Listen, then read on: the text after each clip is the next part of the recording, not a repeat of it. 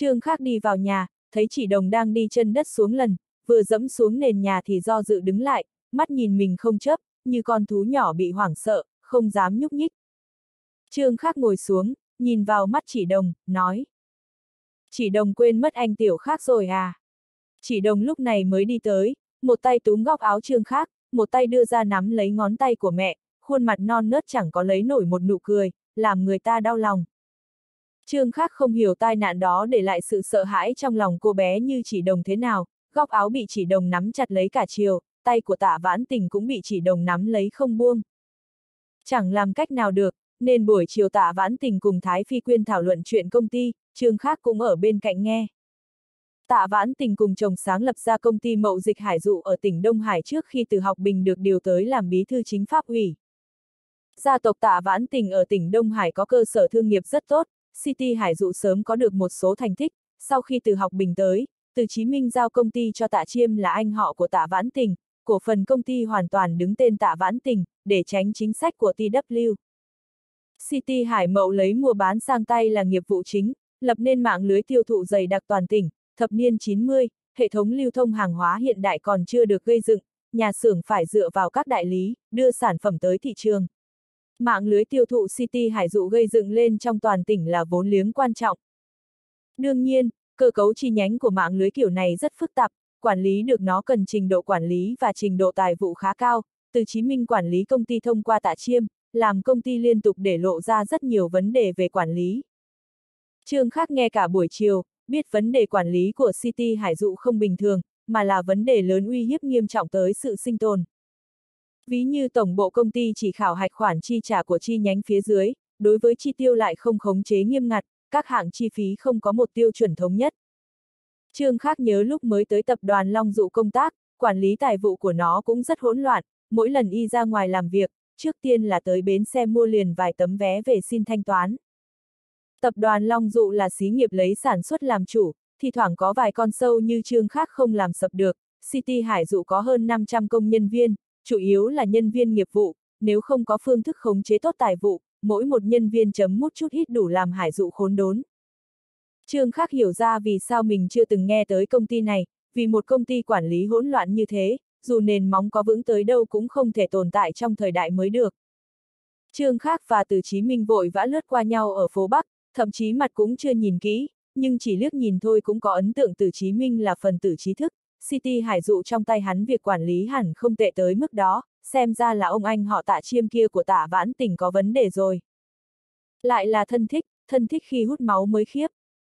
Người xuất thân từ gia đình trí thức cán bộ cấp cao như Từ Chí Minh và tạ vãn tình con mắt nhìn người không thể quá kém, nếu tạ chiêm không có chút trình độ quản lý, Từ Chí Minh đã chẳng giao công ty cho hắn, nhưng tình hình quản lý hỗn loạn tới mức đó làm người ta thật khó tưởng tượng. Một công ty quản lý hỗn loạn chỉ có thể miễn cưỡng duy trì, không thể có lợi nhuận, công nhân viên phía dưới tất nhiên không có phúc lợi tốt, nhưng với nhân viên quản lý mà nói, lại là cơ hội kiếm trác lớn. Đằng sau hải dụ có từ học bình, ít nhất có thể khiến nó miễn cưỡng duy trì được, ngày nào nó chưa sụp, ngày đó tạ chiêm có thể đục khoét. Trương khác thấy ông anh họ này tạ vãn tình đúng là, nhưng từ trong thảo luận của Thái Phi Quyên và tạ vãn tình, y nghe ra họ tựa hồ không ý thức được sự hiểm ác của tạ chiêm, chỉ không ngừng trách móc hắn quản lý kém, lại cố chấp, không chịu nghe ý kiến người khác. Thái Phi Quyên là bạn học của Từ Chí Minh, xem như nguyên lão của City Hải Dụ, khá có kiến thức về quản lý sĩ nghiệp, đề xuất nhiều kiến nghị nhắm vào vấn đề hiện nay của công ty, bảo tạ vãn tình thúc giục tạ chiêm chấp hành. Trương Khác nghe mà thiếu chút nữa phì cười, không nhịn được nói. Chị Vãn Tình, em thì thấy vấn đề lớn nhất của City Hải Dụ này là ở vị tổng giám đốc đấy. Thái Phi Quyên thấy Trương Khác đột nhiên nói xen vào như thế, trong lòng không vui, hơi nhíu mày lại, có điều biết y cứu sống chỉ đồng, nên nhìn không nói ra những lời khó nghe. Tạ vãn tình biết vai trò của Trương Khác trong vụ án Đinh Hướng Sơn, nên không coi y như thiếu niên bình thường, đương nhiên quan trọng hơn trong lúc ngàn cân treo sợi tóc, Trương Khác lao mình ra cứu chỉ đồng, để lại trong cô ấn tượng không thể xóa nhòa, ấn tượng này làm tạ vãn tình sinh ra sự tin cậy gần như bản năng với Trương Khác. Tạ vãn tình ngẩng đầu lên hỏi. Em nói thế là sao? Trương Khắc đáp. Mặc dù em là học sinh cao trung, nhưng nghe hai chị nói chuyện cả buổi chiều, cũng hiểu một chút về vấn đề của City Hải Dụ. Ví như nói, bản địa hóa nhân viên nghiệp vụ cơ sở là một hạng mục quản lý rất quan trọng, không chỉ tiết kiệm chi phí công nhân viên, còn có lợi triển khai nghiệp vụ ở địa phương. City Hải Dụ không phân nặng nhẹ, tất cả nhân viên văn phòng đều do tổng công ty phái tới, riêng chi phí công tác ngoại địa phải bù thêm bao nhiêu. Em còn hiểu đạo lý này, sao Tổng Giám đốc Hải Dụ lại không hiểu? Thái Phi Quyên ngẩn ra, không ngờ thiếu niên này hiểu chuyện quản lý thực, nhưng chẳng hề coi trọng, hiện giờ đám nhóc con cái gì cũng đọc, chuyện gì cũng biết nửa vời, chẳng có gì mà lạ. Tạ vãn tình nghĩ một lúc, hơi hiểu ra ý của Trương Khác, nhưng không xác định lắm. Trương Khác đặt chỉ đồng dựa vào người mình, tiếp tục nói. Em vừa nghe chị Thái nói giám đốc chi nhánh của City Hải Dụ nắm quyền lớn, bao gồm mở rộng thị trường, phân phối hàng hóa, tài vụ V, V, V.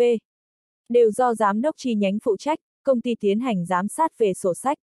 Ba em giúp bác đường tập hợp con số kinh tế của khu huyện phía dưới, lần nào cũng oán trách, nếu tin con số phía dưới đưa lên thì họa có điên. City Hải dụ lấy nghiệp vụ đại lý tiêu thụ làm chủ, em nghĩ có hai điều tổng bộ phải khống chế trong tay, đó là vật tư lưu thông và tài vụ.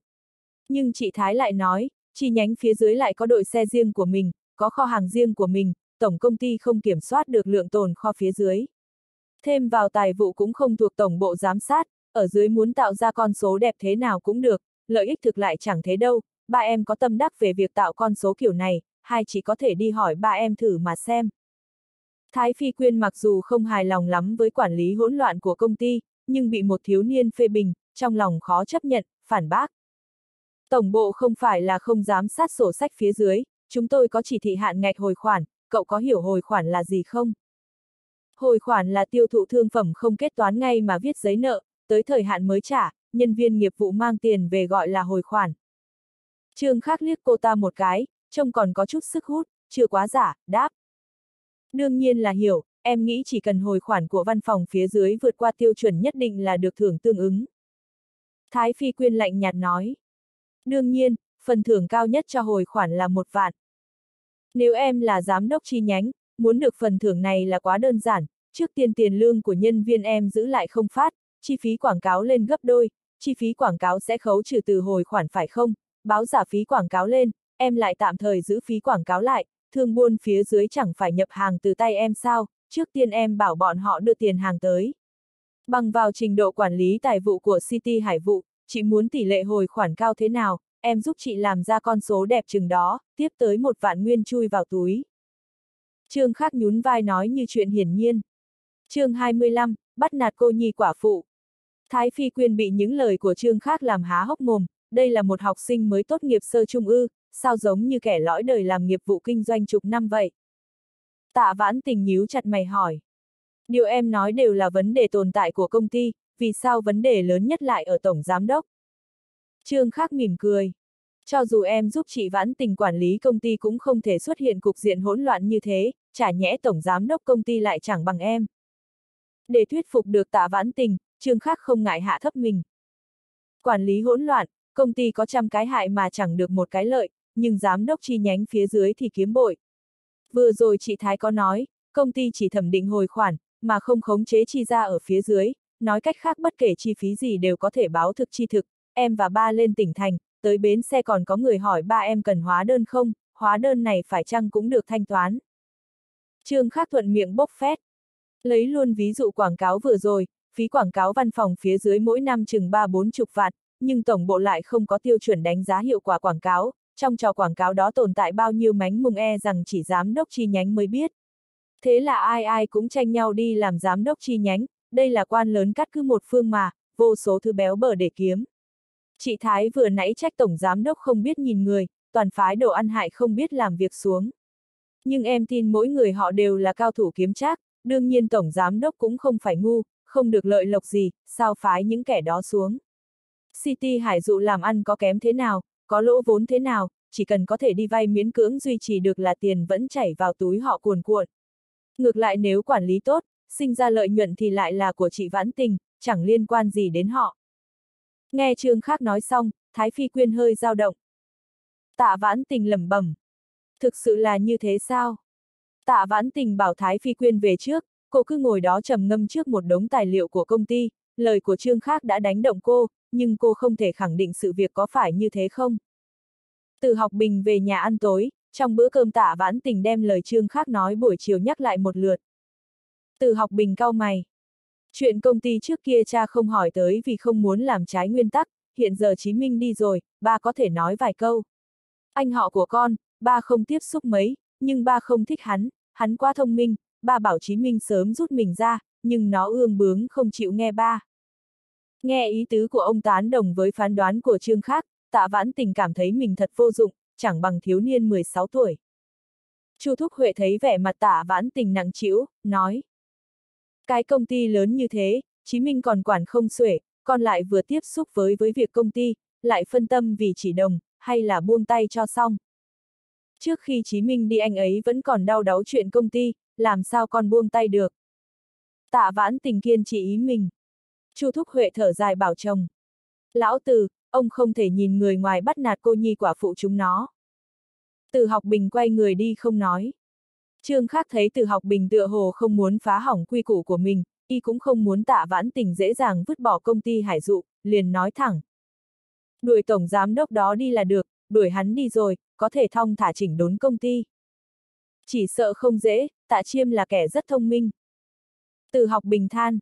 Trương Khác biết từ học bình lo lắng điều gì, chủ sở hữu thực sự của City Hải Dụ là con trai ông ta, nếu tạ chiêm bất chấp tất cả tung hê hết lên, rất có khả năng cắt đứt tiền đồ chính trị của từ học bình. Trương Khắc nhìn tạ vãn tình. Chị vãn tình, chiều hôm nay có phải chị nói tạ chiêm hy vọng vay một khoản từ ngân hàng để mở rộng nghiệp vụ? Ừm, nhưng nếu đã biết anh ta là loại người như thế thì không thể để anh ta làm bừa. Trương Khắc cẩn thận hỏi trước. Chị Thái có đáng tin không?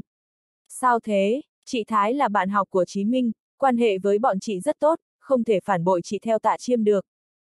Tạ vãn tình khẳng định. Thế thì tốt, tạ chiêm là người giỏi bịa đặt số liệu, chỉ cấp quyền cho hắn đi vay ngân hàng, cấp quyền bằng miệng, không để cho hắn lưu lại nhân chứng vật chứng. Hắn nhất định sẽ vội vàng làm ra con số đẹp nhất cho tài sản của công ty, đợi khi hắn vay tiền xong, chị đề nghị rút vốn, xem hắn có phản ứng gì. Tạ vãn tình nghi hoặc, chưa hiểu toan tính của Trương Khác, từ học bình mắt sáng lên. Loại người như tạ chiêm chỉ biết chiếm lợi của kẻ khác, bản thân không chịu hy sinh một chút nào, sẽ không làm cá chết lưới rách với con đâu, chú ý này rất tuyệt đấy. Rồi quay sang Trương Khác. Đầu óc cháu lắm thứ thật đấy, chiêu này không phải người bằng tuổi cháu nghĩ ra được. Trương Khác cúi đầu xuống, giả vờ xấu hổ. Từ học bình nói với vợ. Chi hành đúng là, cái gì cũng dám rót vào đầu con, tôi rất muốn hỏi cậu ta, làm sao dạy ra được đứa bé này. Đám trẻ bây giờ thật không thể xem thường được, buổi trưa ở nhà khách Long Hoa, tiểu khác khác dùng cờ vây dạy cho tôi một bái học, bao năm rồi tôi chưa thua cờ. Nói thể nhưng mặt chẳng hề có vẻ buồn vì thua cuộc. Trương khác thấy từ học bình đem nguyên nhân quy kết lên đầu cha, nhưng không hiểu đó là đánh giá tốt hay xấu. Như vậy có được không? Lúc này tạ vãn tình hiểu mưu đồ của Trương khác rồi, tài sản của City Hải Dụ còn được bao nhiêu cô không chắc lắm, nhưng nhất định tạ chiêm muốn thế chấp vay tiền, sẽ làm sổ giả, tăng tài sản công ty lên, vay khoản tiền thật lớn để hắn tiếp tục đục khoét. Chỉ đần chọn thời cơ thích hợp đề xuất rút vốn, đóng băng tài khoản ngân hàng, là có thể dồn tạ chiêm vào góc chết. Hắn có hai lựa chọn, hoặc là lấy lý do bị người khác lừa gạt, mọi người cùng cá chết lưới rách, còn cá hắn chết là cái chắc, cái lưới từ học bình chưa chắc đã rách, hoặc là hắn rời khỏi công ty hải dụ. Kim Quốc Hải dẫn một phần tổ chuyên án tới Hải Châu vào chiều ngày hôm đó, sau khi liên lạc với Chu Phú Minh, liền tuyên bố quyết định của tỉnh ủy, cách ly thẩm tra Đinh Hướng Sơn, Chu Phú Minh làm bí thư thành ủy tạm quyền. Căn cứ vào chứng cứ chương khác, Hứa Tư, Diệp Tân Minh cung cấp, niêm phong tòa biệt thự ở Tượng Sơn, đưa vợ con Đinh Hướng Sơn tới nhà khách thành ủy điều tra. Đồng thời niêm phong toàn bộ sổ sách của tập đoàn Tân Phong, yêu cầu tất cả quản lý tới địa điểm tổ chuyên án chỉ định để tiếp nhận điều tra. Bên trên không có ai ngầm bắn tin cho, Đinh Hướng Sơn trở tay không kịp, từ trong nhà cùng biệt thự ở tượng Sơn của ông ta lục soát được khoản tiền mặt lớn, cùng vô số đồ mỹ nghệ, vàng bạc đắt giá, trở thành chứng cứ trực tiếp nhất cho tội tham ô hối lộ của ông ta. Hai ngày sau khi Đinh Hướng Sơn bị cách ly, Đường Học Khiêm, Trương Chi Hành cùng thành viên còn lại của tổ chuyên án và nghi phạm ngồi xe buýt trở về Hải Châu. Hai ngày này, quan trường Hải Châu chấn động có thể dùng sóng thần để hình dung, Đinh Hướng Sơn bị bắt không hề có dấu hiệu nào báo trước, đường học khiêm trở về không hư hao chút nào. Hôm đường học khiêm trở về, Chu Phú Minh lái xe lên đường cao tốc nghênh đón, đây là chuyện cực kỳ hiếm có ở Hải Châu. Những điều đó đều do chú Trương Chi Phi kể qua điện thoại, Trương Khác ở nhà từ học bình 4 ngày chơi với chỉ đồng. Lời của y làm tạ vãn tình sáng ra nhiều điều, vì để tạ chiêm buông lỏng cảnh giác, cô giao hết việc công ty cho hắn, còn mình chuyên tâm ở lại Tân Mai Uyển chăm chỉ đồng. Tình hình chỉ đồng nhìn qua tốt hơn một chút rồi, đã chịu ra ngoài đi lại, Trương Chi Hành lấy cớ giấy nhập học có khả năng mấy ngày này sẽ gửi tới nhà, muốn về Hải Châu trước vài ngày. Không để từ học bình phái xe đưa đi, y ngồi xe đường dài về Hải Châu. chương 26, khoản tiền cứu người. Quan trường Hải Châu chìm trọng trận động đất chưa từng có, quan viên Hải Châu còn chưa làm rõ được tình hình, đang cuống cuồng chạy khắp nơi nghe ngóng. Về nhà đúng vào cuối tuần, Trương Khắc nghĩ trong nhà nhất định không yên tĩnh được, vào thành phố liền gọi điện thoại về nhà, trong điện thoại nghe thấy tiếng trò chuyện, nói cười của rất nhiều phụ nữ. Trương Khắc nói với mẹ đã về Hải Châu, nhưng không muốn về nhà. Lương cách chân hỏi vì sao? Ba sắp lên làm thư ký trưởng rồi, giờ con mà về nhà sẽ bị một đám người vây tới khen đẹp trai này, học giỏi này, hiểu chuyện này. Mẹ không thấy chán ngắt à? Lương cách chân phì cười, mắng. Không nghiêm túc, nhà không về bỏ đi lang thang, sao con biết ba con sắp thăng chức? Trương Khắc nghe ra trong lòng mẹ rất vui, chuyện bày rõ ra đó rồi, chỉ cần chính phủ có ghế trống mà cha không thuận thế tiến bộ, thì lẽ trời ở đâu? Bí thư thành ủy xa lưới, nhiều củ cái còn dính theo cả bùn, ai biết lần này sẽ có bao nhiêu ghế bị trống. Huống chi Trương Khắc vội về nhà là có chuyện quan trọng hơn để làm, nếu không thả ở lại tỉnh thành chơi với chỉ đồng thêm vài ngày. Phòng ở cảnh Thịnh Hoa Uyển cùng xe của hứa tư đều do tập đoàn Tân Phong cấp cho, nhà của cô ở thôn Thành Trung, Sa Điền do thời kỳ đầu kiến thiết thành phố để sót lại, Trương Khắc theo địa chỉ, tìm tới nhà hứa tư, một tiểu viện trong con ngõ sâu, tường vôi bong chóc, hai cánh cửa gỗ bị dấu vết mưa gió ăn mòn nghiêm trọng. Trương Khắc ghé qua khe cửa nhìn vào trong, sân rất nhỏ, y gõ cửa thấy một người trung niên đi ra. Trương Khắc nhìn thấy ảnh ông ta trong hồ sơ, đó là cha hứa tư, tên hứa Hải Sơn, công nhân kỹ thuật xưởng cơ khí nông nghiệp, mẹ hứa tư cũng theo ra, nhìn vẻ mặt họ, hiển nhiên rất sợ có người gõ cửa. Cậu là... Hứa Hải Sơn thấy là một thiếu niên, có chút nghi hoặc. Chị hứa tư bảo cháu tới. Trương Khác thừa lúc cha hứa tư trần trừ lách qua khe cửa. Chuyện của chị hứa tư chưa nói cho hứa Duy chứ xả. Vì tiền phẫu thuật cho hứa Duy, chị ấy đã làm một số chuyện, cảm thấy rất có lỗi với hai bác, chị ấy rất hối hận, đang chủ động khai báo vấn đề với tổ chuyên án, đương nhiên nếu có thể đem tiền trả lại cho quốc gia, sẽ có lợi cho việc tranh thủ khoan hồng cho chị hứa tư. Cha hứa tư mặt đầy hoài nghi, mẹ hứa tư đơn thuần hơn nhiều, nghe thế nước mắt nước mũi sụt sùi nói. Bệnh của đứa bé hại khổ đứa lớn rồi, nó là con bé ngoan lắm, nhưng không biết nghĩ cho bản thân, nó mới 23 tuổi, sau này biết sống ra làm sao. Thân thích, bạn bè, hàng xóm đều đều cầu xin hết rồi, mới gom góp được 15 vạn, cha nó muốn bán thật, nhưng phải có người mua đã. Ồ, ra là thế. Trương Khắc vỗ đầu, thấy cha hứa tư cảnh giác nhìn mình, vội lùi ra ngoài, nghe thấy mẹ hứa tư khóc giống lên, trên đường rời khỏi con nhỏ hẹp, không ngừng có người thò đầu ra, thấy là một thiếu niên, đều rụt đầu lại. Trương Khắc đứng ở cửa ngõ gọi điện cho Trương Chi Phi, từ sau khi y và cha vào tổ chuyên án còn chưa gặp chú út. Chú, chú đang ở đâu thế? Chú đang ở thành phố, thị trưởng đường gọi tới, nói là mời cơm tối, ha ha. Mấy ai được thị trưởng đường mời cơm chứ? Có thể nghe ra tâm tình chú rất tốt, chú làm việc ở công ty xây dựng còn chưa ra được khỏi huyện Đông xã, lần này được đường học khiêm mời cơm, lại chẳng đủ cho chú mất ngủ ba ngày. Chú vừa gọi điện cho cha cháu, nói cháu về Hải Châu rồi, có chuyện gì, không thể để tối nói à. Cháu cần một số tiền khá lớn, chú thấy được thì mang tới Sa Điền ngay bây giờ cho cháu, chuyện này đừng nói cho cha mẹ cháu biết. Cái gì, tiểu khác, cháu không sao chứ? Trương Chi Phi hơi hoảng. Trương khác thấy giọng chú cao vút lên, cười nói. Chú đừng căng thẳng thế, không phải cháu bị bắt cóc đâu, khoản tiền này dùng để cứu người, coi như cháu vay chú. Phù, thằng nhóc muốn dọa chết chú à? Trương Chi Phi ở phía kia điện thoại thở dốc. Muốn bao nhiêu tiền, chú mang tới cho. 12 vạn. Chuyện gì mà cần tới 12 vạn? Giọng Trương Chi Phi phía bên kia lại vống lên, phải biết rằng năm 94, sinh viên mới tốt nghiệp đại học vào đơn vị sự nghiệp công tác, lương tháng chỉ có 200 đồng. Trương Khắc biết chú mấy năm qua làm công trình ở Đông xã kiếm khá, song tiền lưu động trong tay không có nhiều, cho dù mấy ngày qua mình biểu hiện có xuất sắc hơn nữa, muốn chú không biết dùng tiền làm gì mà bỏ ra 12 vạn là khả năng không cao. Chú, cháu ở Sa Điền, chú mang tiền tới đây, cháu nói cho chú nghe.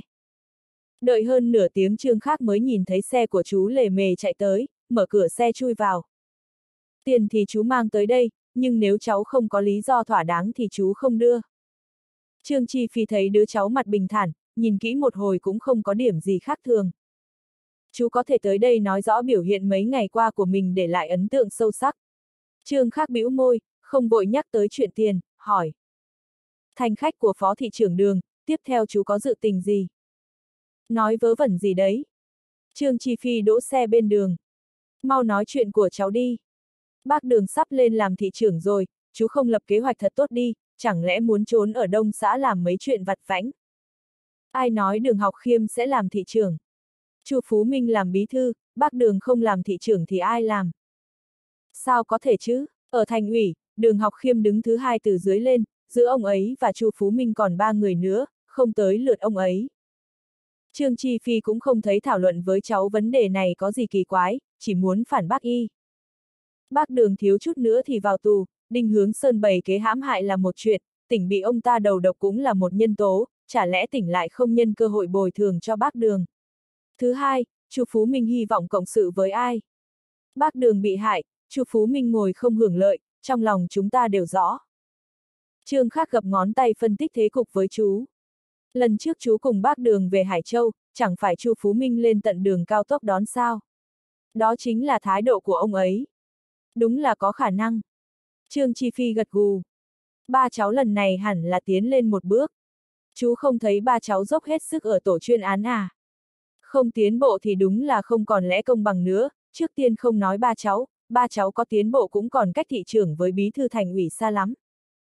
Nói không chừng xuống huyện làm huyện trưởng hay bí thư huyện ủy thì sao? Trương Chi Phi mặt đầy mong mỏi. Giao hết phòng ốc ở huyện Đông xã cho chú sửa thì chú cũng kiếm được bao nhiêu tiền. Trương khắc mặt xem thường. Xây một căn nhà, chỉ cần ngày nào nó chưa bị tháo rỡ thì chú phải chịu trách nhiệm chất lượng của nó ngày ấy. Chú muốn kiếm nhiều tiền thì phải làm công trình rỗng ruột, cái đó là quả bom không biết bao giờ phát nổ, nói không chừng đúng lúc chú đang hả hê nhất thì nó bùm một cái. Cút đi, cút đi, chú có giống người bớt xén vật liệu làm công trình rỗng ruột không hả? Vậy chú thỏa mãn với thu nhập một năm mấy chục vạn sao? Trương khác biết mấy ngày qua chú hẳn bắt đầu này sinh tham vọng rồi. Cơ hội ở thành phố hơn ở đông xã nhiều, trong lòng chú mà không có chút tính toán thì cháu chẳng tin. Có phải chú muốn chuyển công ty lên thành phố, nhưng lại lo quá gấp, mất thể diện. Tính chú và ba cháu y hệt nhau, rõ ràng muốn làm, còn ngại ngại ngùng ngùng. Muốn làm thì cứ làm, nhân lúc bác đường còn chưa lên thị trường, chú chuyển cả công ty lên, như thế về thể diện sẽ khá hơn một chút. Bác đường chả lẽ không hiểu hay sao? Nhưng bác đường không phải loại người như Đinh Hướng Sơn, cho dù có muốn giúp chú, thì chú cũng phải đáng để giúp đã, cho nên có câu công dục thiện kỳ sự tất tiên lợi kỳ khí, lấy lời của đông xã thì là không có khoan kim cương, đừng làm nghề gốm sứ. Chú muốn tiếp tục làm công trình ở thành phố, thì phải gây dựng lên đội ngũ, đầy đủ tư chất nhân viên, kỹ thuật, thiết bị. Tiền giải ra, đừng sợ không thu về được, chứ đội ngũ của chú ở đông xã bác Đường chẳng đề vào mắt. Muốn làm tốt công việc, có công cụ tốt đã. Trung Quốc xưa để hàn gắn đồ sứ, người ta dùng mũi rùi kim cương khoan lỗ rồi gắn lại. Do đồ sứ cứng, bề mặt trơn, có mũi khoan này thì mới có thể hàn gắn tốt đồ sứ. chương 27, yêu tình hại người. Trương Chi Phi mắt sáng lên, mấy ngày qua ông ta quá hưng phấn, đầu óc cứ lâng lâng, nghĩ không ra việc gì, không ngờ đứa cháu này nói ột phen, cảm giác đất trời sáng sủa hẳn. Tiếp theo đó phải làm gì, đã có đường lối chính xác rồi, Trương Chi Phi hận không thể lập tức bắt tay vào việc, thực sự không muốn ở lại cái xó nhỏ đông xã nữa. Chú luôn phục ba cháu, hâm mộ anh ấy trong đầu có kiến thức, giờ hâm mộ nhất là anh ấy có đứa con thế này. Trương Chi Phi đưa một cái túi hồ sơ cho Trương khác. Cho cháu đấy, 12 vạn. Chú không hỏi vì sao à? Không cần, chú thấy chuyện gì cháu cũng suy nghĩ thấu triệt hơn chú, càng hỏi chú càng thành kém cỏi. Cháu muốn mang tiền đi cứu người, nhất định là có cái lý của cháu. Vậy chú lái xe đưa cháu tới, đấy, cái ngõ kia kìa. Trương khác thấy chú vẫn chưa hoàn toàn yên tâm, chỉ đường để chú lái xe vào. Số tiền này coi như cháu vay chú. Đừng bận tâm, rảnh rỗi tham mưu cho chú nhiều một chút là được. Trương khắc nghĩ, chú đúng là không chịu thua thiệt, nhưng chú tín nhiệm như thế, làm y rất cảm động. Xe đi tới cửa nhà hứa tư, Trương Khắc thấy cửa khép hờ, liền đi thẳng vào, cha mẹ hứa tư đang ngồi nói chuyện với một người trung niên ở nhà chính, trên bàn là một sấp tiền, chừng hai ba nghìn tệ, người trung niên kia nói. Hôm nay em chỉ giúp được anh chị chừng này, mau nộp tiền lên đi, giúp được phần nào cho tiểu tư, cùng lắm thì lập giấy nợ số tiền còn thiếu, chúng ta bán máu bán thận gom cho đủ, không thể để tiểu tư chịu thiệt thêm nữa, chuyện này tuyệt đối không được cho con bé tiểu duy biết, tình nó hiếu thắng, biết chị nó vì nó làm như thế, ai biết nó sẽ gây ra chuyện ngu ngốc gì. Cha hứa tư thấy trương khác thò đầu vào trong sân, vội vàng cất tiền đi, cảnh giác hỏi. Sao lại là cậu? Trương khác chỉ người bên cạnh cha mẹ hứa tư. Chú là cậu chị hứa tư phải không? Thấy ông ta gật đầu, liền đổ tiền trong túi lên bàn. Số tiền này chị hứa tư nhờ cháu vay hộ, tổng cộng 12 vạn, tuyệt đối là thanh bạch, phiền mọi người viết giấy biên nhận cho cháu. Cha mẹ hứa tư chố mắt ra, cậu hứa tư khá tinh minh, không quên cầm tiền lên miết một cái, không phải là giả. Chúng tôi thiếu tiền, nhưng số tiền này. Trương khác còn nhớ cậu hứa tư tên là Thi Vệ Trung, cùng cha hứa tư đều là công nhân xưởng cơ khí, nhìn từ hồ sô không thấy ông ta tinh minh như vậy, thấy cha mẹ hứa tư không chịu thu nhận số tiền không rõ nguồn gốc, liền bịa bừa. Chị hứa tư dạy thêm cho cháu, để cháu đỗ thứ ba khu Tây Thành, số tiền này đều là tiền tiêu vặt cha mẹ cháu thưởng cho, cháu nói với ba mẹ cháu rồi, nếu chị hứa tư có thể tiếp tục dạy thêm cháu, số tiền này cho chị ấy mượn trước, mọi người viết giấy biên nhận đi, lái xe nhà cháu đang đợi ở ngoài. Cha hứa tư thò đầu ra ngoài, thấy một cỗ xe tiệp đạt mới tinh đỗ ngang cửa, không nhìn ra xe đắt rẻ thế nào, thời đó, có xe riêng đều là ông chủ, giám đốc, thầm nghĩ, có xe đưa đón, đương nhiên là trẻ nhà giàu, nhưng số tiền này vẫn không rõ ràng. Thì vệ trung lại nói, anh rể, số tiền này cứ vay đi, sau này nhớ trả lại trước. Vậy là cha hứa từ cứ thế hổ đồ viết giấy nợ, nhìn thiếu niên bỏ đi. Trương khắc xe tờ giấy thành từng mảnh, ném ra ngoài cửa sổ, thấy chú mày nhăn lại, cười. Chú, vẫn muốn hỏi phải không? Thấy tâm tư mình bị cháu nhìn ra, Trương Chi Phi cười khì. Nhà cô gái đó hả? Người phụ nữ thò đầu ra khá giống cô ta. Ông ta chỉ xem qua ảnh hứa tư, đột nhiên nhớ ra nên hỏi thế. Chú không biết, hứa tư là mấu chốt xoay chuyển việc này. Chu Phú Minh, bác Đường, ba cháu, chú đều là người hưởng lợi từ sự kiện này, nói trắng ra, mọi người đều nợ chị ấy, cháu giúp mọi người trả nợ, nếu không chị ấy quá ủy khuất, trả số tiền này, ít nhất có thể tranh thủ cho chị ấy án treo. Nói vậy lời khai của cháu với tổ chuyên án là thật. Đương nhiên là thật. Trương Khác nói dối không chấp mắt, tò mò nhìn chú. Sao thế ạ, à? cha cháu nói chuyện này với chú rồi à? Ha ha, nói rồi, chỉ sợ cháu từ đầu óc sớm trưởng thành ra, các phương diện khác cũng trưởng thành rồi, chú chưa nhìn thấy cô ta thật, có điều nghe nói ở Hải Châu không một người đàn ông nào dám nhìn thẳng vào mắt cô ta. Trương Khác tất nhiên không rụt rè trước mặt chú, làm ra vẻ vô tội nói. Chú nói cái gì đấy, sao như thế được, có điều nghĩ lại, hình như hứa tư rất đẹp, nghĩ thêm chút nữa, đúng là không ai sánh bằng. Trương Khác dựa đầu vào lưng ghế, nhớ tới đôi mắt mê người của hứa tư, đúng là yêu tinh hại người, còn chưa bắt đầu đại kế phát tài đã nợ ngập đầu rồi. Quay sang nhìn chú, thấy chú tay cầm vô lăng, nhưng miệng cười tâu tuét, chắc là lại nghĩ tới bữa cơm tối được gặp đường học khiêm. Thông báo nhập học được chủ nhiệm Tào Quang Minh của trường nhất trung đích thân đưa tới nhà, đáng tiếc là hôm đó cha mẹ không có nhà, Trương Khác thấy Tào Quang Minh hói đầu mặt đầy thất vọng, đợi ông ta đi rồi, liền gọi điện cho đường Thanh hỏi có phải thông báo nhập học của cô do Vương Viêm Bân đích thân đưa tới nhà không. Nhất trung, trường cao trung số 1, trường nhà nước cả mà toàn đặt số. Trường Khác lần nào cũng nói chúng làm đường Thanh ngạc nhiên hết sức, hỏi. Sao bạn biết, bạn đâu có phải ở dưới nhà mình? Trường Khác gập tay tính, thông báo của đường Thanh do hiệu trưởng Vương Viêm Bân đưa, của mình do chủ nhiệm nghiệp vụ Tào Quang Minh đưa, giữa hai người này còn có phó hiệu trưởng Mã Dược, chủ nhiệm giáo vụ Lý Chi Phương, nói như thế Đỗ Phi và Vạn Thiên Tài con trai Vạn Dũng chủ nhiệm ủy ban mậu dịch đều vào nhất chung cả rồi. Dù tổ chuyên án hành động bất ngờ, thu thập được rất nhiều chứng cứ ở biệt thự Tượng Sơn, khiến vụ án Đinh Hướng Sơn trong thời gian ngắn thu được tiến triển quan trọng, Đinh Hướng Sơn thẳng thắn thừa nhận nhận hối lộ của Khương Minh Thành, đồng thời uy hiếp hứa tư hãm hại đường học khiêm, lời khai này cực kỳ có lợi cho hứa tư. Bất kể thế nào Đinh Hướng Sơn chết đến nơi còn có chút lương tâm, không kéo hứa tư xuống bùn. Vụ án liên quan tới cả sự mất tích bí ẩn của Tằng Kiến Hoa, khiến nó trở nên rắc rối phức tạp hơn nhiều, thêm vào tài vụ tập đoàn Tân Phong nhiều năm qua hết sức phức tạp, phải vài tháng mới làm rõ được. Quan viên Hải Châu quan tâm nhất lại chẳng phải vấn đề của Đinh Hướng Sơn, quan trường Hải Châu dung chuyển mạnh như thế, tỉnh đặc biệt hy vọng Hải Châu có thể giữ được sự ổn định nhất định, nhất là sau khi án của Đinh Hướng Sơn có kết luận sơ bộ, tỉnh ủy mau chóng thảo luận, thông qua bổ nhiệm Chu Phú Minh làm bí thư thành ủy, Đường Học Khiêm làm phó bí thư thành ủy, thị trường tạm thời. Cùng ngày tuyên bố của tỉnh ủy đưa ra, Chu Phú Minh, Đường Học Khiêm gọi Trương Chi Hành tới thành ủy nói chuyện, ý tứ rõ ràng, khu huyện không có chỗ trống, khả năng trong thời gian dài sẽ là thế, làm thư ký trưởng chính phủ hay xuống dưới làm người đứng đầu cơ quan trực thuộc, tùy ông chọn. Thư ký trưởng chính phủ thực tế là đại quản gia của chính phủ, việc nhiều, lại không thể nắm toàn cục. Tới cơ quan làm người đứng đầu, sẽ bị giới hạn trong khu vực nào đó, con đường thăng tiến hẹp đi, khó mà tới địa phương làm người đứng đầu đảng chính phủ. Vì sao phải lựa chọn? Trương khắc nhìn cha đi tới đi lui trong phòng khách, trong lòng chắc đang đau đầu vì chuyện này. Trương khắc gọi mẹ. Mẹ, mẹ nói xem phu nhân thư ký trưởng nghe hơn, hay là phu nhân cục trưởng nghe hay hơn. Vớ vẩn, nói lung tung, với mẹ cái nào cũng như nhau.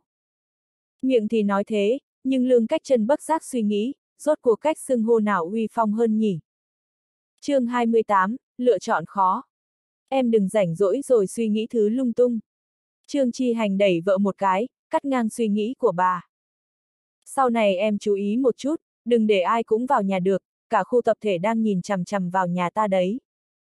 Người ta tới nhà, chẳng lẽ em đóng cửa không cho vào? Lương cách chân mặt đầy oan ức. Em tưởng người ta tới nhà là muốn kết bạn với anh à. Nhiều chuyện không phải cứ không thẹn với lòng là có thể nói rõ được, nếu không có tiểu khác kịp thời phát hiện vấn đề, thị trường đường khó thoát khỏi kiếp nạn này, em có biết không? Được rồi, được rồi, ba còn chưa làm lãnh đạo đã lấy nguyên tắc lãnh đạo ra yêu cầu bản thân rồi. Trương Khắc nhìn cha trêu chọc. Ba quyết định xong chưa, người xếp sau ba đang đợi tới sốt ruột kia kìa. Trương Chi Hành đỏ mặt, ngồi xuống ghế sofa bên cạnh Trương Khác. Tiểu Khác, con thấy ba ở lại thành phố tốt hơn hay xuống cục tốt hơn? Con là thằng nhóc con thì biết đi đâu tốt hay không? Trương Khác quay đầu đi. Con thấy bác từ cho rằng ba làm thư ký trưởng tốt, tức là thư ký trưởng tốt, làm cục trưởng tốt thì tức là cục trưởng tốt. Tư duy của Trương Chi Hành luôn nghĩ mình là người đường học khiêm đề bạt lên, không có suy nghĩ vượt qua đường học khiêm, đường học khiêm mới 44 tuổi đã là một thị trưởng, ông 42 tuổi, vừa mới thăng lên chính sử, cách đường học khiêm tới ba bốn chục người. Đừng chỉ nhìn khoảng cách đó, vì đa số bọn họ cả đời không đi hết khoảng cách không quá dài đó. Đường học khiêm có coi trọng ông tới đâu thì không gian thăng tiến cũng rất hữu hạn, quan trọng là ở từ học bình. Trương Chi Hành vỗ đầu nói. Chuyện này sao tiện hỏi chứ? Lương cách chân nghe không rõ cha con họ chơi đánh đố gì, ở bên nói. Tiểu khác, trước khi nhập học có phải còn tới nhà bí thư tự ở vài ngày không? Còn báo danh nộp học phí nữa, tranh thủ trước tháng 8. Trương Chi Hành gật đầu. Được, mai đưa con lên tỉnh thành, ba gọi điện cho thị trưởng đường xin nghỉ phép. Thầm nghĩ, thử vận may một chuyến, ngày mai chưa chắc gặp được từ học bình, lại không thể ở qua đêm tại tỉnh thành, nhưng thế nào cũng phải gặp ông ấy mới yên tâm. Trương Khác nhớ ra một chuyện.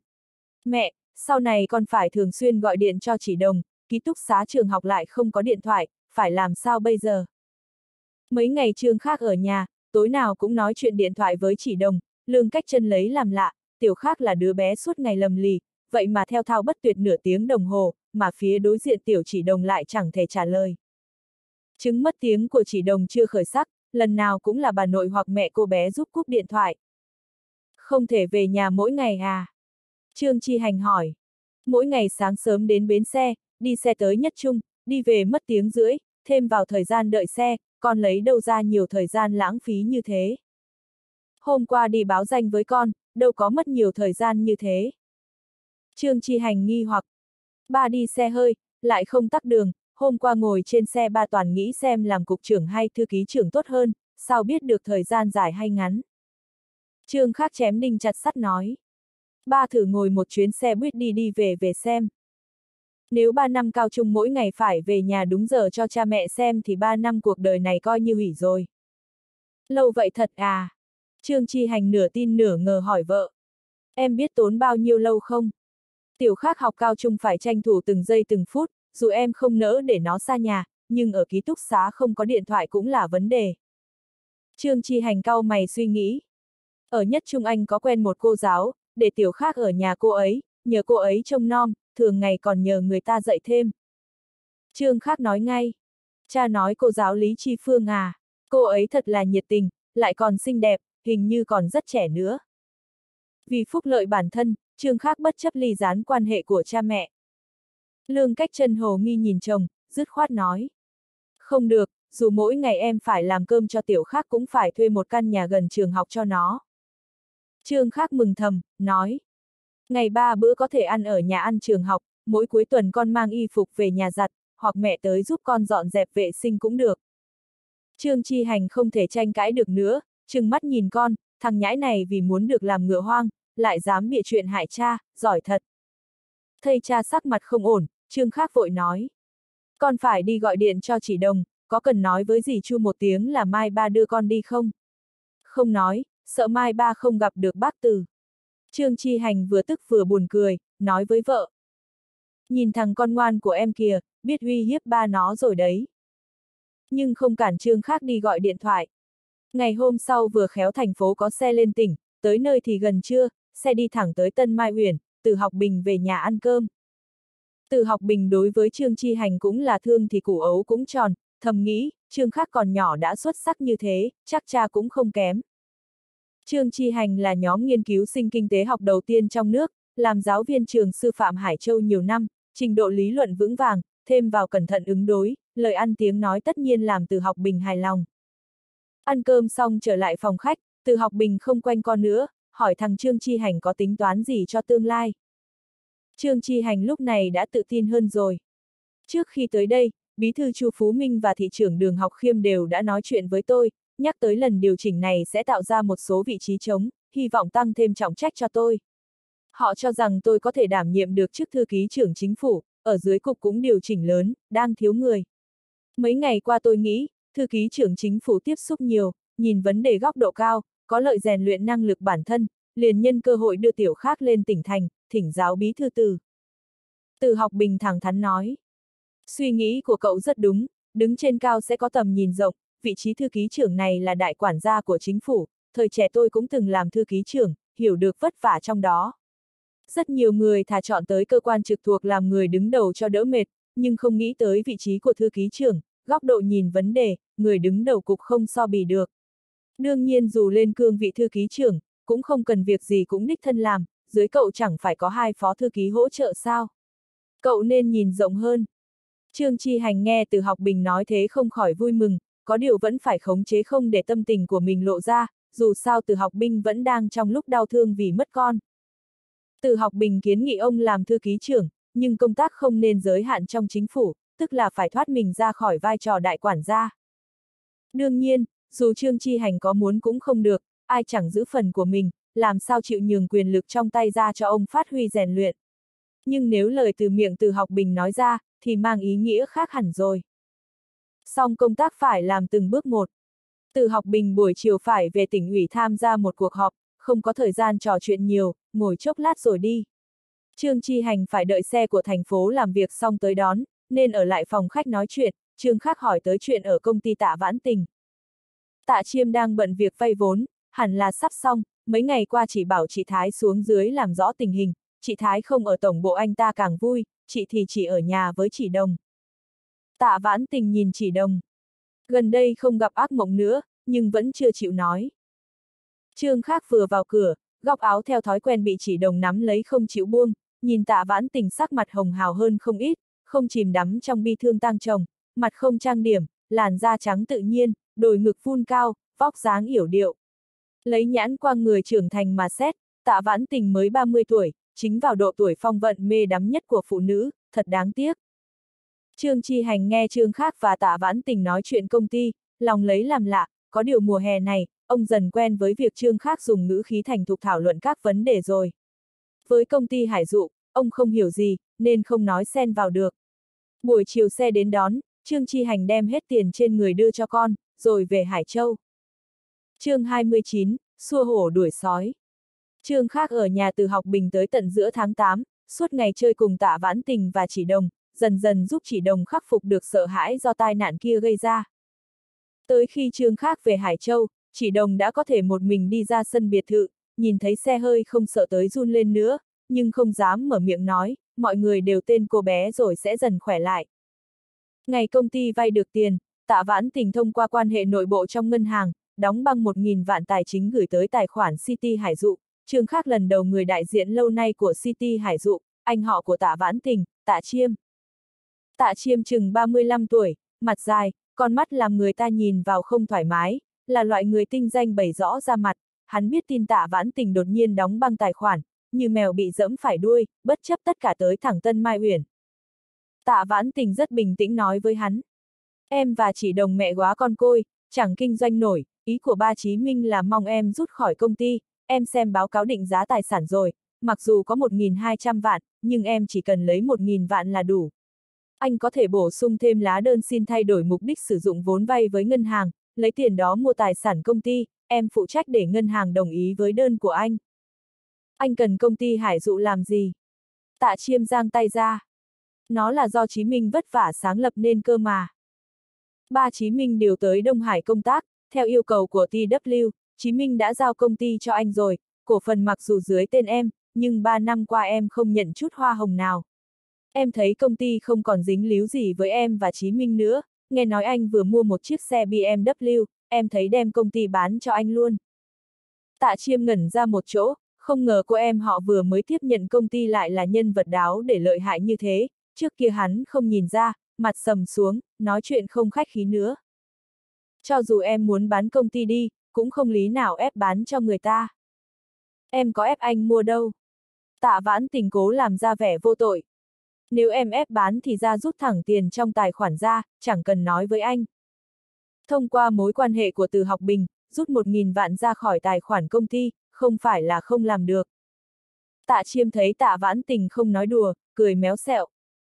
Cho dù em có muốn rút ra khỏi công ty phải nhìn thực tế chứ, cái công ty này đâu đáng giá như thế, đừng chỉ nhìn vào con số đẹp, đó là vì tiện vay tiền của ngân hàng thôi. Lời này anh nên giải thích với ngân hàng cùng tòa án chứ.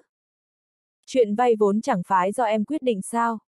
Tạ chiêm ngạc nhiên nhìn tạ vãn tình, trong tất cả văn kiện, tất cả văn kiện vay vốn đều không có chữ ký nào của tạ vãn tình, trước đó hắn còn đắc ý vì gạt được tạ vãn tình ra rìa, nắm hết quyền, một mình đi vay.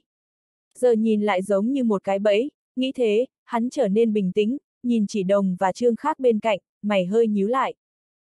Vãn tình, rốt cuộc là em muốn gì? Với năng lực của em rút toàn bộ một nghìn vạn ra không phải là chuyện khó lắm, nhưng công ty sẽ vì thế mà sụp đổ, một đống nợ sẽ đổ ụp lên đầu ngân hàng, đó không giống cách làm việc của em. Trương khác thấy tạ chiêm nhìn rõ tình thế nhanh như vậy, đúng là không phải đơn giản, y dắt tay chỉ đồng ngồi bên cạnh chơi, bàng quan xem bọn họ giao phong. Số tiền một nghìn vạn, không thể nói không còn là xong, ngân hàng sẽ tìm kẻ chết thay mới ăn nói được, anh nói xem, liệu em có tự chuốc lấy họa không? Tạ vãn tình bày ra cái vẻ bất chấp thủ đoạn, đúng là không dễ đối phó, tạ chiêm mặt tím tái. Em muốn anh rời công ty. Ba năm qua, anh nuốt của công ty bao nhiêu phải nhả ra bấy nhiêu. Tạ vãn tình bình tĩnh nói. Trương Khác và tạ vãn tình trước đó thảo luận rồi, muốn tạ chiêm chủ động nôn tiền ra là không thể, trừ khi đi theo con đường pháp luật, nhưng làm thế khó tránh khỏi lời xì sầm bất lợi cho từ học bình, chỉ cần đuổi tạ chiêm khỏi City Hải Dụ là được, đương nhiên đàm phán mới bắt đầu, không thể để lộ bài tẩy. Trương Khắc nghĩ, mấy năm qua tạ chiêm kiếm chắc được không ít từ City Hải Dụ, mặc dù luyến tiếc, nhưng đối diện với uy hiếp thủ tội, hắn sẽ không cố thủ không đi, có lẽ hắn chính đang muốn rời khỏi Hải Dụ, dùng tiền kiếm được làm ăn lớn. Trương Khắc không đợi được tới lúc tạ vãn tình đoạt lại công ty thì đã phải về Hải Châu, tới nhà nhận được điện thoại của Chu Thúc Huệ trách vãn tình bận chuyện công ty, không có thời gian chiếu cố chỉ đồng, cho thấy kết quả không quá tệ. Vụ án Đinh Hướng Sơn vẫn trong giai đoạn thẩm vấn, Trương Khắc nhân cơ hội thảo luận tình hình vụ án trước mặt từ học bình, nói mấy lời giúp hứa tư, nhưng không thể nói quá rõ, nên chẳng biết có giúp được không. May là cha mẹ hứa tư kịp thời nộp 27 vạn lên cho tổ chuyên án, còn tìm được giấy nợ của hứa tư ở chỗ Khương Minh Thành. Nói ra thật buồn cười, Khương Minh Thành giữ tờ giấy nợ này là vì muốn nắm thóp Đinh Hướng Sơn, vì sau việc Đinh Hướng Sơn bảo hắn xé giấy nợ đi rồi. Các việc quản ảnh hưởng rất ít tới hứa tư, chủ yếu là chuyện bịa đặt chứng cứ hãm hại đường học khiêm, Trương Khắc tận dụng hết khả năng ảnh hưởng tới phán đoán của tổ chuyên án, nhưng nhận định cuối cùng là bị uy hiếp hay là đồng mưu thì chỉ còn cách nghe số trời. Vài ngày nữa phải tham gia quân huấn cho học sinh mới của nhất trung, Trương Khắc phải thu xếp xong việc thuê phòng trước đã. Ngày hôm đó Trương Hiểu Kiện nguyên thư ký trưởng chính phủ theo Chu Phú Minh vào thành ủy, đảm nhậm chức thư ký trưởng thành ủy. Trương Chi hành thế chức của Trương Hiểu Kiện, tuy cả hai cùng chức vụ cấp phó sử, nhưng thư ký trưởng thành ủy là một trong thường ủy thành phố, thuộc hàng ngũ lãnh đạo. Trương Chi hành còn đang do dự, thì bên ngoài đã quả quyết ông làm thư ký trưởng chính phủ rồi. Chuyện Trương khác ở ngoài trường học, Trương Chi hành đã đành tiếng trước với Vương Viêm Bân, còn nhờ ông ta tìm hộ phòng. Đợi Trương Khác và mẹ tới trường nhất trung, Vương Viêm Bân đã chọn mấy căn phòng liền cho bọn họ quyết định, đều nằm trong tiểu khu giàu có phía đông trường học, rất nhiều bậc cha mẹ thuê nhà cho con học cao trung đều thích chọn nhà ở đây. Lương Cách Trần cố ý chọn một căn hộ riêng, trang trí không tệ, trang thiết bị đầy đủ, hơi giống kiểu nhà đơn sau này lưu hành. Trương Khác cũng rất hài lòng, tiền thuê mỗi tháng chỉ 80 đồng, dù Trương Khác không hiểu chi phí sinh hoạt thường nhật năm 94 cho lắm, nhưng cũng thấy quá rẻ, chắc là Vương Viêm Bân muốn tặng ân tình rồi, liền mau chóng chọn căn phòng này. Lương Cách Trần chỉ yêu cầu chuyển hết TV, đầu video đi, làm Trương Khác thiếu chút nữa đấm ngực chết, năm 94 tuy đã có máy vi tính, nhưng y tuyệt đối không ham hố gì đụng chạm vào máy vi tính thời đó, chỉ muốn xem phim Hồng Kông, ai ngờ nguyện vọng này tạm thời tan vỡ. Vì cái gì cũng đã có đủ, ngoại trừ y phục thì không phải chuẩn bị thêm nữa, buổi chiều hai người về nhà rất sớm, thấy bác cả Trương Chi Vi đứng ở cửa, Trương Khác khoanh tay đứng ở cầu thang, lương cách chân mặt tối lại. Em dâu và tiểu khác đi đâu đấy, anh đợi ở đây nửa ngày rồi. Có chuyện thì tới chính phủ thành phố tìm em họ anh ấy. Lương cách chân nói không chút nể nang. Tiểu khác, lúc về quên mất mua thức ăn rồi, đi với mẹ ra chợ nào. Lương cách chân quay đầu đi thẳng, tới nhà cũng chẳng muốn vào, nụ cười Trương Chi Vi cứng đờ, Trương khác đi theo mẹ. Em dâu, em dâu à? Trương Chi Vi đuổi theo. Con nhà người ta đỗ cao trung đều mời khách ăn cơm, tiểu khác có thành tích tốt như thế, lại vào trường tốt, phải chăng nên chúc mừng một chút. Anh và Chi Phi thương lượng rồi, bữa cơm này bọn anh tổ chức thay tiểu khác, bảo Chi Phi an bài xe đón hết thân thích nhà ta tới, chúc mừng tiểu khác tiền đồ rộng mở. chương 30, quân tử tham tài. Trương khác do dự, với cái tính của bác cả, có thể cả đời không thèm ngó ngàng tới, nhưng phải nể mặt chú, dù sao họ là anh em ruột, chú tất nhiên mong hai nhà hòa giải mâu thuẫn. Trương khác không cho rằng oán hận một người là cả đời không qua lại, biện pháp sảng khoái nhất là đạp kẻ đó dưới chân suốt kiếp, để hắn cẩn thận lấy lòng mình. Trương khác thấy mẹ cũng do dự, chẳng trách được, cha lên chức thư ký trưởng, tiền lương chẳng hơn bao nhiêu, chi tiêu lại hơn rất nhiều. Trương Chi Vi thấy em dâu trần trừ, vội nói. Chi Vi nói nhà hàng Tây Thành rất rồi, anh thấy cũng được. Rồi chẳng đợi lương cách chân trả lời đã đi luôn. Anh đi trước đặt 20 mâm, em dâu thấy cần thêm ai cứ gọi điện cho Chi Phi. Trương Khác thấy mẹ mặt đầy vẻ bất đắc dĩ, cười nói. Bày tiệc ở nhà hàng Tây Thành quá phố trương, ba lại là người thích thể diện, nhất định sợ người ta nói ba vừa mới lên làm thư ký trưởng đã muốn moi tiền, chẳng may bác đường có ý kiến gì thì chẳng phải càng tệ. Tiểu Thanh vào nhất trung còn chưa bày tiệc cơ mà. Con nói phải. Lương cách chân hơi lo. Con bảo phải làm sao đây? Muốn con hiến kế cũng được, nhưng sau này mẹ không được kiểm soát con quá nghiêm. Trương Khắc nhân cơ hội nói. Thằng nhóc, dám đặt điều kiện với mẹ à? Lương cách chân đưa tay véo tai Trương Khắc. Có âm mưu ma quỷ gì thì mau nói ra. Đường học khiêm đúng là không tham ô không nhận hối lộ, nhưng không có nghĩa là ông ta không nhận quà cáp, nếu không làm sao duy trì được chi tiêu hàng ngày. Nói trắng ra cố kiến bình đang giàu dĩ vì chuyện này, thấy đường thanh và trương khác sắp nhập học rồi, nếu không bày tiệc thì không còn cớ nữa, nhưng đường học khiêm mới lên chức chưa được nửa tháng, phô bày quá lại sợ có ảnh hưởng không tốt. Trương khác nghĩ thế, mặt khó tránh khỏi mỉm cười đắc ý. Cười cái gì mà cười, có kế còn không mau nói ra. Lương cách chân tay tăng thêm sức, nhấc tai trương khác lên. Á, đau, đau. Trương khác kêu toáng lên. Chỉ một điều kiện, sau này không được sách tai con. Còn dám nói tới điều kiện, nói nữa bắt con mỗi ngày bắt xe buýt về nhà. Lương cách chân uy hiếp, nhưng lại buông tay ra.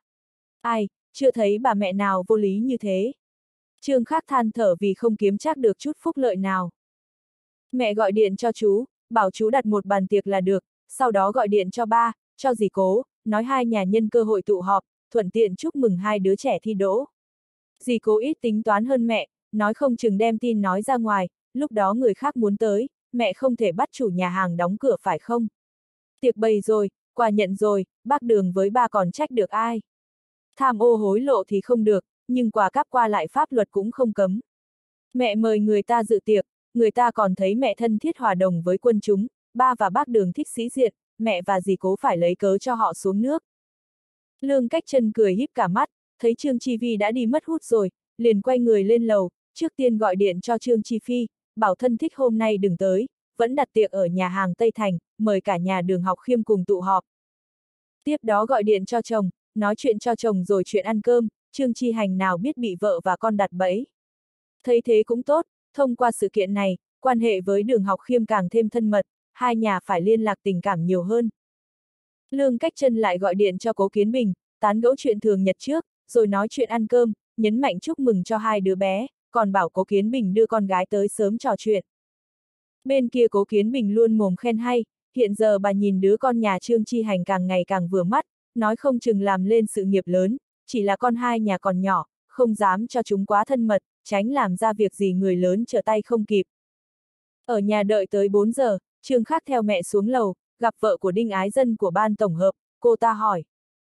Chị Lương, hôm nay có phải chúc mừng tiểu Khắc đỗ vào nhất trung không? Vào được cái nồi đỗ đạt đại học, tiểu Khắc nhất định vào Thanh Hoa, Bắc Đại rồi.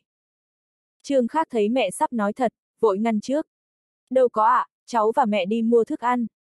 Rồi kéo mẹ ra ngoài, gọi một chiếc taxi. Lương cách chân hỏi. Cô ấy cho rằng chúng ta đi mua thức ăn thật thì sao? Mẹ đi mua thức ăn có ngồi taxi không? Trương Khắc cười âm hiểm, hạ thấp giọng nói. Quân tử tham tiền cũng phải có cách lấy, không thể để người ta xem thường được, đó là cảnh giới làm quan. Con lấy đâu ra suy nghĩ tùm lum bậy bạ đó. Lương cách chân lấy làm lạ. Con còn hợp làm quan hơn cả ba con. Trương Khắc vỗ đầu. Bài học xương máu hơn 10 năm sĩ đồ của ba đều trong này, đương nhiên con hơn ba rồi. Cút, cút, đâu ra bài học xương máu. Lương cách chân cười khúc khích, không cho con trai nói năng lưng tung nữa. Ngồi xe tới nhà hàng Tây Thành cách nhất trung rất gần, lương cách chân chỉ đồng hồ hỏi. Mất có 20 phút, sao con nói đi về mất tiếng rưỡi? Buổi sáng đi xe buýt nên không nhận ra, giờ so sánh thời gian thấy không khớp. Trương Khắc thấy chú đang ngó nghiêng ở cửa nhà hàng, kệ câu hỏi của mẹ, vội xuống xe. Sao Tiểu Mân không tới ạ? À? Nhà cháu mới nhà thị trưởng đường, Tiểu Mân sao dám tới? Trương Khắc mỉm cười, không lộ bài cho chú, đi vào đại sảnh thấy Trương Chi Vi bên trong, hỏi. Sao bác cả ở đây? Lương cách chân từ đằng sau đi tới, cô hy vọng Trương Chi Vi trả tiền bữa tiệc này nên ho khan một tiếng, không cho Trương Khắc nói càn. Nếu đã tới rồi, không thể để ràng ràng bị đuổi đi. Trương Khắc chẳng hề khách khí nói. Bác Đường và chú quan hệ tốt, dù chú không có ở đây cũng mời chú tới, nhưng bác cả không quen bác Đường, liệu có làm bác Đường thấy đột ngột không? Trương Chi Phi không nói vào được, ông ta giờ không dám coi Trương Khắc là đứa bé 16 tuổi nữa, y dám lật bàn trước mặt mọi người, lúc này ăn nói như thế còn là nhẹ. Trương Chi Vi không ngờ bị thằng nhóc loai trai làm khó xử như thế, xấu hổ lắm nhưng vẫn nặn ra nụ cười. Bác chỉ tới xem có giúp được gì không, tới giờ cơm, bác còn bận việc phải làm. Lương cách chân lòng sắp thấy thay thương hại thay cho bác Trương khác, nhưng nghĩ tới tình cảnh tháng 7 về tham gia tang lễ, liền bình thường trở lại, chào chú Trương khác, hỏi tình hình chuẩn bị. Nếu là chỉ tức giận ở tang lễ thì Sơn đã nguôi ngoai rồi, nhưng Trương khác mà nói, thứ khó tan được là oán khí mười mấy năm tích lũy từ kiếp trước. Hơn 5 giờ đường thanh cùng mẹ mới tới, đường thanh ngoan ngoan chào Trương Chi Phi, lương cách chân, chỉ dùng ánh mắt chào hỏi Trương Khác. Trương Khác biết cô nàng giận mình, những ngày qua, Trương Khác quá nửa thời gian ở tỉnh thành, cho dù về Hải Châu cũng có rất nhiều việc phải làm, không chỉ việc hứa tư, còn chuẩn bị rất nhiều việc kiếm món tiền lớn đầu tiên. Từ sau khi chia tay ở tỉnh thành, Trương Khác chỉ gặp đường thanh một hai lần, cách hơn nửa tháng chưa gặp lại rồi. Ngắm cô nàng lông mi vừa mảnh vừa thẳng, chẳng hề cố ý chăm chút, nhưng hết sức đều đặn, mắt dài, môi hồng cong con một cách tinh nghịch, vóc người hình như đầy đặn hơn lần trước, ngực đã hơi nhô lên rồi, toàn thân tràn ngập sức sống thiếu nữ thanh xuân, Trương Khác cảm thấy người hơi ngơ ngứa. Bàn tiệc được đặt trong phòng bao nhỏ lầu 2, tới 6 giờ mà vẫn không thấy người khác đến, cố kiến bình hơi sốt ruột. Qua 6 giờ, cha và đường học khiêm cùng tới, không ngờ lại có thêm tân bí thư thành ủy Chu Phú Minh. Đường học khiêm khi thảo luận công việc với Chu Phú Minh thuận miệng nhắc tới việc tiệc mừng, ông ta mới thuận tiện theo tới. Xem này, hai đứa trẻ đứng một chỗ, như một đôi tiên đồng ngọc nữ vậy. Chu Phú Minh vừa mời vào cửa đã nói. Hai vị có một đôi trai gái như thế, thật làm người ta hâm mộ. chương 31, tiệc giả. Chuyện chương khác cứu chỉ đồng, Chu Phú Minh nghe được từ miệng Kim Quốc Hải chứ không phải ở từ học bình, khiến ông ta cảm giác nguy hiểm. Ninh Hướng Sơn phạm tội ngã ngựa, Chu Phú Minh thay chức, nhìn qua thì rất hợp lý, nhưng không thể bài trừ khả năng tỉnh ủy hy vọng Hải Châu giữ cục diện đoàn kết ổn định. Trong lòng Chu Phú Minh tự biết, muốn năm sau còn ngồi được ở cái ghế này thì phải làm chút công tác. Khi truy cứu vấn đề Đinh Hướng Sơn, Thường ủy tỉnh ủy hình thành ý kiến thống nhất, không có bất kỳ cản trở nào, nói cách khác vụ án Đinh Hướng Sơn không có khả năng truy cứu lên trên nữa, nhưng ở thành phố phải có kẻ chịu chút trách nhiệm vì sự sa đọa của Đinh Hướng Sơn. Từ học bình nghe nói năm sau có khả năng lên làm tỉnh trưởng, tin đồn này rất có căn cứ, không thể sơ suất được. Chu Phú Minh nhìn Trương Khác, hâm mộ Trương Chi Hành có được đứa con giỏi, có Trương Khác ở đây, hòa hoãn được chút quan hệ căng thẳng giữa Từ Học Bình và Hải Châu.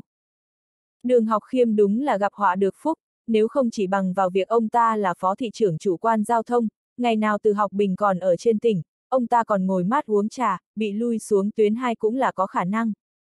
Cục trưởng Cục Giao thông là người Đinh Hướng Sơn đề bạt lên, trước đó Chu Phú Minh không có thời gian và cơ hội đi sâu xử lý sự cố giao thông, giờ đường học khiêm thoát nạn, Đinh Hướng Sơn vào tù, củ khoai nóng ném vào tay ông tay, Chu Phú Minh thảm nghĩ, mình thay chức Đinh Hướng Sơn, tuy là chuyện mừng, nhưng cũng có họa ngầm. Trương khác không ngờ trong chớp mắt Chu Phú Minh chớp mắt một cái mà suy nghĩ nhiều như thế, quay sang nhìn đường thanh cười, cô nàng chun mũi quay đầu đi. Đường học khiêm bảo con gái ra chào khác, rồi mời Chu Phú Minh ngồi xuống trước, mọi người trò chuyện một lúc, gọi phục vụ tới gọi thức ăn, bên ngoài bỗng có người đi vào. Trương khác không nhận ra người này, thấy hắn đảo mắt qua phòng một lượt, thấy Chu Phú Minh cũng ngồi đó thì giật mình. Bí thư Chu cũng ở đây ạ. À? Con gái thị trưởng đường, con trai thư ký trưởng Trương Đỗ vào nhất trung, tôi tới uống rượu chúc mừng. Chu Phú Minh cười. Vạn dỗ ông lén la lén lút chui vào đây làm cái gì? Trương Khác nhìn kỹ khuôn mặt dỗ đó, nhớ ra hắn là Vạn Dũng, chủ nhiệm ủy viên hội mậu dịch, Vạn Dũng, đúng là khá giống thằng con trai khốn kiếp Vạn thiên tài của ông ta. Nghe Chu Phí Minh nói thế, Vạn Dũng cười hì hì đi tới, ghế dư còn chưa bỏ đi, ông liền ngồi phía ngoài cùng cạnh Trương Chi Phi, nói. Vậy là tôi đến đúng lúc rồi, con gái thị trưởng đường, con trai thư ký trưởng Trương Đỗ vào nhất trung sao có thể lén lút ăn mừng được. May mà tai tôi thính. Rồi lấy ra hai cái phong bao đỏ, đưa cho đường thanh, Trương Khác, nói. Tiền phiếu cơm, các cháu mau nhận đi. Trương Khác chú ý thấy Vạn Dũng đột nhiên xuất hiện làm sắc mặt mọi người phát sinh biến hóa vi diệu, Chu Phú Minh đang cầm thực đơn gọi món đã dừng lại, cha có chút khó chịu nói với mẹ. Không phải nói mời nhà thị trưởng đường ăn bữa cơm gia đình sao, thế nào lại kinh động tới người khác. Mẹ cũng không ngờ Chu Phú Minh theo tới, không biết trả lời ra sao, Cố Kiến Bình nói. Lúc tôi tới có thuận miệng nói với vợ của cô béo ở phòng tổ chức. Vạn dụng chen vào. Cô béo nhát gan, sợ tới nhầm chỗ, nên bảo tôi đi tiên phong, không cần nói với hắn, cho hắn ngồi ngoài đợi thêm một chút. Vạn Dũng tiếp lời rất lưu loát, cứ như luyện sẵn rồi vậy, Trương Chi Hành chỉ lo vợ nói ra ngoài, để lại ấn tượng không tốt với Chu Phú Minh, còn vợ đường học khiêm càng không thể trách được. Dù sao đây là tiệc gia đình nhà Trương Chi Hành mời, vợ gặp người khác nói ba hoa vài câu không có gì quá, chỉ là quan viên hiện nay quá giỏi luồn lách, đường học khiêm cười nói với vợ. Ai bảo em nói nhiều, làm rước tới một tên tham ăn. Chu Phú mình mắt đảo một vòng, quan sát hết biểu hiện của mọi người, không giống diễn kịch, nào ngờ trương khác ở sau bày ra, cũng nói. Vạn dỗ cho tôi một cái, tôi cũng không mang tiền cơm. Bí thư Chu viết giấy nợ, tôi cho ngài vay tiền cơm. Cha Vạn Dũng là bí thư thành ủy cũ của Hải Châu, hiện giờ là chủ nhiệm hội đồng nhân dân, địa vị của ông ta trong quan trường Hải Châu khá đặc thù, gặp ai cũng dám nói đùa. Vạn Dũng mở màn, tiếp cố diệu của phòng tổ chức cũng chen vào, rồi Trương Hiểu Kiện tới còn trách Trương Chi Hành. Chi Hành, buổi chiều anh gặp tôi chẳng lộ ra chút nào, hai tôi phải chạy khắp một vòng, vội vàng tới đây. Rồi người trong tòa nhà cơ quan cũng kéo nhau tới. Chuyện phát triển tới nước này, cơm gia đình đành đổi sang đại tiệc, Trương Chi Phi liên hệ chủ nhà hàng điều đầu bếp thức ăn nơi khác tới, để kịp mở tiệc trước 7 giờ. Trương Khác và Đường Thanh thì đứng ở cầu thang lầu 2 thu lễ mừng, tới tận 8 giờ 30 vẫn còn có người kéo nhau tới, cái cặp hồ sơ Trương Khác mượn của chú đã nhét căng phòng phong bao đỏ. Nếu đúng là nhà y mời khác, còn lâu mới có nhiều người tới như thế, đây là dựa vào uy phong của đường học khiêm, mỗi người tới đều mang hai cái phong bao. Đường Thanh ít tiếp xúc với trường hợp nào, đứng đó rất luống cuống, nụ cười gượng gạo. Trương khác thì mải mê thu tiền, còn tính toán, có nên chia chia ẹ không? Cười cái gì đấy? Đường Thanh dùng mũi chân khẽ đá Trương khác một cái, cô thấy qua mùa hè này, ánh mắt Trương khác thêm chút tà khí. Có cười đâu? Trương khác nhích sang bên, tới gần đường Thanh, hít lấy hương thơm thiếu nữ trên người cô bay tới, nảy sinh ý nghĩ bậy bạ. Đường Thanh mặc dù mắc áo phông cổ nhỏ, nhưng ánh mắt y từ trên nhìn xuống, vẫn có thể thấy được khe ngực. Trương Khác còn nhớ rõ lần trước gặp, đường Thanh gầy chưa xương, chỉ một tháng ngắn ngủi thôi mà ngực đã có đường có nét rồi, thầm cảm thấy ngạc nhiên. Nhìn chỗ nào đấy hả? Đường Thanh thấy ánh mắt Trương Khác bất thường, trừng mắt lên lườm y. Có nhìn thấy gì đâu. Trương Khác mặt rất vô tội. Dám bảo mình không có à? Đường Thanh mím môi, vừa thẹn vừa giận, đá cho y một cái đau điếng. Trương Khác đau méo mặt, khom lưng xuống xoa chỗ bị đá. Bà cô ơi, nhẹ một chút, mình nói cổ áo bạn nhỏ, không nhìn thấy bên trong, không bảo là bạn không có thứ đó. Phi, thế mà dám nói là không nhìn. Đường Thanh quay ngoắt đầu đi vào phòng tiệc. Nhìn đường Thanh mặc quần jean, tuy mới 16 tuổi, nhưng cơ thể đã phát triển rồi, cặp mông tròn lẳn căng chặt hơi vểnh lên, hai chân thon dài, đã có đường nét của nữ nhân rồi, Trương Khác híp mắt nhìn. Chẳng biết có phải phụ nữ trời sinh nhạy cảm không, đường thanh trước khi đi qua cửa phòng tiệc, đột nhiên quay đầu lại lườm Trương Khác một cái. Ai dám nói đó là một cô bé, ánh mắt say lòng người đó có thể sánh ngang với hứa tư rồi, Trương Khác thấy cô đứng ở cửa đợi mình, cười tâu tuét chạy tới, cùng nhau đi vào phòng. Trên bữa tiệc, Đỗ Tiểu Sơn bí thư khu Tây Thành đưa con trai ông ta là Đỗ Phi tới, nói là để làm quen với bạn học trước. Khi Đỗ Tiểu Sơn bày tiệc nhập học cho con thì đúng lúc đường học khiêm bị cách ly thẩm tra, cho nên đây là lần đầu tiên Trương Khác gặp Đỗ Phi. So với ấn tượng về Đỗ Phi thời học cao trung đúng là y như đúc, cha hắn bảo chào ai thì hắn chào người đó, cha hắn vừa gầy vừa đen, Đỗ Phi lại trắng trẻo, khi học cao trung còn được các cô gái yêu thích hơn Trương Khác. Nhưng khi Trương Khác đổi hết bạn gái này tới bạn gái khác thì hắn tới tận lúc tốt nghiệp nghiên cứu sinh mới vội vàng nhờ Trương Khác tìm gái gọi để giải quyết vấn đề xử nam. Trương Khác kết bạn rất nhiều, nhưng cũng chỉ có Đỗ Phi là hợp khẩu vị của y, trừ vờ đứng đắn cùng sống nội tâm ra, Đỗ Phi đối xử với người khác rất công bằng, bao dung, không lên mặt con cán bộ, một phẩm chất tốt đẹp. chương 32, thị trưởng mời rượu. Trương Khác còn cho rằng phải sau khi nhập học mới gặp Đỗ Phi, không ngờ cha hắn cho rằng mình có tiềm lực, mang con trai tới làm quen trước, mà nói không chừng Đỗ Tiểu Sơn cho rằng con trai Tuấn Lãng mình có thể mê hoặc được con gái đường học khiêm. Trương Khác tất nhiên biết ba năm cao trung Đỗ Phi say đắm ai, hắn từng hô lên một tiếng cô giáo lý giữa đêm khuya ở ký túc xá. Theo tin tức của các nhân sĩ tinh thông đồn đại, lúc đó hắn lăn lộn trên giường, tiếp đó nữa lén lút dậy thay quần xịp. Chuyện này bị vạn thiên tài truyền tới chỗ nữ sinh, rồi khiến nữ sinh trong trường truyền tới Đại học Đông Hải, thế nên mới làm Đỗ Phi tới tận lúc tốt nghiệp nghiên cứu sinh vẫn còn giữ thân phận xử nam đáng hổ thẹn. Trương Khắc nghĩ tới những chuyện có lẽ sẽ xảy ra đó, không nhịn được cười, liền gọi Đỗ Phi và Đường Thanh tới cùng một chỗ. Nhìn thấy vẻ đẹp thanh xuân tươi mát của Đường Thanh mà Đỗ Phi cũng chỉ liếc thêm một cái rồi không chú ý nữa, Trương Khắc nghĩ, xem ra đúng là thư nhập học của hắn do cô giáo Lý Chi Phương đưa tới nhà rồi. Trương Khắc nhớ tới mấy ngày trước đến nhất trung báo danh gặp được Lý Chi Phương, cô giáo Lý mới 33 tuổi, vừa mang vẻ thanh xuân thiếu nữ lại có thân hình bốc lửa của thiếu phụ, má hồng môi thắm, mày liễu mắt phượng, mỗi đường nét đều cực có sức cám dỗ, rất dễ thành đối tượng thủ dâm của thiếu niên, Đỗ Phi nhìn thấy liền ngây ngất cũng là chuyện rất tự nhiên. Trương Khác rất hiểu Đỗ Phi, nên trên bữa tiệc toàn chọn đề tài hắn hứng thú, bữa tiệc chưa kết thúc, Đỗ Phi thiếu chút nữa đã muốn lôi Trương Khác đi kết nghĩa huynh đệ rồi. Vạn Dũng thấy Đỗ Phi mau chóng cùng Trương Khác, đường thanh trở nên thân thiết, hối hận vì không đưa con mình là Vạn Thiên Tài tới. Ở Hải Châu chỉ có vài người biết Trương Khác cứu cháu gái từ học bình, quan viên Hải Châu chỉ coi Trương Chi Hành đột nhiên thăng tiến là vì lập đại công cho đường học khiêm, rồi còn nhờ đó móc nối được quan hệ với tử học binh, đều cho rằng cơ duyên của người này quá tốt.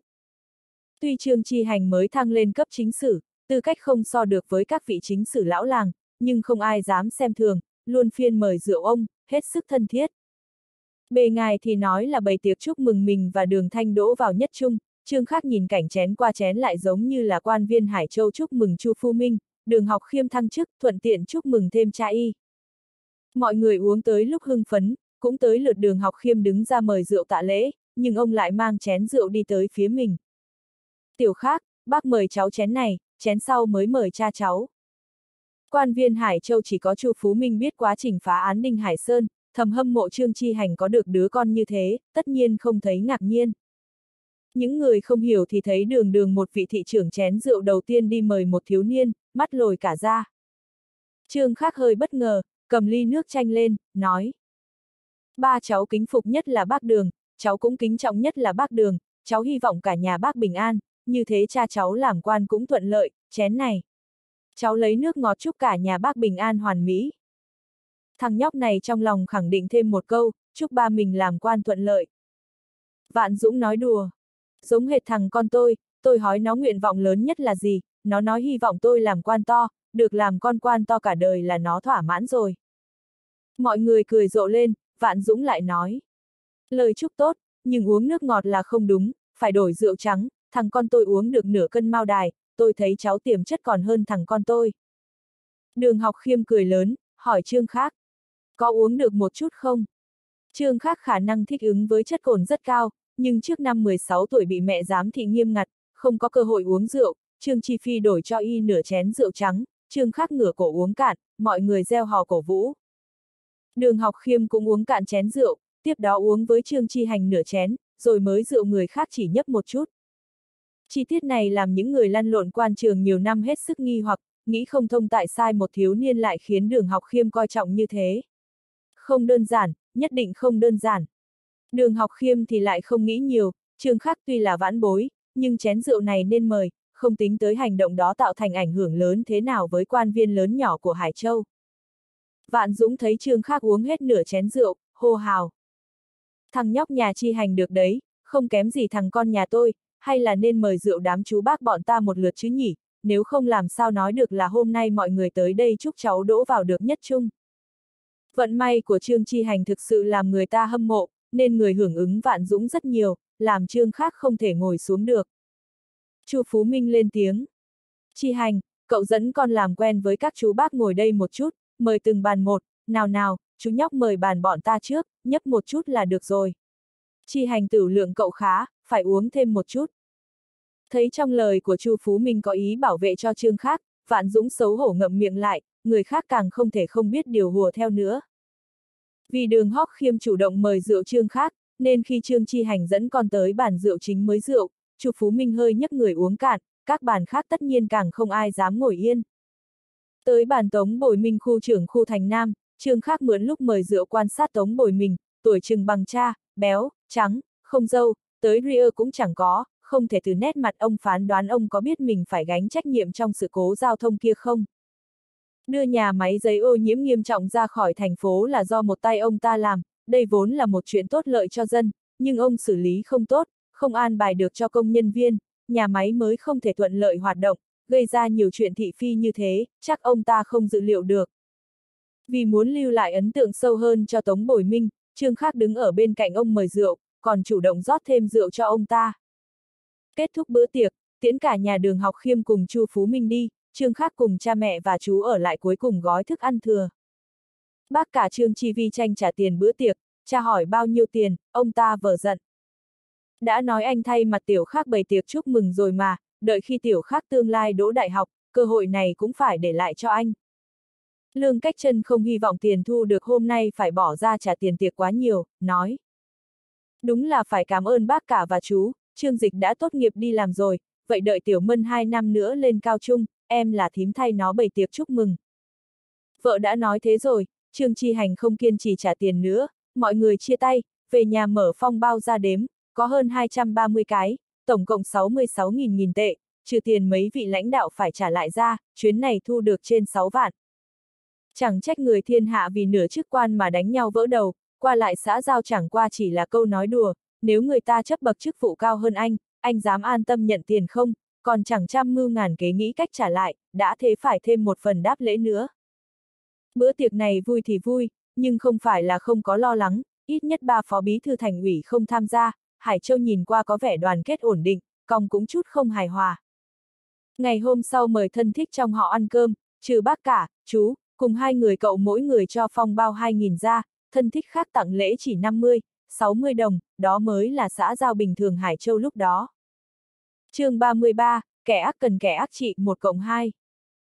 Vừa vào cao trung, trường học tổ chức quân huấn 10 ngày cho học sinh mới, Trương Khác không hề phản cảm với việc này, năm y 16 tuổi tuy kế thừa gen trội của cha mẹ, rất bảnh trai, nhưng người quá gầy gò, da trắng bệch, nhìn chỉ là một thiếu niên tuấn tú, hoàn toàn không thể tính là một anh chàng hấp dẫn.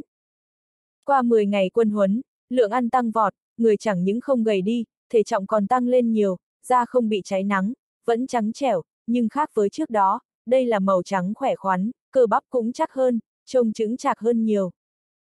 Trương Khắc khá là hài lòng với hình tượng hiện tại của mình, thầm nghĩ sau này phải kiên trì rèn luyện thân thể.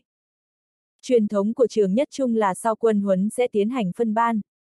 Trương Khắc chẳng hề có ý nghiêm túc học tập, đây là lần thứ hai y vào nhất trung học tập, chẳng muốn ngoan ngoãn sống 3 năm học trò. Y thuận tay điền vào đơn phân ban, giao cho giáo viên hướng dẫn rồi rời khỏi phòng học.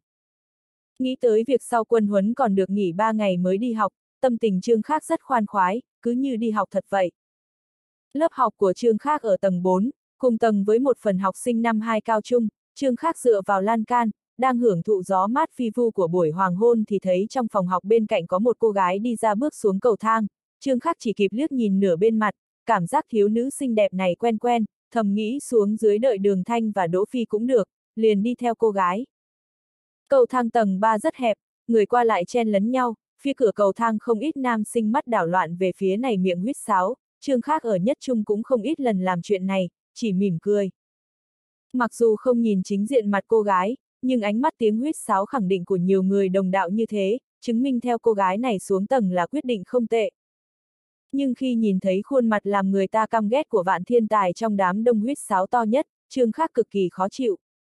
Trương Khác cũng nhận ra tên đứng bên cạnh hắn là Triệu Ti Minh Thái tử gia của tập đoàn dân doanh lớn nhất Hải Châu là Cẩm Thành.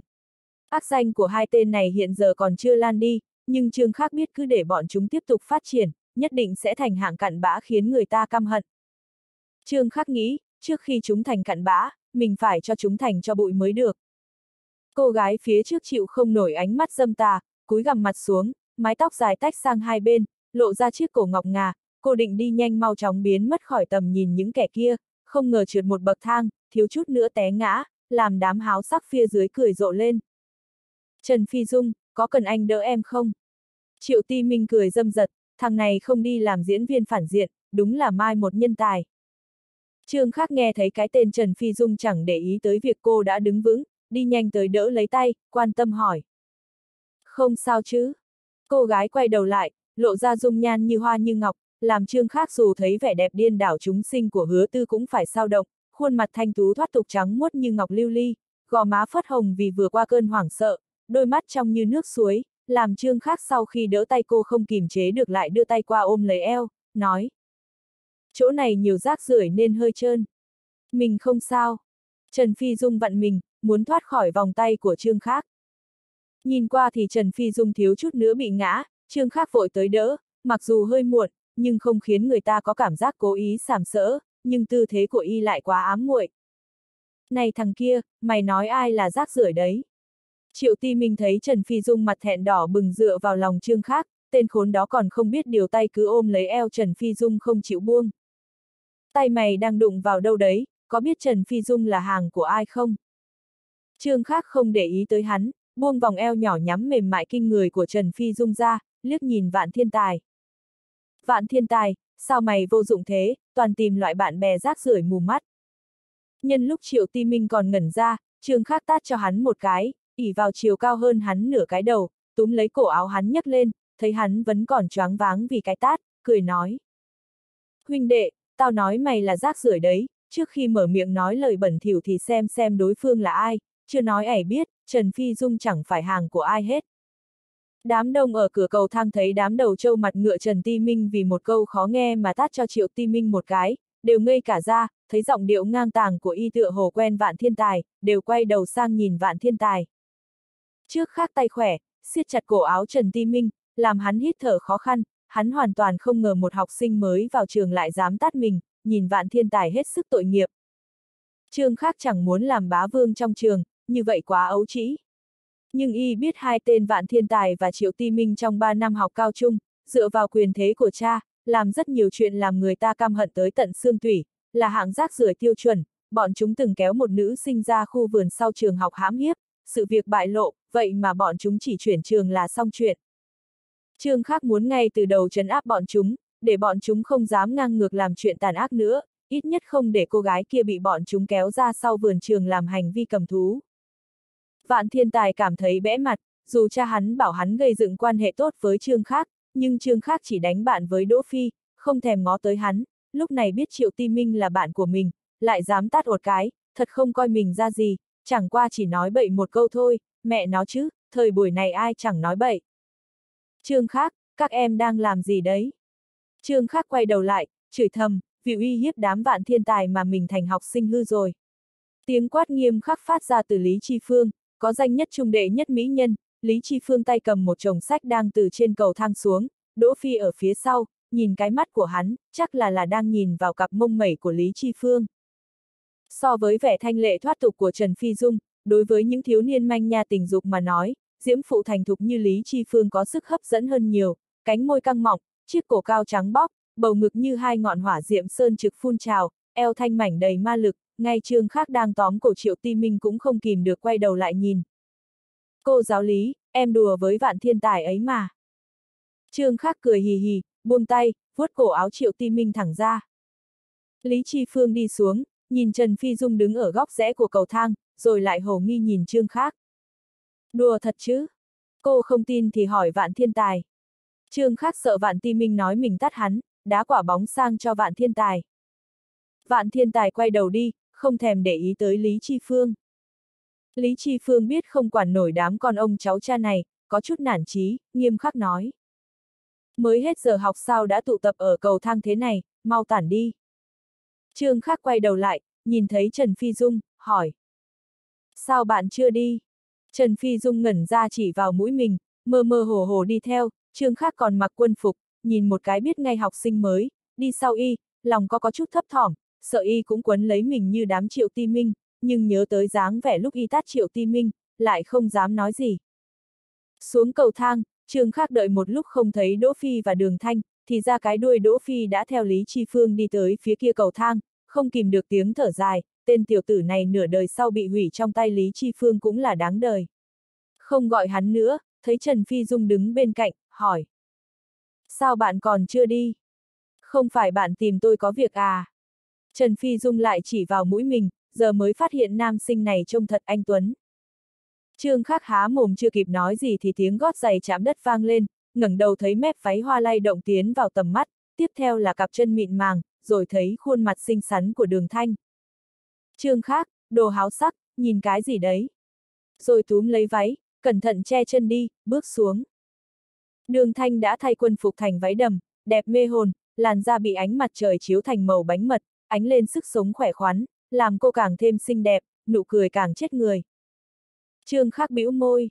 Ngực không có, mông cũng không, có cái gì để nhìn. Còn dám nói à? Đường thanh tay cầm sách định ném tới, nhìn thấy Trần Phi Dung đứng bên cạnh, vội khôi phục dáng vẻ thục nữ, nhìn Trần Phi Dung một cái, nghiêng người hích trương khắc Sao nhanh thế đã bắt được hoa khôi của nhất trung chúng ta rồi? Đường thanh sống trong hoàn cảnh đơn thuần, chuyện nam nữ còn chưa thông suốt, nhưng ngữ khí hơi chua chua. Mình chẳng liên quan gì tới bạn ấy. Trần Phi Dung vội xua tay. Bạn ấy tìm mình có việc nên mình mới ở lại. Nương Thanh vừa vào trường học đã khơi lên oanh động còn lớn hơn cả Trần Phi Dung, vẻ thanh xuân rực rỡ của cô chẳng hề kém Trần Phi Dung, nhưng khác với Trần Phi Dung xuất thân tầm thường, cha cô là tân thị trưởng Hải Châu. Nhưng thân thế hiển hách làm cô trông như xa không với tới, không một tên vô lại nào dám quấn lấy, cho nên trong lòng đường thanh, Trần Phi Dung là cô gái được yêu thích nhất trường học. Đem so với vẻ đẹp tuyệt mỹ của hứa tư thì Trần Phi Dung còn non nớt lắm, giống như một trái táo xanh vậy, nhìn khá ngon miệng, song trương khác không có mấy hứng thú muốn cắn một miếng. Đường Thanh mặc dù cũng chưa hết non nớt, nhưng ở kiếp sống đơn độc trước kia, Trương Khác và Đường Thanh có vô số vướng mắc tình cảm, dù tuyệt đại đa số sự việc không xảy ra, nhưng nó in sâu vào linh hồn của Trương Khác, tình cảm của y với Đường Thanh phức tạp hơn vạn phần, nói thực tới giờ Trương Khác vẫn cảm thấy hơi khó khăn khi ở bên Đường Thanh. Trương Khác giang tay ra, nói với Trần Phi Dung. Vừa rồi mình hỏi vì sao bạn chưa đi mà, mình chẳng có việc gì tìm bạn. Trần Phi Dung ngẩn ra, Trương Khác nói thế cứ như mình mới là người quấn lấy y vậy, mặt đỏ bừng, không dám nhìn y và đường thanh, trong lòng có chút tức giận với hành động của y, nhưng không dám lộ ra, quay đầu chạy ra khỏi trường. Nhìn Trần Phi Dung đột nhiên đỏ mặt, Trương Khác tim khẽ giật một cái, không ngờ cô bé này cũng rất khiến người ta động lòng. Không có gì thật sao? Đường thanh mặt đầy hoài nghi. Bạn mà không nói mình sẽ bảo với mẹ bạn rằng, bạn vừa vào trường đã kiếm bạn gái rồi. Thấy Đỗ Phi đi tới, Trương Khác nói lảng đi tránh chủ đề phiền hà này. Chọn lớp gì đấy? Xem tình hình rồi hãng hay. Trương Khác phì cười, 10 ngày qua, quan hệ giữa y và Đỗ Phi rất tốt, suốt ngày bình phẩm cặp mông lớn đôi chân dài của Lý Chi Phương. Lý Chi Phương vừa mới tiến một khóa tốt nghiệp, cô sẽ chọn một lớp mới năm thứ nhất dạy ngữ văn, Đỗ Phi định chọn bừa một lớp trước, sau đó chuyển lớp Lý Chi Phương. Đỗ Phi nhìn theo bóng lưng của Trần Phi Dung, cười với Trương Khác. Tên tiểu tử mày giữ thật đấy, dám tát triệu ti minh, năm dấu tay đỏ lừ đó, Lý Chi Phương làm sao chẳng phát hiện. Cái gì, bạn đánh nhau? Đường thanh giật mình nhìn Trương Khác cứ như y làm một chuyện không thể tha thứ. Sao bạn lại đánh nhau với người ta? Trương khắc gãi đầu, tuy cơ thể này 16 tuổi, nhưng không thể nào giao lưu được với thiếu nữ 16 tuổi. Đường thanh từ nhỏ tiếp nhận giáo dục chính thống, không giống các cô gái khác thấy con trai đánh nhau là hưng phấn gieo hò, liền kéo tay đường thanh nói. Có gì mà phải hét lên thế, chỗ này đông người, qua bên kia mình nói à nghe. Bạn mà không nói cho rõ, mình bảo với mẹ bạn trông chừng bạn. Đường thanh để trương khác nắm tay dắt đi, còn không quên uy hiếp y. Trương khác nhìn thấy đám vạn thiên tài đang thò đầu nhìn mình, gặp ánh mắt của y, cuống quýt sụt đầu lại. Nhìn thấy hai kẻ đó không? Ai? Đường thanh không nhìn rõ, mà cô cũng không nhận ra triệu ti minh. Hai tên rác rưởi. Trương Khắc khinh miệt nhổ bãi nước bọt, bảo Đỗ Phi. Đỗ Phi, mày học cùng trường sơ chung với vạn thiên tài, nói cho đường thanh biết những chuyện bẩn thỉu hắn làm ở trường học. Loại cặn bã đó để ý làm gì, may mà hồi đó nó không cùng lớp với tao, nếu không tao đã đánh hắn dụng hết răng rồi, tao thấy nhục thay cho nó. ỉ vào ông nội làm bí thư thành ủy, ngay cả cô giáo hình học cũng dám tán tỉnh, còn tụt váy một bạn nữ trước mặt cả lớp, bạn đó về sau chuyển trường, nó thì chẳng làm sao cả. Sao có loại người như thế, giáo viên mặc kệ à? Đương Thanh nghiến răng, cô không sao tin được. Không kệ thì làm được gì. Trương Khác vừa tát cho Đỗ Ti Minh hẳn năm vết ngón tay lên mà Lý Chi Phương còn chẳng phải vờ như không thấy đấy à. Đỗ Phi tuổi còn nhỏ nhưng loại chuyện này nhìn rất thấu triệt. Phải rồi, bạn còn chưa nói vì sao đánh nhau với người ta. Đường Thanh vẫn không quên sửa chữa hành vi sai trái của Trương Khác. Triệu Ti Minh còn rác rưởi hơn vạn thiên tài, mình vào trường mười mấy ngày, chưa nghe được một câu tử tế về nó. Kẻ ác cần kẻ ác trị, không tát cho nó một cái, nó càng làm càng không biết sợ ai. Vậy vừa rồi chuyện Trần Phi Dung là sao? Đường Thanh nhìn thẳng vào Trương Khát như để đề phòng y nói dối. Bạn là thiên kim đại tiểu thư thị trưởng, không ai dám tới quấy rầy bạn, Trần Phi Dung lại khác, mình tắt Triệu Ti Minh rồi cùng Trần Phi Dung xuống lầu là vì không muốn nó sau này quấn lấy Trần Phi Dung. Trương Khắc nhún vai. Vậy mà còn nói không có quan hệ gì.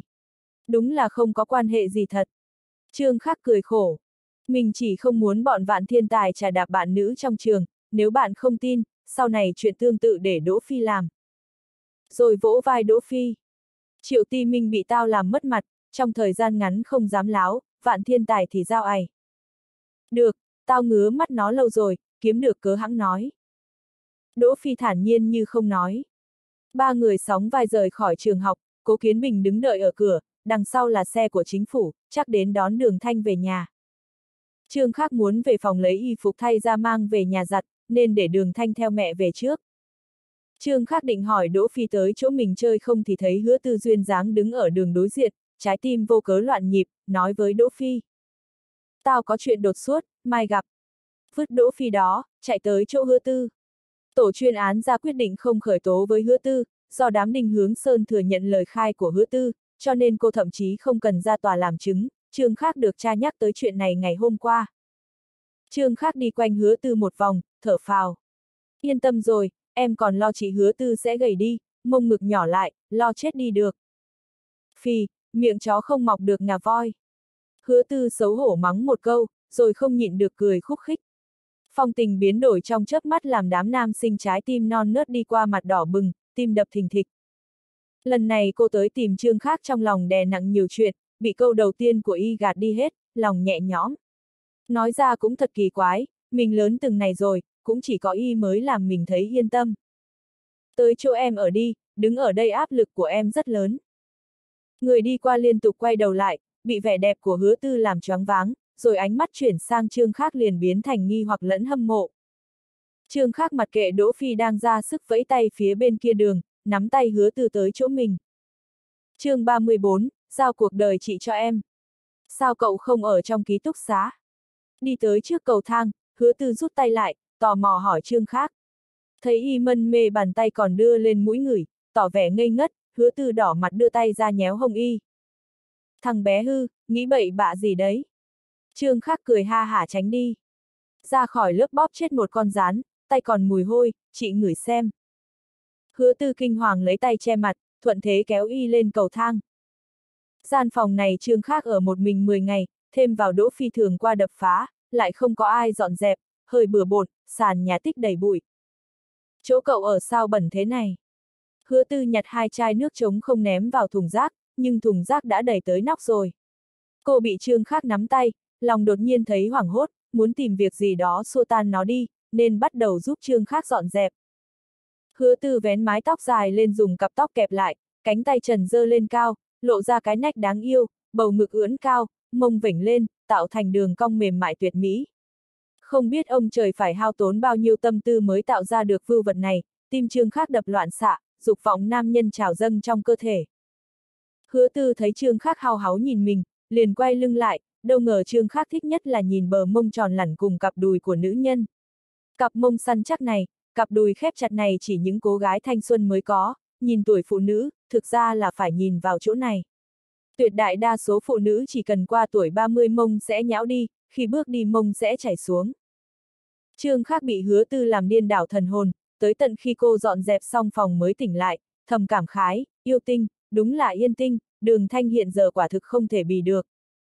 Nhìn đủ chưa hả? Hứa tư cắn môi, nhìn chằm chằm trương khác. Đồ trẻ hư, sao háo sắc như thế? Em háo sắc chỗ nào? Trương khác vỗ mép giường bên cạnh, hứa tư bĩu môi, kéo ghế ngồi xuống, khi cúi người ngồi, còn không quên tay che cổ áo, trương khác vỗ chán, kêu lớn chịu không thấu. Mẹ em ngày mai sẽ tới giúp em dọn dẹp, chỉ quét tước sạch bong thế này em phải ăn nói ra sao, chẳng lẽ nói có một đại mỹ nữ giúp con dọn dẹp.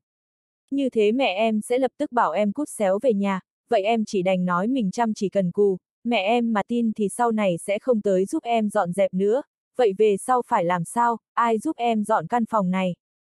Hóa ra là tôi làm sai hả? Đúng. Trương Khắc gật đầu cái rụp. Chị hoặc là khôi phục nguyên dạng căn phòng này hoặc mỗi cuối tuần phải đến dọn dẹp cho em. Hứa tư nhìn vẻ rào hoạt ẩn giấu trong mắt Trương khắc nhịn cười nói.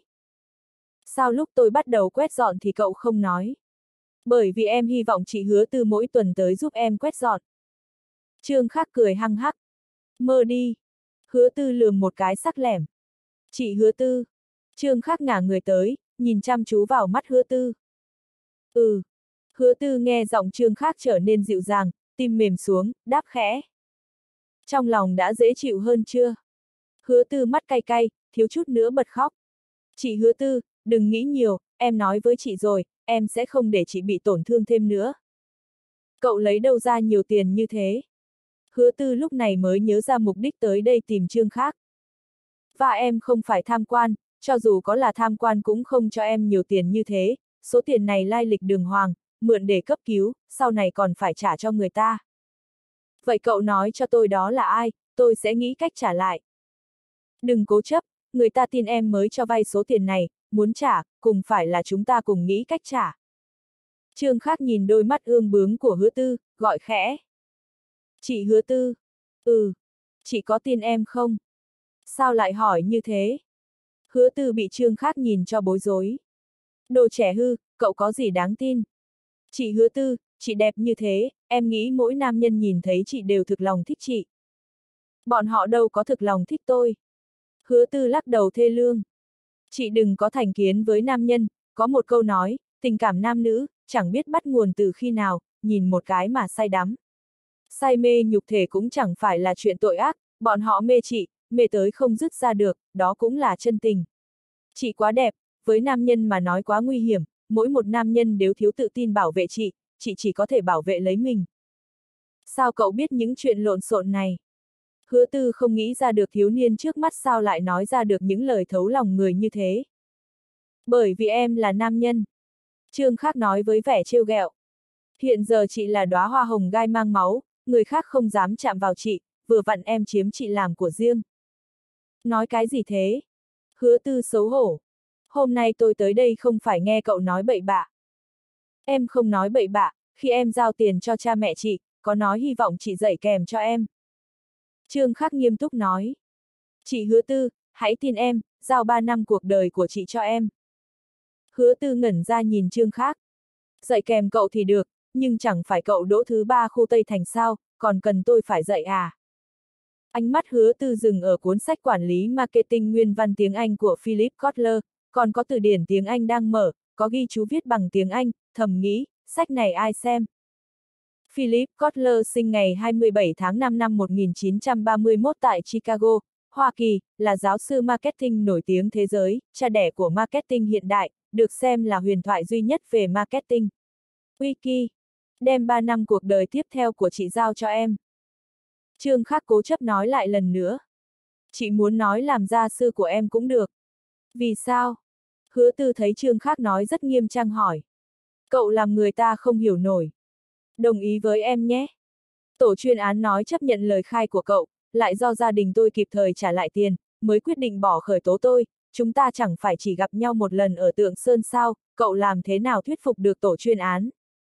Nếu không làm sao để chị yên tâm giao cuộc đời cho em? Hứa tư thấy trương khác lảng tránh, tức giận nói. Toàn nói lời không đứng đắn. Không, em nói rất đứng đắn, nhưng chị lại cứ cho rằng em nói giỡn, vì sao? Bởi vì trong mắt chị, em chỉ là đứa bé mới vào cao trung, không đáng tin cậy. Chính như thế, một khi em làm gì vượt ngoài tuổi tác của mình, đối phương sẽ nghĩ, thằng nhóc này chắc đang nói đùa. Ý cậu muốn nói gì? Hứa tư nghi hoặc hỏi. Em muốn nói, em sẽ làm một số việc, nhưng nhìn qua không giống chuyện đứa bé tuổi em sẽ làm. Trương Khắc thấy hứa tư rụt mình lại đằng sau, hai tay che trước ngực, y kêu khổ. Ôi trời, chị nghĩ đi đâu thế? Ví dụ như em muốn mua một cái bút chì thì sẽ mua được ngay. Nhưng nếu em muốn mua một cái tivi màu, người bán hàng nhất định sẽ hỏi, em trai, cha mẹ em có biết em mua tivi không? Nếu muốn mua nhà, nhân viên bán nhà sẽ nói, xin lỗi em trai, chỗ này không tiếp trẻ vị thành niên. Chị hiểu ý em chưa, có một số chuyện, vì tuổi tác em sẽ bị đối phương nghi ngờ, cho nên em muốn một người đại diện, người đó chính là chị. Cậu muốn mua nhà. Hứa tư cứ ngơ ngơ. Cậu bảo cha mẹ cậu đi mua chẳng phải là xong à. Trương Khắc ôm đầu. Trong hồ sơ bằng cấp của chị cao lắm mà, chị không hiểu thật à. Ngạc nhiên hả? Hứa tư cười tinh nghịch. Chẳng biết cậu định làm gì, có điều cậu giúp tôi nhiều như thế, cậu muốn tôi giúp cậu làm việc gì, chỉ cần không phải việc xấu, sao tôi từ chối được. Trương Khắc cười, chẳng cần vội cho hứa tư biết hết. chương 35, mê tình trên xe buýt. Thu dọn xong liền cùng hứa tư xuống lầu, Trương Khắc muốn về nhà phải qua Sa Điền, liền cùng hứa tư đi cùng xe buýt, vừa mới hết giờ làm, xe buýt rất đông, Trương Khắc chống hai tay lên cửa sổ xe, bảo vệ hứa tư trong lòng, tránh kẻ khác động chạm. Khi đi qua trạm nhà máy giấy Tân Quang, chẳng thấy ai xuống, lại thêm một đống người, trong xe càng thêm chật trội, hứa tư khoanh tay trước ngực, để ngực không dán vào lòng trương khác. Thu vé phía trước lớn tiếng thông báo. Tới trạm Tân Quang, tới trạm Tân Quang, đồng chí mới lên xe nhớ mua vé, cha được không mua vé, phạt 100 đồng. Trương Khắc nghe vậy nhìn ra ngoài cửa sổ, ánh trời chiều chiếu lên dòng sông sơ cảng lặng lẽ chảy, lóng lánh ánh sóng màu vàng. Nhìn gì thế? Nhà máy giấy Tân Quang. Trương Khắc mắt xa xăm dõi theo dòng sông bên ngoài. Nhìn nó làm gì, bao nhiêu người đang đợi nó đóng cửa, hy vọng nước sông Sơ Cảng được sạch sẽ hơn một chút. Chị cũng mong nó đóng cửa à? Đương nhiên, hạ lưu Sơ Cảng chính là sa điền của chúng tôi, ai mà muốn nhìn thấy dòng sông đen xì xì. Công nhân viên nhà máy không nghĩ thế, chỉ có biết vụ tai nạn này 18 tháng 7 không? Sao không biết, bốn chết ba bị thương, thời sự nói lái xe say rượu.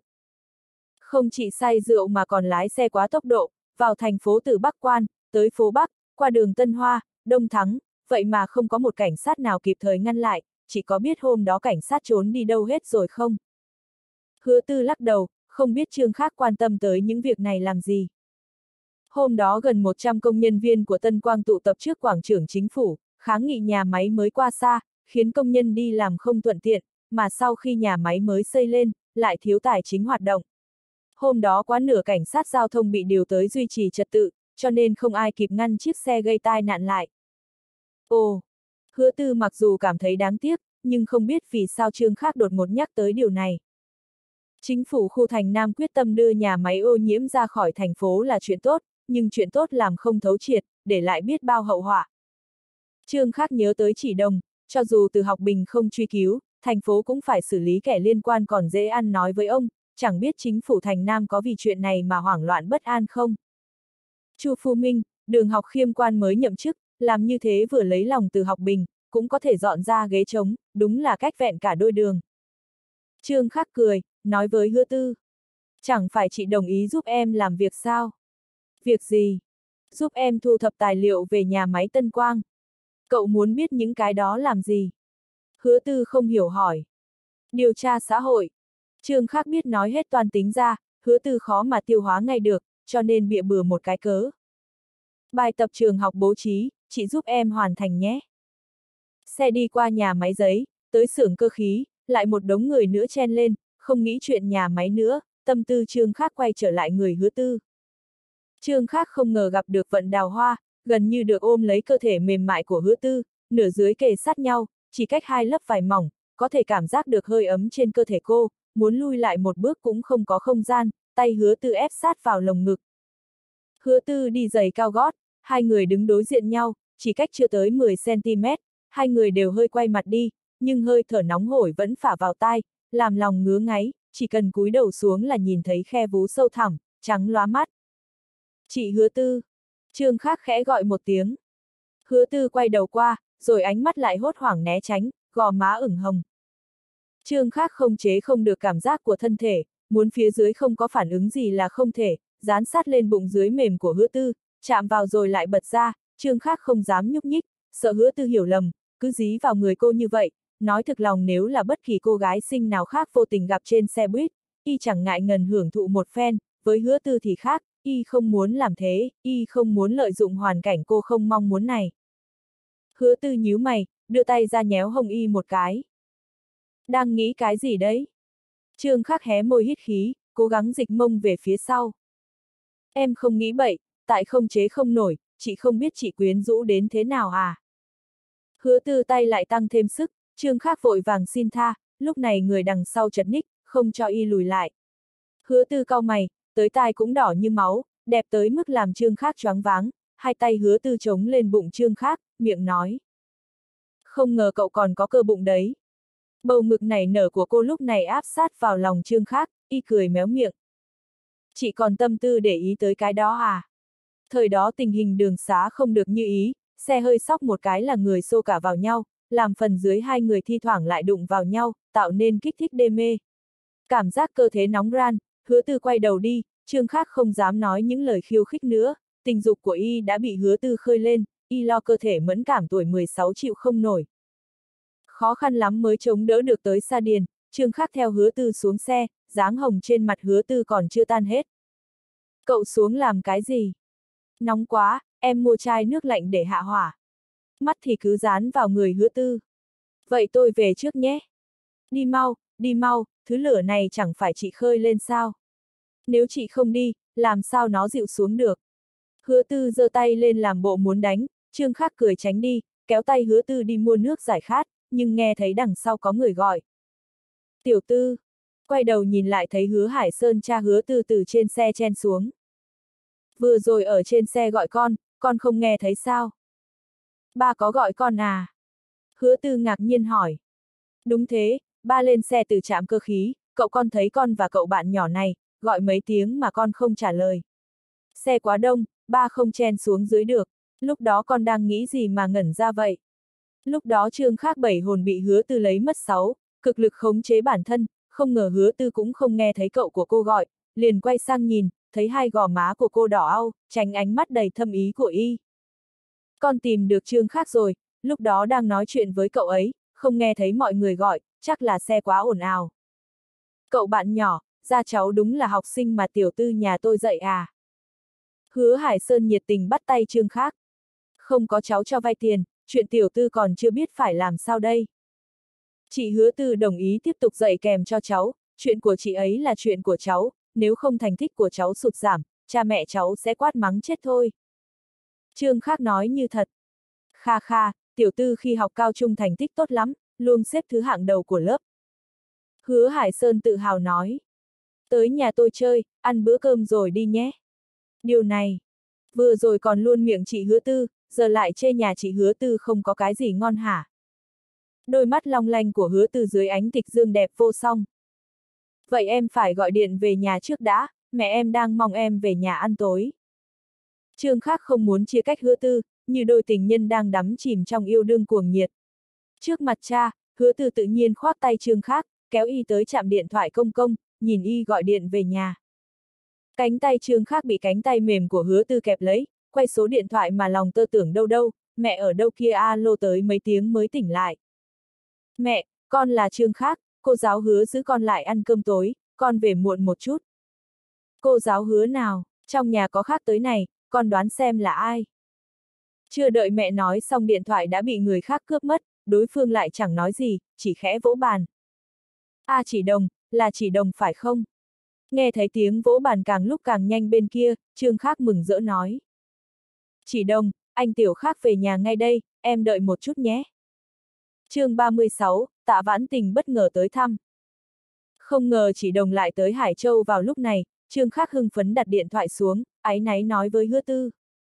Chị hứa tư, trong nhà em có khách tới, không thể không về, mai em tới tìm chị. Về đi. Hứa tư cười thông cảm. Ngày mai chị hứa tư còn phải đi tìm việc làm, lần sau mời cậu ăn cơm. Nghe thấy hứa tư định đi tìm việc, biết ngay cô không coi lời mình là thật, Trương Khắc cười khổ ai bảo mình ít tuổi, chắc cô ấy chỉ coi mình như đứa em trai tinh nghịch, lòng hơi dỗi nên chẳng muốn giải thích thêm, chỉ nói.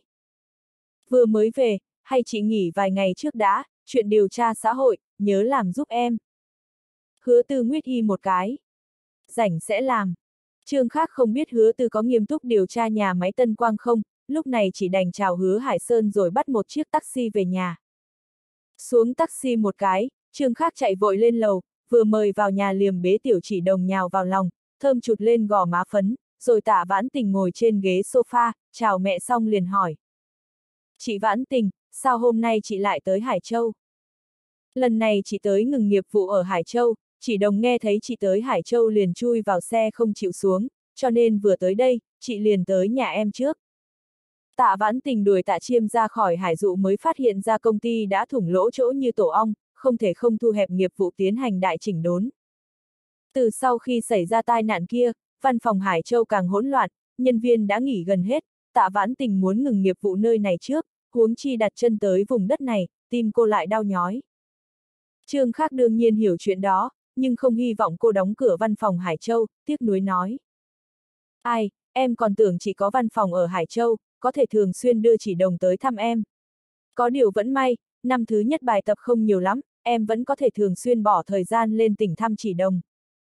Tạ vãn tình nghe vậy hơi thất thần, nhìn chỉ đồng ôm chặt lấy cổ trương khác, nghĩ, muốn để chỉ động nói lại, hoàn toàn trừ bỏ tâm lý sợ hãi do tai nạn kia mang tới, tiểu khác chắn chắn là người giúp đỡ được nhiều nhất, nhưng tiểu khác lên cao trung rồi, học tập sẽ rất căng thẳng, không thể thường xuyên lên tỉnh thành được.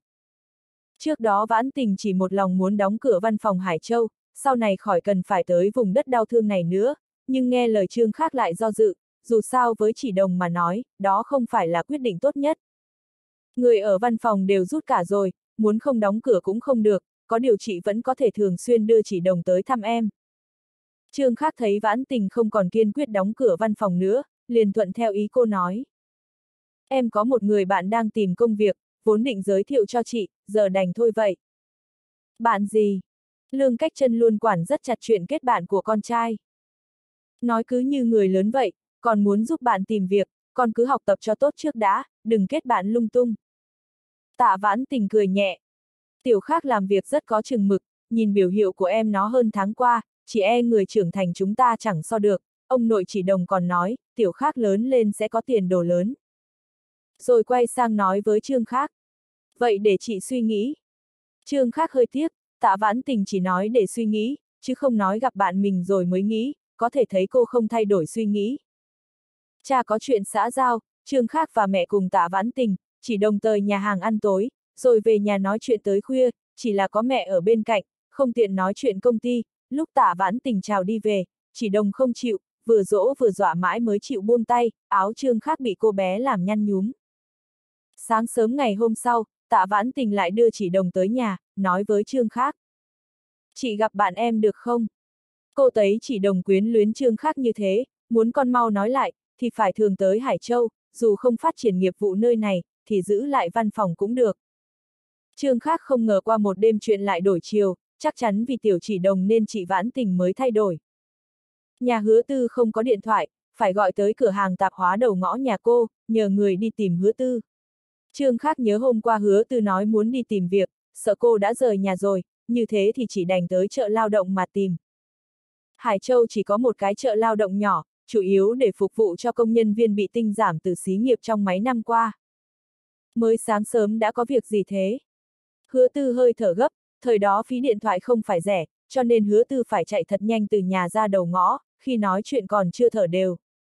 Chuyện công việc của chị, sáng chỉ bỏ chút thời gian ra, gặp mặt thấy hợp thì quyết định. Hứa tư không tin lời trương khác cho lắm. Hôm qua tôi chỉ thuận miệng nói vậy thôi, cậu giúp tôi tìm được việc gì cơ chứ? Công việc của hứa tư đương nhiên không thành vấn đề, chú vừa chuyển công ty lên thành phố, đang bận tối mắt, tùy tiện thêm một người quá đơn giản, quan trọng là trương khác có tính toán khác. Bao nhiêu chuyện không thể đã xảy ra rồi, chỉ tin em một lần nữa đi. Trương khác không nói nhiều, hẹn 9 giờ tới cửa hàng cây FC gặp mặt liền cúp điện thoại, bế chỉ đồng về phòng khách. Lương cách chân và tạ vãn tình nói chuyện ở phòng khách, thấy Trương khác gọi điện xong, nói. Con được mấy tuổi đầu mà đã muốn giúp bạn tìm việc. Người này có đáng tin không? Công ty của chị Vãn Tình con không thể tùy tiện giới thiệu người vào được. Trương Khác đặt chỉ đồng lên đầu gối, nói tạ Vãn Tình. Chị thấy em có đáng tin không? Tạ Vãn Tình mỉm cười. Vốn định đóng cửa văn phòng bên này, rất nhiều nghiệp vụ đã bỏ, chẳng còn lại mấy việc, giữ lại văn phòng chỉ là để có cái cớ cho chỉ đồng tới thăm anh tiểu khác, em làm việc chị yên tâm. Sưng hô đúng là loạn, Trường Khác thấy gọi cô là gì tạ càng hợp ý tạ vãn tình hơn, nhưng tạ vãn tình vừa tròn 30, phong vận rực rỡ, chính vào độ tuổi hoàng kim toàn thân tỏa ra sự quyến rũ thành thục, y không gọi nổi, đâm ra mẹ thì gọi là chị, con lại gọi là em, loạn. Hẹn hứa tư vào lúc 9 giờ, vẫn còn sớm, Trương Khác còn rất nhiều suy nghĩ muốn phải trao đổi trước với tạ vãn tình. Trương Khác bế chỉ đồng xuống lầu, nhìn tạ vãn tình ở đằng sau nói. City Hải Dụ có được quy mô ngày nay không phải là dễ, em biết hiện nay công tay có chút khó khăn, nhưng đều chỉ là tạm thời, chỉ cần chị có quyết tâm, em tin chị mau chóng chỉnh đốn được không tin. Đương nhiên em cũng hiểu chị bỏ nghiệp vụ ở Hải Châu là vì sao, có điều cơ sở tốt như thế không tận dụng, em vẫn thấy có chút đáng tiếc, nếu như chị tin em. Trương Khác nói tới đây thì dừng lại, nhìn vào mắt tạ vãn tình, biết kiến nghị này ngoài dự liệu của cô. Em có thể tận dụng nguồn lực này không? Tạ vãn tình không muốn thấy lại nơi xảy ra tai nạn làm người ta tan nát cõi lòng đó, bảo lái xe tránh khỏi phố Bắc. Tạ vãn tình nghe Trương Khác nói vậy, lòng có chút kinh ngạc, nhưng nghĩ lại thì chẳng thấy có gì đặc biệt, Trương Khác vốn mang lại cho người khác cảm giác không giống thiếu niên bình thường. Chính y là người đầu tiên phát hiện ra vấn đề của công ty là ở tạ chiêm, cũng chính y bày kế đuổi tạ chiêm khỏi công ty, tạ vãn tình lần này tới đây cũng là muốn tìm Trương Khác bàn chuyện công ty. Tạ vãn tình bế lấy chỉ đồng, thấy vẻ mặt Trương Khác rất nghiêm túc, hỏi. Vậy em định tận dụng thế nào? Công ty Hải Dụ có phải từng định lập mạng kỹ thuật số? Tạ vãn tình buồn bã lắc đầu. Đừng nhắc tới cái đó, hiện giờ công ty hỗn loạn, gần như tất cả các nghiệp vụ đều đã ngưng trệ rồi. chương 37, cứ giao cho em làm. Chị Vãn Tình chắc hiểu toàn tỉnh cuối năm khai thông mạng thông tin kỹ thuật số có nghĩa là gì, thời đại tín hiệu analog đã kết thúc rồi. Tình hình ở thành phố khác em không rõ lắm, nhưng ở Hải Châu, chưa có công ty thông tân nào ý thức được điều này. Không có cơ sở của công ty chị, em, một thiếu niên mới vào cao trung, không thể đám phán làm đại lý cho bất kỳ công ty di động kỹ thuật số nào. Tạ vãn tình hơn một tháng qua nỗ lực làm quen với nghiệp vụ công tay, tin giác cô hiểu về thời cơ thương nghiệp thông tấn kỹ thuật số trong nước. Tận dụng cơ sở của công ty ra sao, chỉ là phương diện rất nhỏ. Tạ vãn tình bật cười. Đúng là mãi mãi chẳng hiểu nổi trong đầu em chứa cái gì, nhưng văn phòng giờ chỉ là cái xác không, tài chính công ty hiện nay rất eo hẹp, lại chẳng có người để dùng, tài nguyên thực sự mà em có thể lợi dụng được rất có hạn đấy. Đường dây tiêu thụ không phải là điểm cuối của thị trường, chỉ cần công tác làm cho tốt, tài chính sẽ không có vấn đề lớn. Về nhân lực, Hải Châu không thiếu người tài, có thể chiêu mộ, đương nhiên không có cơ sở của Hải Dụ, thì không làm được gì. Tạ vãn tình cọ cầm lên chán chỉ đồng. Không làm lỡ chuyện học tập của em chứ? Không đâu, hiện nay ở trong nước, mục đích chủ yếu của học tập chẳng phải là nắm giữ kỹ năng sinh tồn sao. Trương Khác thấy tạ vãn tình có chút động lòng rồi, nói ngay. Chuyện cụ thể, em sẽ bảo người khác làm, chỉ đem suy nghĩ trong đầu thực hiện, xem rốt cuộc có hiệu quả thế nào. Lại hỏi, em tính thế đã đủ chín chắn chưa? Chín chắn tới phát sợ. Tạ vãn tình làm ra vẻ mặt cường điệu quá mức. Bạn của em chính là người sẽ giúp em làm việc cụ thể. Vâng, một người chị không ngờ tới. Vậy nói gặp mặt bạn em trước đã, nói không chừng sẽ giật mình thật. Trương Khác và Tạ Vãn Tình tới trước cửa hiệu cây FC vào lúc 8 giờ 30. Trương Khác nghĩ chỉ cần đánh tan lo lắng của Tạ Vãn Tình về vấn đề học tập của mình, thì mọi việc sẽ không có vấn đề gì, dù sao từ lúc chỉ ra âm mưu của Tạ Chiêm, Trương Khác cố ý thể hiện trước mặt Tạ Vãn Tình, tin rằng cô có tín nhiệm nhất định với mình. Hứa tư tới nơi, khóa xe đạp trước cửa, mái tóc buông xóa như dòng thác đổ. Tạ Vãn Tình nhìn qua kính, thấy hứa tư vén tóc lên, lộ ra khuôn mặt tuyệt đẹp, ngạc nhiên nhìn Trương Khác. Là cô ấy sao? Trương Khác cũng nhìn ngây ra một lúc, không xe hơi, không váy áo đắt tiền, hứa tư càng thêm mê người, mặc dù trên mặt vẫn còn mang chút lo lắng, nhưng rõ ràng thần thái nhẹ nhõm hơn, trông cô mang chút ngây thơ thiếu nữ, có lẽ đây mới thực sự là hứa tư. Trái tim Trương Khác nảy lên một cái vô cớ. Chị vãn tình nhận ra hứa tư. Không nhận ra, nhưng một cô gái xinh đẹp như thế không có nhiều, nghe qua chuyện của em, lại nhìn thấy cô ấy là chị nghĩ ngay ra. Tạ vãn tình nở nụ cười rất hiểu đời.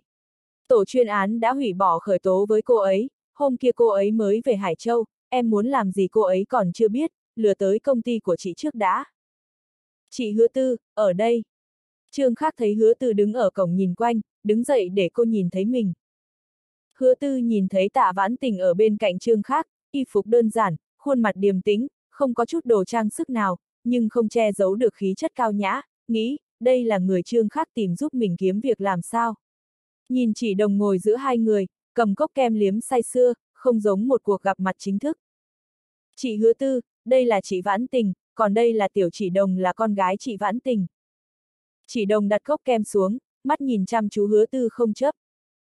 Chỉ đồng biết chị hứa tư à? Tạ Vãn Tình cúi đầu xuống hỏi. Tiểu chỉ đồng lắc đầu, mắt vẫn không rời hứa tư. Ngay cả chỉ đồng nhà chị cũng thấy em xinh đẹp, mắt không chịu rời đi kìa. Vãn tình đứng dậy mời hứa tư ngồi xuống cạnh mình. Hứa tư mặt ửng đỏ, hoàn toàn không hiểu tình hình, chẳng biết phải nói gì. Trương khắc bế lấy chỉ đồng, thơm một cái lên má nói. Tiểu chỉ đồng lớn lên cũng là đại mỹ nữ khiến người ta nhìn không chớp mắt. Tiểu chỉ đồng xấu hổ vùi mặt vào lòng trương khắc, nhưng vẫn len lén nhìn hứa tư. Hứa tư bị đôi mắt hồn nhiên của chỉ đồng nhìn tới bối rối, trương khác đẩy cốc coca cho cô. Đúng giờ thật, còn 3 phút nữa là 9 giờ. Đạp xe tới nên tính được thời gian, chị Vãn Tình và Tiểu Khác tới lâu rồi phải không? Cũng chỉ mới tới một lúc. Từ lúc hứa tư vào cửa, tạ Vãn Tình vẫn luôn quan sát cô, hứa tư đẹp tới mức làm người ta đô kỵ, cứ nhìn chỉ đồng là biết, ánh mắt trẻ con không biết lừa người. Tạ Vãn Tình quay đầu sang nhìn Trương Khác, thấy y không lộ vẻ gì khác thường với hứa tư, thầm nghĩ, tiểu khác tâm trí thành thục hơn cả người trưởng thành bình thường, chỉ e bị cô gái này mê hoặc. Tiểu khác không nói là em, chỉ thấy em giật cả mình, hôm kia em mới về Hải Châu phải không? Hứa tư nghe cô nói tiểu khác trước đó không nhắc tới mình, nhưng tạ vãn tình lại có vẻ rất hiểu chuyện của mình, hỏi. Chị vãn tình biết em. Ông nội của chị Đồng là cán bộ trên tỉnh, chị biết chuyện của em, có điều đây là lần đầu thấy em. Hứa tư trước sau chỉ tiếp xúc với nhân viên tổ chuyên án, không biết từ học bình đích thân thẩm tra xử lý vụ án này, nên không đoán ra thân phận tạ vãn tình. Công ty của chị có một văn phòng ở Hải Châu, vốn chị muốn đóng cửa, về sau cảm thấy giữ lại một chút ở Hải Châu cũng tốt, vừa vặn tiểu khác tiến cử em. Tạ vãn tình lấy từ trong túi sách ra một tấm danh thiếp đưa cho hứa tư. Chị vãn tình đồng ý với em rồi à? Tạ vãn tình thấy dáng vẻ vui mừng của trương khác, đưa tay ra xoa đầu y. Thật không biết trong đầu em nghĩ cái gì. Lại nghĩ động tác này ở trước mắt hứa tư khả năng có chút ám muội, lại rụt tay về, nghiêm túc nói. Muốn có thực tiễn xã hội cũng được, hoặc muốn thực hiện mong muốn trong đầu cũng được, chị Vãn Tình có thể giúp em lần này, nhưng không được ảnh hưởng tới học tập, nếu không thể ăn nói với ba mẹ em. Đảm bảo không ảnh hưởng tới học tập. Trương Khác gật đầu lia lịa. Hứa tư nhìn danh thiếp in công ty cổ phần hữu hạn mậu dịch hải dụ, ngẩng đầu lên, thấy người phụ nữ trước mắt nhìn qua chưa tới 30, không ngờ lại là tổng giám đốc công ty. Rõ ràng Trương Khác giúp mình giới thiệu việc làm, nhưng tạ vãn tình lại nghiêm túc giao việc Trương Khác, lòng hứa tư có chút hoang mang. Tạ vãn tình nhận ra hứa tư nghi hoặc, liền nói. Tiểu khác có chút ý tưởng, muốn thực hiện nó, chỉ tạm thời giữ lại văn phòng để giúp tiểu khác thực hiện mộng tưởng của mình. Ngoài ra còn muốn nhờ em giúp đỡ, đừng để tiểu khác quá phân tâm, lỡ dở học tập. Thấy hứa tư ngạc nhiên, tiếp tục nói. Đương nhiên, công ty ở Hải Châu còn có chút nghiệp vụ vụn vặt cần em xử lý, chị sẽ trả lương bằng với nhân viên chính thức. Lúc này hứa tư hiển nhiên chưa tiêu hóa được lời của tạ vãn tình. Thấy trương khác có thể xoay hứa tư như trong chóng, tạ vãn tình lại trở nên yên tâm, hiện giờ cô cũng rất muốn biết trong đầu trương khác tính toán gì. Em muốn lợi dụng nguồn lực của công ty hải dụ, chắc không phải chỉ vì thứ chúng ta vừa nói chứ. Rất nhiều chuyện khó mà nói trước được sẽ phát triển thế nào, em không thể nói tỉ mỉ. Hải Châu có nhà máy giấy Tân Quang, chị Vãn Tình đã nghe nói tới chưa? Trương Khắc thẳng thắn nói. Chị không hiểu tình hình ở Hải Châu, trước kia lại chẳng quan tâm tới chuyện của công ty, nên ở phương diện này rất ngốc, dần dần dần cải thiện đây. Trương Khác thấy chị Vãn Tình không biết mối liên quan giữa nhà máy này và cái chết của chồng mình, liền không muốn giải thích thêm, tránh cô sinh ra suy nghĩ khác. Lúc này giải thích cũng không rõ, nhiều chuyện phải đi thương lượng đã, cần danh nghĩa của công ty chị, khi cần thiết, thậm chí còn cần chị Vãn Tình ra mặt ủng hộ, bọn em sẽ nỗ lực đẩy mạnh công tác giai đoạn tiền kỳ, tới lúc đó sẽ cho chị nhìn thấy thành quả của bọn em. chương 38, lừa gạt dụ dỗ. Nhân viên phái chú ở văn phòng công ty Hải Dụ ở Hải Châu đã rút về hết, may mắn địa điểm làm việc còn kỳ hạn cho thuê 2 tháng nữa, trang thiết bị của văn phòng chưa tháo dỡ đi, còn giữ lại mấy cái bạn làm việc, điện thoại, v, v, v. Trừ những cái đó ra chẳng còn gì nữa, đương nhiên có thể dương tấm biển City Hải Dụ lên để làm việc mới là điều trương khác coi trọng nhất.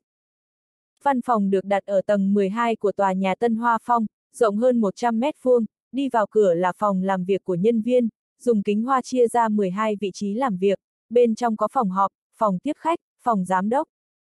Mặt đất thích đầy bụi bặm, nhìn tình hình này sau tai nạn, nhân viên ở đây liền dần dần rút lui, giấy tờ văn kiện rơi xuống đất chẳng ai nhặt. Hứa tư cho tới tận bây giờ vẫn chưa nắm rõ tình hình, hỏi Trương Khác. Chuyện này rốt cuộc là sao, tôi vẫn chẳng hiểu gì cả. Hôm qua em muốn chị giao 3 năm cuộc đời cho em không phải là thuận miệng nói đâu. Trương Khắc nghiêm chỉnh nói. Nhưng chuyện này là thế nào? Cảm giác như cậu và chị Vãn Tình đang đùa vậy, tôi phải làm gì? Chị hứa tư, đây không phải trò đùa. Trương Khắc biết hứa tư lo lắng cái gì, vì để cô có thể ra được, trong nhà đã phải vay nợ tới hai ba chục vạn, vào những năm 90, số tiền này đủ ép cho người ta không thở nổi. Em mong chị giúp em 3 năm, em rất nghiêm túc, chị giúp em 3 năm, 12 vạn kia không cần nhắc tới nữa. Giúp là giúp, vay là vay, hai chuyện khác nhau, nhưng câu không nói, tôi giúp cậu thế nào. Hứa tư lắc đầu. Thì ra trước đó dù nói gì với chị, chị cũng chẳng để trong lòng. Trương khác thở dài, kéo một cái ghế tới, thấy đầy bụi, liền tới ngồi trên cửa sổ. Hôm qua em nói với chị chuyện nhà máy giấy Tân Quang, chị còn nhớ không? Cậu bảo tôi thu thập tư liệu của nó, cậu chuẩn bị làm gì? Chuyện này tạm thời không vội nói với chị. Trương Khác vẫy tay gọi hứa tư, hứa tư cung ngồi dựa vào cửa sổ, chiếc quần jean bị kéo căng bó chặt lấy cặp đùi tròn khỏe khoắn. Cha chỉ đồng gặp tai nạn ở Hải Châu, nên chị Vãn Tình muốn rút nghiệp vụ ở bên này, ông nội chỉ đồng kỳ thực là bí thư chính pháp ủy từ học bình chủ quản vụ án Đinh Hương Sơn. Miệng hứa tư há hốc, không tin nổi. Tổ chuyên án không khởi tố tôi là do. Cô thấy cổ họng mình khô khốc. Vì sao ông ấy giúp tôi? Trong việc này có ảnh hưởng của từ học bình, nhưng quan trọng nhất là tổ chuyên án tin vào lời khai của Trương Khác. Trương Khác đương nhiên không nói thật. Vấn đề của chị không nghiêm trọng, em xin với bác từ vài câu. Em đã nói không để chị bị tổn thương nữa, đương nhiên không phải chỉ nói cho có. Lời này trước kia Trương Khác đã nói, hứa từ có lẽ có chút cảm động, cũng chỉ có chút xíu thôi, cô chưa từng nghĩa tới một thiếu niên 16 tuổi có thể bảo vệ gì được hình Lúc này cô lại có chút bối rối, thầm nghĩ tin y cũng chẳng sao. Trương Khắc tiếp tục nói. Khi tai nạn chỉ đồng cũng có mặt nên bị hoảng sợ, tới giờ cũng không chịu nói chuyện. Trương Khắc không nói mình cứu chỉ đồng, nói nhiều sẽ tạo tạo thành cảm giác dựa ơn đòi hỏi. Vậy tai nạn kia có liên quan kia có liên quan gì tới thu thập tài liệu nhà máy giấy? Thì nó chính là tai nạn do công nhân nhà máy giấy đi kiến nghị dẫn tới thiếu cảnh sát em nói hôm qua đó. À, đương nhiên thu thập tài liệu không phải vì truy cứu trách nhiệm. Nhiều nhân tố hợp lại tạo ra tai nạn đó, chẳng có gì để truy cứu, chỉ đơn thuần là thu thập tài liệu mà thôi, đương nhiên cũng không cần quá gấp, dù sao hiện giờ chúng ta chưa có thời gian đi làm chuyện đó. Trương Khác nhìn quanh rồi đổi chủ đề. Chị nhìn xem chỗ này trống không, gần như chẳng còn cái gì, hai tháng sau còn phải trả tiền thuê phong, nhưng bản thân công ty Hải Du đã là nguồn tài nguyên rồi, em hy vọng có thể tận dụng nó, cũng để giúp chị hứa tư mau chóng trả số tiền nợ người ta. Nhưng, nghĩ tới vấn đề thực tế, hứa tư lại bắt đầu lo lắng. Không nhưng gì cả, chị lấy đâu ra lắm nhưng thế. Trương khác cắt ngang lời hứa tư. Tất cả phải bắt đầu từ đầu, Trương Thiên là quét dọn nơi này, sau đó là tuyển vài nhân viên. Trương khác móc tuổi ra ba tờ tiền nhàu nhĩ. Trên người em chỉ có 300 đồng, túi chỉ có bao nhiêu. Hứa tư đỏ mặt, lấy từ túi sách ra mấy đồng 10 tệ, giọng rất nhỏ. Tôi chỉ có chừng này thôi. Chị tới Nhật báo Hải Châu, đăng quảng cáo tuyển người, một cần vụ, một tài vụ, hai nghiệp vụ, một mẫu tin tầm trung tốn 50 đồng, 300 đồng xem ra không thể tìm được vị trí tốt rồi. Vẻ xấu hổ của hứa tư đáng yêu chết người, trương khắc cố lắm mới không làm gì bậy bạ, nhét 300 vào trong tay hứa tư. Công việc ban đầu của chị hứa tư lương bao nhiêu? Một tháng năm 600, vậy là đủ rồi. Được, quảng cáo đăng đãi ngộ cần cụ 100, tài vụ 800, nghiệp vụ 100, cuối năm có thưởng. Cao vậy sao? Cha hứa tư là công nhân kỹ thuật cao cấp, cả lương cả thương và các loại phúc lợi cộng vào mỗi tháng chưa tới 500 đồng, cuối năm được phát thưởng một tháng lương đã vui lắm rồi. Đảm bảo phải có cần vụ tốt nhất, tài vụ xuất sắc nhất, nghiệp vụ ưu tú nhất tơi đăng ký, không có đãi ngộ tốt thì sao được. Trương Khác biết trong lòng hứa tư có rất nhiều nghi vấn, cứ dục cô mau đi đăng quảng cáo.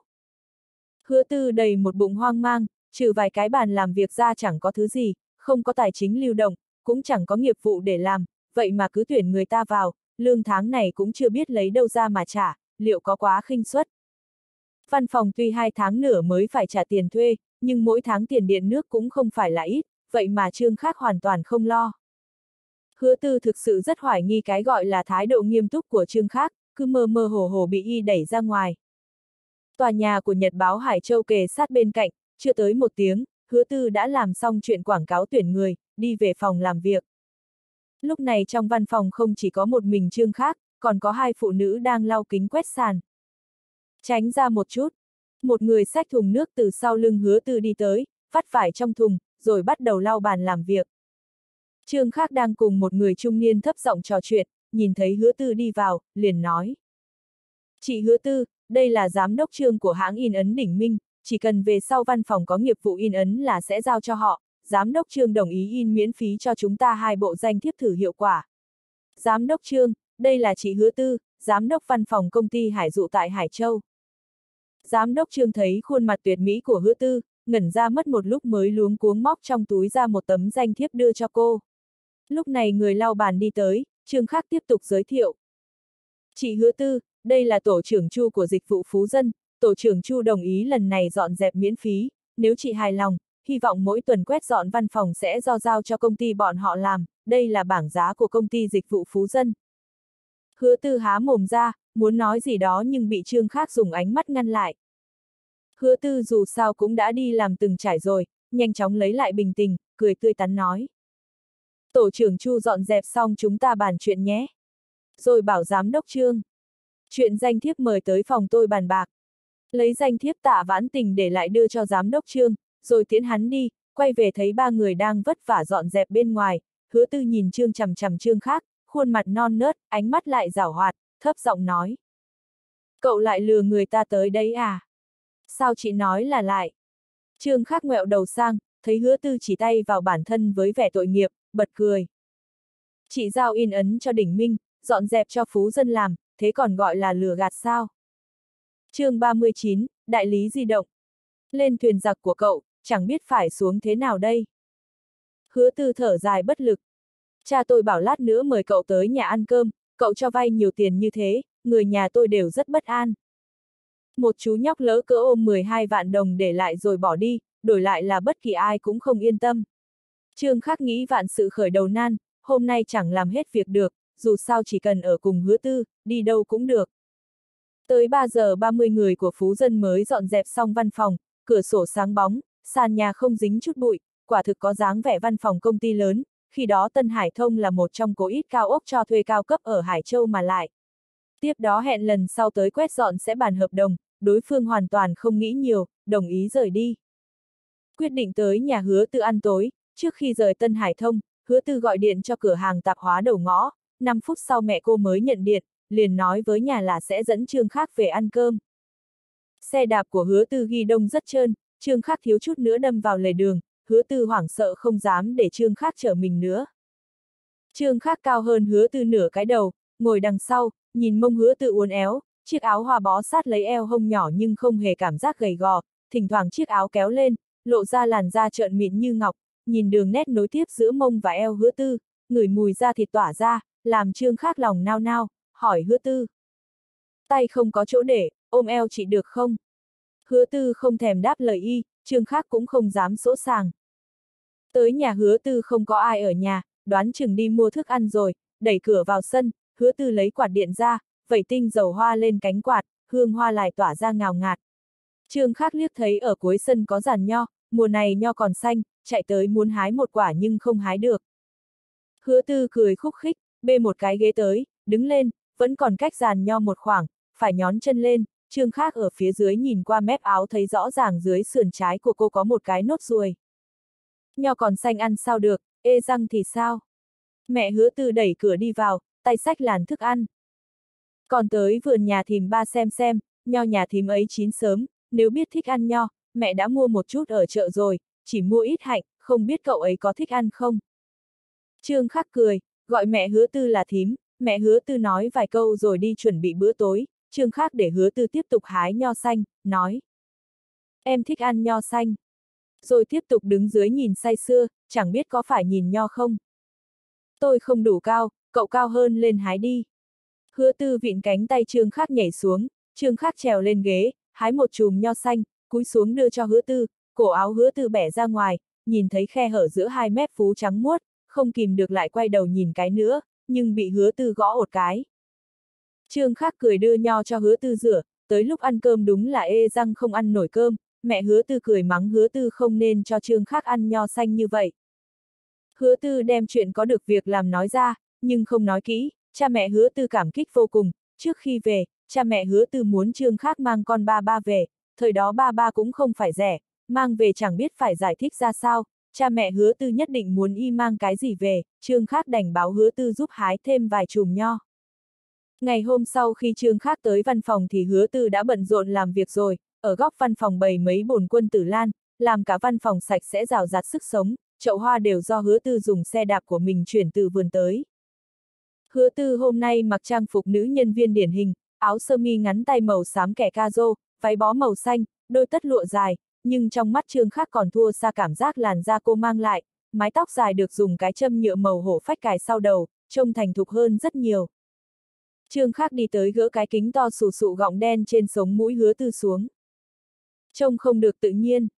Y dơ lên trước mặt xem, thì ra là kính không độ, nhìn chăm chú hứa tư một lúc, cười khi, trả kính lại cho cô. Ánh mắt trương khắc làm người ta bối rối, hứa tư biết cách ăn mặc của mình hôm nay có chút quái dị, đeo kính lên, thấy trương khác vẫn nhìn mình chăm chăm, lại còn chống cầm chuẩn bị ở lì ra đó, lườm y một cái. Không có việc làm thì đừng ở đây vướng víu tôi. Cái lườm đó còn có chút mùi vị quen thuộc. Trương khác ngồi xuống trước mặt hứa tư. Nếu em không nói với chị thì chị biết phải làm gì không?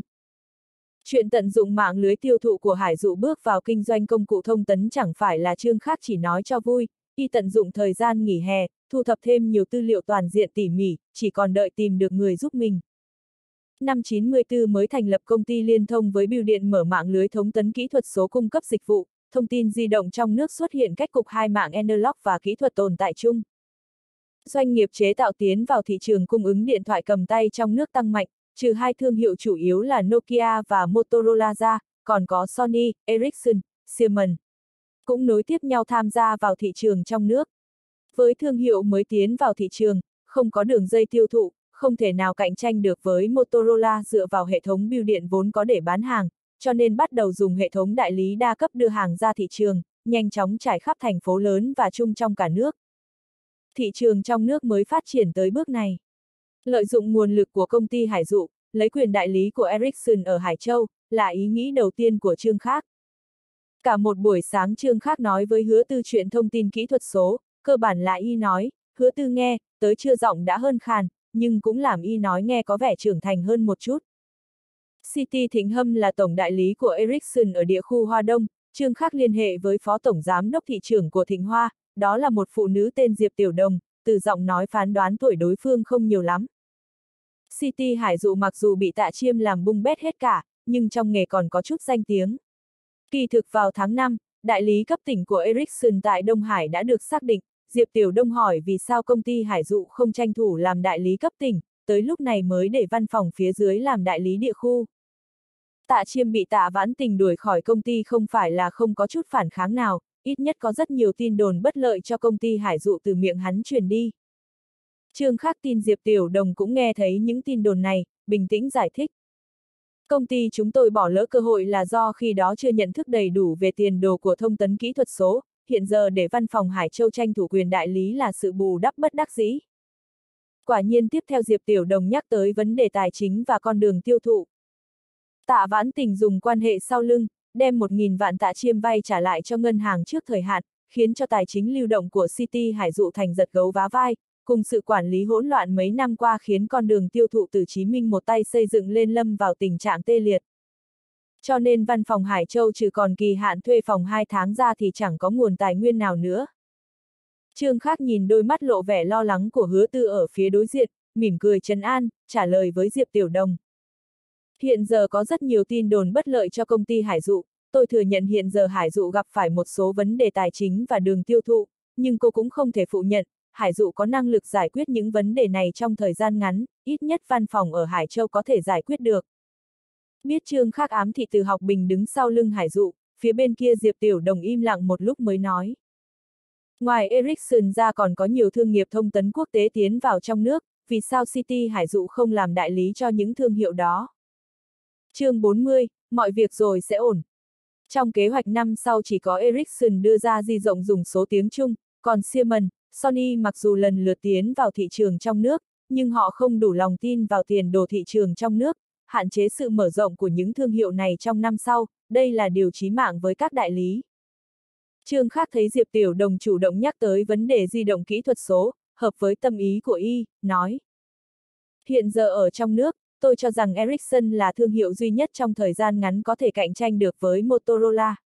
Tôi tin chiếc di động GS388 sẽ sáng tạo ra ra thời đại mới, thành tiêu chuẩn cho điện thoại kỹ thuật số, chiếc điện thoại tiếng Trung năm sau Ericsson đưa ra, hẳn sẽ là bản nâng cấp của GS388, đối với người dùng quen với di động cục gạch mà nói, sẽ mang tới cảm giác kinh ngạc mong đợi, giống như hiện giờ tôi đang rất được gặp tiểu thư Diệp vậy.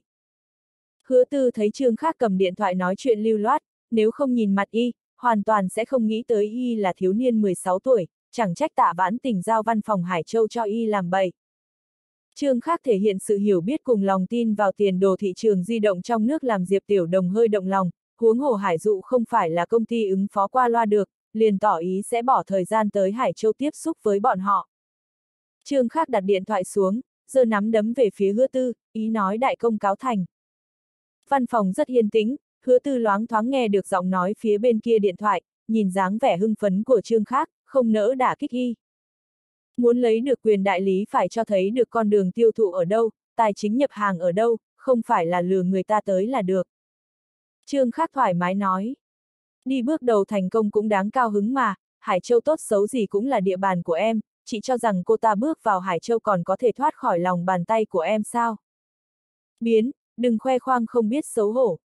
Hứa tư lấy một tờ báo từ trong ngăn kéo ra. Đây là quảng cáo tuyển người, chẳng biết lừa được bao nhiêu người tới. Hứa tư không có lòng tin chỉ hai người có thể điều hành được văn phòng, cô sở dĩ ở lại đa phần chỉ vì cảm thấy mình nợ trương khác quá nhiều. Trương Khắc cười khì khì. Cuối tuần người tới ứng tuyển sẽ rất nhiều, chị sàng lọc ra một số người trông có vẻ trình độ cao vào, sau đó hẹn tham gia phỏng vấn, an bài phỏng vấn vào thứ bảy em mới có thời gian tham gia. Hôm sau là một ngày trước khi khai giảng, Trương Khắc cũng dùng hết thời gian tại văn phòng để ở bên hứa tư. Tư liệu liên quan tới thông tấn kỹ thuật số ở trong nước rất ít, trong tư liệu có nhiều từ chuyên nghiệp, hứa tư đọc rất vất vả, thường xuyên phải tra từ điển. Thấy Trương Khác lật trang xoành xoạch như đọc tiểu thuyết, cười nói. Không cần giả vờ giả vịt ở đây, nếu cậu thấy chán thì cứ ra ngoài chơi, đợi tôi phiên dịch xong hãy xem cũng được. Chị bảo em giả bộ á. Trương Khác chỉ vào mình, thấy hứa tư ánh mắt khinh thường của hứa tư, bật cười nói. To attitudinai, to put on e, to sầm y, là tiếng Anh của giả vờ giả vịt, em chỉ nhớ vài cách nói như thế, chị tra thử xem có cách phiên dịch khác không. Hứa tư ngớ người. Có thật không đấy? Kiếp trước y là giám đốc phụ trách mậu dịch đối ngoại của tập đoàn Long Dụ, trình độ tiếng Anh sao có thể kém được.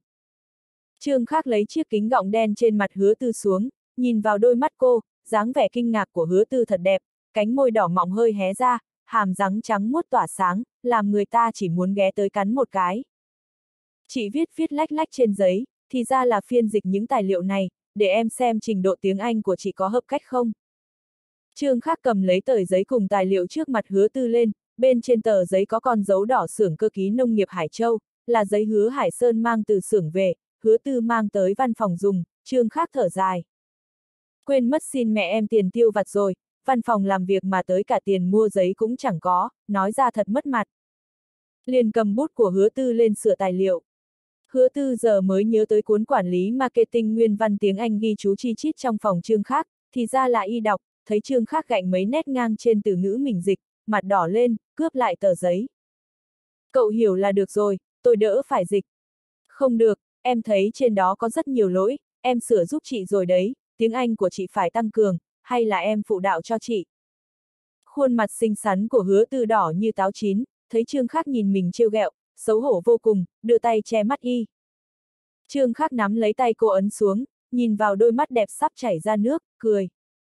Dù sao em cũng đã nói với cha chị muốn chị dạy kèm em, bình thường em không thể tới văn phòng, buổi tối chị tới dạy em nhé. Chuyện đó nói sau. Hứa tư rụt tay lại, thầm nghĩ, sao trước kia mình lại nghĩ nó đơn thuần, đúng là mù mắt. Nhưng cô không chịu thua. Cho dù không dạy được tiếng Anh, môn học khác thế nào cũng được. Trương Khác mỉm cười mơ màng nhìn hứa tư, nói. Em cũng rất mong đợi đấy. Còn nhìn nữa à? Hứa tư tức giận gắt, nhưng chẳng hề có hiệu quả với Trương Khác, trột dạ quay người đi.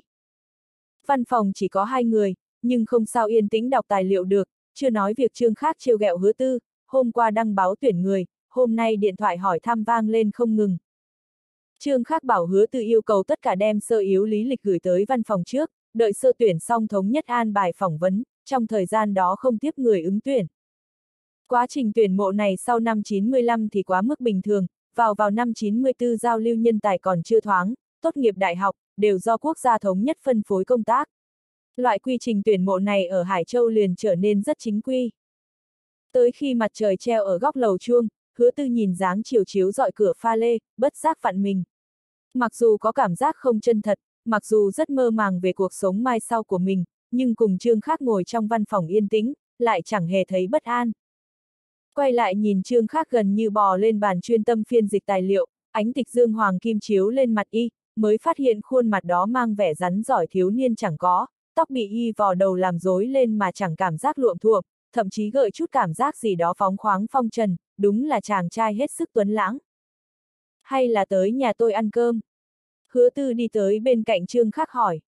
Trương Khắc ngẩng đầu lên, nhìn hứa tư dù mặc y phục già dặn, đeo theo kính đen to sù xấu xí, nhưng trong mắt y vẻ đẹp của cô không sụt giảm chút nào. Nếu chú hứa không chuẩn bị gì thì em đi. Cho tay vào túi lấy ra hai tờ tiền. Em còn 20 đồng, hay là chúng ta mua thức ăn tới nhà chị? Vậy cậu đừng tới là hơn. Hứa tư đẩy y một cái, quay người đi, trong nhà vay nợ lãi cao, vì trả nợ phải giảm ăn giảm tiêu, trương khác cảm thông làm hứa tư thấy đau khổ. Chị hứa tư. Gì? Trương khác thấy hứa tư không quay lại, gọi thêm tiếng nữa. Chị hứa tư, mọi việc mau chóng tốt lên thôi mà. Hứa tư khẽ thở ra một hơi, như muốn chút hết áp lực u buồn trong lòng ra ngoài. Trước khi quyết định tới nhà hứa tư ăn cơm, Trương Khác gọi điện về nhà, nghe khẩu khí của mẹ, tựa hồ rất bất mãn với hành vi nghỉ ba ngày mà biến mất tâm tích của y. Trương Khác dùng mình đặt điện thoại xuống, nói với hứa tư. Giọng điệu của mẹ em rất đáng sợ, em phải về nhà ngay. Hứa tư thấy y cố làm ra vẻ kinh hoàng phì cười. Cậu biết sợ mẹ cơ à? Cuộc đời nếu không có ai đáng kính sợ chẳng phải rất vô vị, hiện giờ em sợ mẹ, nói không chừng sau này sẽ sợ chị. Sợ tôi, tại. Hứa tư ngưng bặt, mặt đỏ dự đưa tay véo trương khác. Không lúc nào chịu quên trêu người ta. chương 41, nhập học, chia lớp. Chạy về nhà, quả nhiên thấy mẹ mặt khó đăm đăm, trước khi mẹ kịp nổi bão tố, trương khác vội nói. Ai, mệt chết thôi, chị Vãn Tình tìm hộ cho con cô giáo phụ đạo tiếng Anh quá nghiêm khắc, lấy tài liệu khó ơi là khó ra bắt con dịch. Y lấy tài liệu Anh văn ra đưa ẹ, vờ hậm hực nói. Đây đâu phải là thứ học sinh sơ trung phiên dịch nổi. Đi học thêm tiếng Anh. Lương cách chân hoang mang, con trai nghỉ ba ngày biến mất dạng, lửa giận tích lũy tới mức độ muốn dạy dỗ một bài học nhớ đời, nhưng nhìn thấy tài liệu viết đầy chữ tiếng Anh, phát tiết không nổi. Sao hôm qua con không nói? Mẹ chỉ đồng vì sao đột nhiên lại giúp con tìm giáo viên tiếng Anh. Con nói với chị Vãn Tình, thi cao trung, tiếng Anh kém điểm đường thanh, cho nên đường thanh đỗ thứ nhất, còn đỗ thứ ba. Chị Vãn Tình nói tiếng Anh rất quan trọng, không học tốt không được, còn muốn sau khi con tốt nghiệp cao trung đưa con ra nước ngoài học, bây giờ phải rèn nên nền móng tốt, cô giáo tiếng Anh là bạn chị Vãn Tình. Lương cách chân tin là thật. Sao để mẹ chỉ đồng phải lo được, bất kể có ra nước ngoài học không thì tiếng Anh cũng phải học cho tốt. Cô cũng rất chú tâm tới việc trương khác ra nước ngoài học, hiện giờ con cháu cán bộ ra nước ngoài thành trào lưu thịnh hành, tuổi tác ra nước ngoài cũng ngày càng nhỏ, còn cái anh không ra nước ngoài đọc sách, ở trong cơ quan không ngẩng đầu lên được. Trương khác tính đợi tối gọi điện cho chị Đồng, phải nói với chị Vãn Tình, tránh chị để lộ. Đặt cặp lên tủ, muốn mò vào bếp xem có cái gì ăn không. Tiểu khác, Tiểu Thanh gọi điện tìm con 5-6 lần rồi, còn tới đợi con một tiếng, tìm con suốt cả ngày, con có gọi điện cho nó không hả? Trương Khắc ngạc nhiên quay đầu lại. Bạn ấy có nói chuyện gì không? Ngày ngay trường học chẳng phải công bố chia lớp sao? Đường Thanh hẹn con về trường xem danh sách, chẳng thấy bóng dáng con đâu, con có biết mình ở lớp nào không? Ồ, quên bén mất. Trương Khắc nói quên là chỉ thế thôi, chứ y chẳng muốn về trường học xem, huống chi mai đi học cũng biết kết quả, không hợp ý thì xin chuyển. Hỏi đường Thanh là biết thôi mà. Trương Khắc nhấc điện thoại lên gọi cho đường Thanh, cô bé này đợi mình cả ngày không được, nói không chừng đang giận. Hình như tối hôm kia nói chuyên điện thoại, đường Thanh rủ cùng về trường xem chia lớp, mình cũng không nhận lời. Điện thoại chỉ tu một tiếng là đã có người nhấc lên. Trương Khắc, mình tìm bạn cả ngày đó, có biết bạn lớp nào không? Đường Thanh ở phía bên kia nóng vội nói. Bạn lớp nào? Lớp số 10. Vậy thì mình cũng lớp số 10. Ý, sao bạn biết? Đương Thanh không sao tin nổi, một lúc sau tự cho rằng mình đã nghĩ ra lý do. Hừm, mình bảo Đỗ Phi rồi, không được nói với bạn. Mình còn chưa gọi điện cho Đỗ Phi, mình đoán đấy. Sao bạn đoán chúng được? Đường Thanh ngạc nhiên hỏi. Điều này có gì khó đoán đâu, mình còn biết Đỗ Phi cũng lớp số 10, bạn là thiên kim thị trưởng đường, Đỗ Phi là công tử của thư ký Đỗ, mình là công tử của thư ký trưởng trương, ba chúng ta đều chọn khoa văn, tất nhiên phải vào lớp tốt nhất. Kỳ thực y đoán ra là từ ngữ khí không kìm được hưng phấn của đường thanh, sau đó mới xét tới trường học có toan tính này. Tiếp trước hai người cũng vào cùng lớp, mặc dù ngồi bàn trên bàn dưới, nhưng đường thanh cho tới tận khi tốt nghiệp ra nước ngoài cùng không nhìn y một cái, nói với y một câu. Chính từ đó mà y bắt đầu sống với tính cách khác. Này trương khác bạn có nghe không đấy? Ừ, đang nghe đây. Trương Khắc thu lại hồi tưởng. Có gì mai nói nhé, dù sao cũng cùng lớp. Trương Khắc không gọi cho Đỗ Phi, tên tiểu tử này tránh sự ước thúc của cha nên chọn ở ký túc xá, lúc này chắc đang ăn chơi đập phá ở đó. Đồng phục trường nhất trung chỉ có kiểu mùa thu, không có kiểu mùa hè. Trương Khắc ngày đầu đi học, Trương Chi Hành không đi làm sớm, ngồi trước bàn vừa ăn sáng vừa đọc báo, thấy Trương Khắc từ trong phòng đi ra, dục. Nghe thấy con dậy được một lúc rồi, sao giờ mời ra? Lương cách chân bê bữa sáng của Trương khác ra khỏi bếp, ngạc nhiên nói. Con nói mình tự cầm tiền mua y phục, sao mua thứ giả chát này, trông như nhiều hơn tới vài tuổi, không giống học sinh cao trung. Trương Chi Hành đặt báo xuống, liếc nhìn con, áo sơ mi cộc tay xám kẻ ca rô xanh, quần tây xanh thấm, trông hơi già một chút, cũng chẳng thấy có gì không ổn. Mau rửa mặt đi, ba bảo tiểu lưu thuận đường tới đón con, đoán chừng sắp tới rồi. Bác đường hôm nay không dùng xe ạ. À. Người dân phản ứng xe buýt quá chật trội, thị trưởng đường hẹn lãnh đạo chủ yếu cục giao thông đi xe buýt, ba cũng phải ngồi xe buýt tụ họp với họ. Trương Khác nhớ tới hưởng thụ mê hồn mấy hôm trước khi cùng hứa tư chen lấn trên xe buýt, chẳng cảm thấy chật trội là chuyện xấu. Biết đường thanh rất đúng giờ, không nói lung tung nữa, rửa mặt xong, nuốt trợn nuốt chạo vài miếng, liền nghe lái xe của đường học khiêm là Lưu Văn Binh gõ cửa bên ngoài. Trương Khác về phòng lấy cặp, thò tay ra với mẹ kêu. Tiền sinh hoạt tuần này, tiền sinh hoạt tuần này. Lương cách chân đã chuẩn bị 200 đồng nhét vào tay con, Trương Khác lại đòi. Tiền học thêm tiếng Anh đâu? Bao nhiêu? Lương cách chân mở ví, chỉ còn 100 đồng, đưa tay vào túi chồng móc ra 300 nữa, đưa cho con. Đủ không? Tạm đủ, cô giáo hứa nói là trả thoải mái. Trương Khắc nhét tiền vào túi, kệ cha hỏi ở đằng sau. Học thêm tiếng Anh gì thế? Đấy cửa theo tiểu lưu xuống lầu. Nếu được chọn, Trương Khắc thả chen lấn trên xe buýt đi học còn hơn, đường thanh sau khi trải qua hưng phấn hôm qua, sáng nay ngủ dậy nhớ ra mấy ngày qua rất khả nghi, đợi Trương Khắc chui vào xe, cong cánh môi đỏ kiều diễm lên chất vấn. Hôm qua bạn đi đâu, mình tìm cả ngày không thấy, Đỗ Phi cũng tìm khắp nơi. Lý Chi Phương hẳn là giáo viên ngữ văn lớp số 10, Đỗ Phi tìm mình đại khái là hưng phấn vì chuyện này, hắn thì mặc kệ, nhưng đường thanh thì tuyệt đối không dễ đối phó.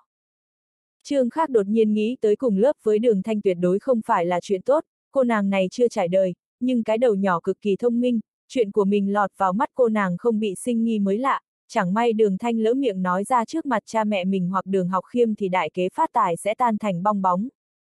Đường thanh đã thấy ảnh hứa tư, dù hứa tư tận lực thay đổi khí chất của mình, nhưng vẻ đẹp yêu tinh thấm sâu tận xương tùy đó không thể che giấu, Trương Khác làm sao dám để đường thanh biết sự tồn tại của hứa tư. Trương Khác cẩn thận hỏi lại. Bạn nói mình có thể làm gì? Người chui vào xe, đầu vẫn giữ thế tiến tới, gần như dán sát vào mặt đường thanh, cúi đầu nhìn xuống, cổ áo viền ren, chẳng thấy gì cả. Đường thanh bị hơi thở nóng rực của trương khác phả vào, đỏ mặt quay đai, tay ôm lấy cổ áo, mắng. Muốn chết à, chỉ biết nhìn. Thấy Lưu Văn Binh mở cửa xe vào, vội ngưng bặt, trừng mắt dọa trương khác. Đường thanh vờ giận, đôi mắt sáng sâu thẳm cùng ánh hồng trên mặt chưa phai, hàm răng trắng cắn cánh môi hồng, làm tim trương khác đập thình thịch, nhưng không tiếp tục có cử chỉ phóng túng nữa, khẽ mỉm cười, quay đầu đi không nhìn đường thanh. Đường thanh không chịu được không khí vắng lặng, một lúc sau đầu dựa vào lưng ghế phái trước, quay lại nhìn trương khác. Bạn còn chưa nói hôm qua đi đâu. Giữ bí mật nhé. Lời nói dối hữu hiệu nhất là 9 phần thật một phần giả, trương khác sau này không thể ngoan ngoãn ngồi trong lớp học, nên trước tiên phải trấn an được tai mắt của cha mẹ. Bạn lắm lời thế. Đường thanh giọng êm ái, êm tới mức làm tim người ta bủn rùn, vươn ngón tay ra chỉ vào mắt trương khác, cảnh cáo y không được nhìn lung tung. chương 42, nhập học, chia lớp. Ánh mắt trương khác chiếu vào đôi chân lộ ra dưới mép váy của cô, không giống làn da như tuyết đầu mùa của hứa tư, màu da của đường thanh càng giống màu ngà voi hơn, hết sức nhu hòa, phối hợp vẻ vờ hờn dỗi, làm đường thanh càng thêm diễm lệ. Nhìn qua kính chiếu hậu, thấy Lưu Văn Binh đang đợi xem kịch vui, Trương Khắc nói. Chú Tiểu Lưu, nơi này có người thứ tư không? Lưu Văn Bính xoay kính chiếu hậu đi, cười. Gần đây tai tôi hơi ủ, hai đứa cứ thoải mái tán tỉnh nhau, tôi chẳng nghe thấy gì hết, còn nữa, cậu đừng gọi tôi là chú, bối phận của tôi không so được với ba cậu. Lưu Văn Bính vào ban lái xe chính phủ năm 91, khi đó thuộc biên chế sự nghiệp, Trương Chi Hành thấy người này làm việc chắc chắn cẩn thận, sau khi làm phó thư ký trưởng, điều hắn tới lái xe cho đường học khiêm. Trong thời gian đường học khiêm bị cách ly, hắn không hề có sai lầm mang tính khuynh hướng, đường học khiêm lên làm thị trưởng, hắn tất nhiên thuyền lên theo nước, được làm phó đội trưởng ban lái xe, Trương Chi Hành mau chóng giúp hắn giải quyết biên chế hành chính. Đường học khiêm mời rượu trương khác trước mặt mọi người làm kẻ không biết chân tướng lưu truyền rất thần bí, Lưu Văn Bính biết chuyện xảy ra trong quan trường Hải Châu ở mùa hè này hơn người khác một chút, tất nhiên biết phải khiêm tốn với trương khác. Vậy tôi gọi là anh Lưu. Trương khác không khách sáo với hắn, thấy hắn chuyên tâm lái xe, không nói thêm nữa. Đường Thanh mở to mắt tò mò nhìn mình chờ đợi, đành nói. Mình ra ngoài làm công, bạn đừng nói với cha mẹ mình lẫn cha mẹ bạn. Làm công. Đường Thanh từ nhỏ bị đường học khiêm, cố kiến minh quản lý rất nghiêm, đối với từ ngữ chỉ biết trong kịch hay phim Hong Kong này hứng thú cực độ, mắt tỏa sáng. Làm công ở đâu, đưa mình đi xem nhé. Công ty của mẹ chỉ đồng có văn phòng ở Hải Châu, mình tới đó làm công, kiếm chút thực tế xã hội, bạn chẳng biết làm gì cả, đưa theo làm gì. Trương khác sợ cô quấn lấy mình đòi tới văn phòng, nên ngay lập tức đả kích tự tin của đường thanh, chẳng may chạm mặt hứa tư, có trời mới biết hậu quả ra sao. Đường thanh biết chuyện chỉ đồng, không muốn nhắc tới chuyện làm người ta đau lòng đó, lại nghĩ, mẹ cũng chẳng ình ra ngoài làm công. liền hỏi, khi nào đưa mình đi gặp chỉ đồng nhé? Điều này đương nhiên không thể từ chối cô được, Trương Khác gật đầu ngay. Không muốn gây chú ý, Trương Khác và Đường Thanh xuống xe khi cách trường học một quãng. Trong thời gian quân huấn, nữ sinh năm đầu đều mặc quân phục, học sinh năm khác chỉ tới báo danh vào ngày kết thúc quân huấn, cho nên trừ Trần Phi Dung, Trường khác chưa thấy trong trường có được mấy cảnh đẹp học đường. Hôm nay là ngày chính thức khai giảng, trong sân trường có thêm mấy cô em xinh tươi, nhìn rất là ngon, Trường khác muốn thoát khỏi đường thanh, đi tìm Đỗ Phi bình phẩm một phen. Dù là thiếu niên giả, nhưng ở đề tài này, nam nhân không tồn tại hố ngăn cách tuổi tác. Có điều hôm qua không đi xem thông báo chia lớp, ngay phòng học cũng chẳng biết ở chỗ nào, đành ngoan ngoãn đi theo sau đường thanh. Đường thanh cao giáo xinh đẹp, thu hút nhiều con mắt, làm trương khác cũng được thơm lây, chỉ là những ánh mắt nhìn y khá quái dị, làm trương khác khó chịu. Nhìn thấy Đỗ Phi càng thấy quái dị, miệng cười tâu tuét, bất kỳ ai cũng nhận sự hưng phấn trong mắt hắn. Có cần tới mức đó không? Chẳng qua được gặp Lý Chi Phương hàng ngày thôi mà. Trương khác ngạc nhiên. Lý Chi Phương không chỉ là cô giáo ngữ văn của chúng ta, còn là chủ nhiệm lớp ta, quan trọng hơn nữa. Đỗ Phi thấy Trương khác ngáp dài muốn bỏ đi, vội giữ lấy vai y, giọng thần bí. Hôm qua Lý Chi Phương tập hợp bọn tao lại, mở cuộc họp nhỏ, quyết định tao làm lớp trưởng, đường thanh làm bí thư chi đoàn. Trương khác nhớ tới cảnh Đỗ Phi sắp mộng tinh kêu tên Lý Chi Phương mà dùng minh, hiện giờ hắn còn làm lớp trưởng, làm sự việc nghe có vẻ như càng thêm sắc thái truyền kỳ khiêu chiến luân lý thế tục, không nỡ nhìn dáng vẻ đắc ý của hắn. Mười ủy viên lớp đều đã được xác định rồi, không có phần của mày, biết vì sao không? Trương Khắc chửi thầm, hai tên cặn bã vạn thiên tài, triệu ti minh hại người không ít, nhất định không để lại ấn tướng tốt cho Lý Chi Phương. Nhưng cô ta có dũng khí loại mình khỏi ủy viên lớp cũng đáng nể đấy. Đỗ Phi thấy Trương Khắc dừng dưng thì hơi mất hứng, nói tiếp. Mày nổi tiếng rồi, tát triệu ti minh một cái, lập tức lên đứng đầu nhất trung tứ công tử, vạn thiên tài ở trường tiếng xấu như thế mà phải đứng sau mày, vì sao, vì khi mày tát triệu ti minh, nó đứng ở bên không dám nói một câu. Trương Khắc há hốc mồm, kết quả này y thật không biết phải nói gì. Không ngờ chẳng được vào ủy viên lớp, lại vào ác nhân bảng trước, quan trọng là mình không có kế hoạch làm chuyện xấu ở trường học, tát triệu ti minh một cái chỉ vì lý tưởng cao vời cứu vớt thiếu nữ vô tội. Vạn thiên tài, triệu ti minh hiện giờ chỉ là nhất trung tứ công tử, không bao lâu nữa sẽ chen chân vào hàng ngũ hải châu tứ công tử, tên tuổi mình liên hệ với hạng người đó, trương khắc bực bội rất lâu.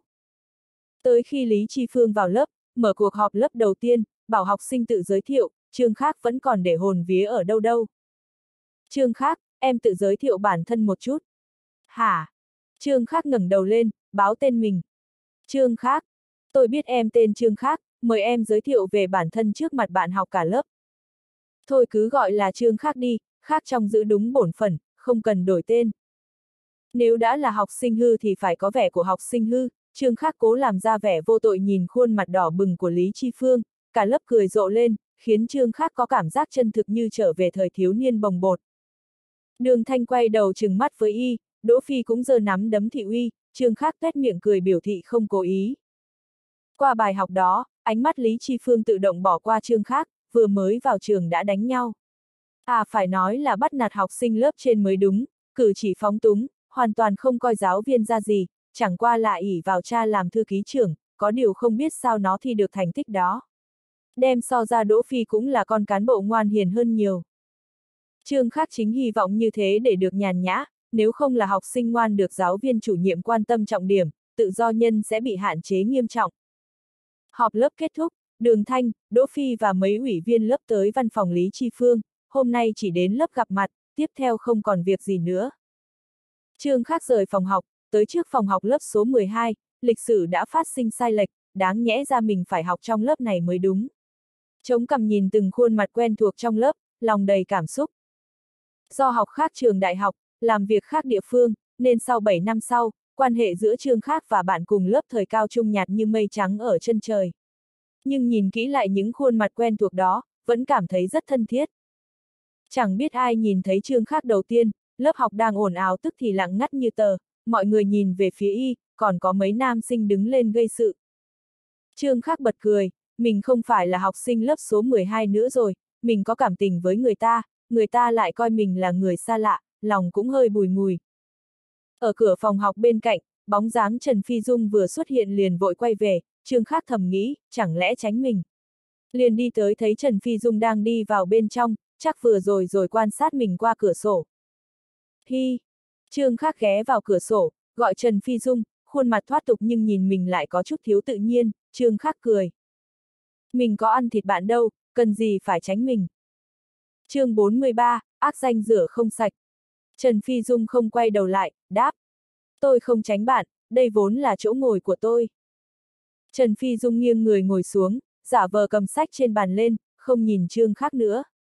Trần Phi Dung ngũ quan sinh động, nhìn ở bên cạnh đẹp như một pho tượng, mi dài, sống mũi thẳng, bờ môi rất đẹp, hồng hào mọng nước, cái cổ trắng vẽ lên đường uốn lượn tuyệt đẹp kéo tới tận cổ áo, làm người ta khao khát muốn thấy quang cảnh bên trong. Dù mặc y phục rất bình thường, nhưng chẳng hề hao tổn dung nhan của cô. Mình tên Trương Khác. Trương Khác thấy thấy Trần Phi Dung đưa tay lật sách có hơi run run, tựa như hoảng sợ, không ngờ mình để lại ấn tượng xấu như thế trong lòng cô bé. Mình chỉ muốn nói cho bạn biết mình là Trương Khác, khác trong giữ đúng bổn phận. Nghe câu này, đột nhiên Trần Phi Dung lấy sách che mặt, gục xuống bàng, bờ vai rung rung, tự hồ đang khóc, Trương Khác giật mình, không thấy hành vi của mình có gì quá đáng. Bạn sao có thể như thế được nhỉ, ỉ vào trong nhà có quyền thế là có thể bắt nạt người khác à, nhất định muốn Trần Phi Dung phải yêu bạn mới được sao? Cô gái bàn trên quay ngoắt đầu lại, hung dữ nhìn Trương Khác, lộ ra hàm răng đeo niềng. Chắc Trần Phi Dung bị Triệu Ti Minh quấy rối tới sợ rồi, cho nên mới có phản ứng kịch liệt như thế, so với đám học sinh im lặng khác, nữ sinh niềng răng tuy hiểu lầm mình, nhưng đáng quý, có chính nghĩa. Trương Khác cười với niềng răng. Mình tên Trương Khác, có hứng thú làm bạn không? Lời Trương Khác làm tiếng khóc Trần Phi Dung ngừng lại, niềng răng thì lườm y một cái, hiển nhiên không cảm thấy có hứng thú với tên ác nhân này. Trương khắc nhún vai cười, nghĩ phải tìm Triệu Ti Minh, triệt để đánh tan tơ tưởng của hắn với Trần Phi Minh, nhớ mang máng hắn ở năm thứ hai lớp số 6, tới trước phòng học hắn dạo mấy vòng mà không thấy. Nhất Trung là trường trọng điểm của Hải Châu, khác với Nhị Trung, Tam Trung, dám đánh nhau trước mặt mọi người chỉ có học sinh có quyền có thế, học sinh bình thường khó khăn lắm mới đỗ được vào nhất không dám tùy tiện vi phạm quy định trường học, không ai dám ra tay trường nghĩa. Nếu là trong nhị trung, tam trung, trường khác trước tiên phải lôi kéo một đám đàn em mới dám ngông nghênh như thế. Nhìn thấy Đỗ Phi, đường thanh mỗi người bên một chồng sách cao đi vào phòng học, chắc là sách giáo khoa và tài liệu phụ đạo, trương khắc xoay người đi xuống lâu, tránh bị nhốt trong lớp lãng phí thời gian, ra căng tin sau phòng học, mua thuốc lá và bật lửa ra. Căng tin từ rượu thuốc là bán cho giáo viên ra thì những thứ khác đều đắt hơn bên ngoài gấp rưỡi.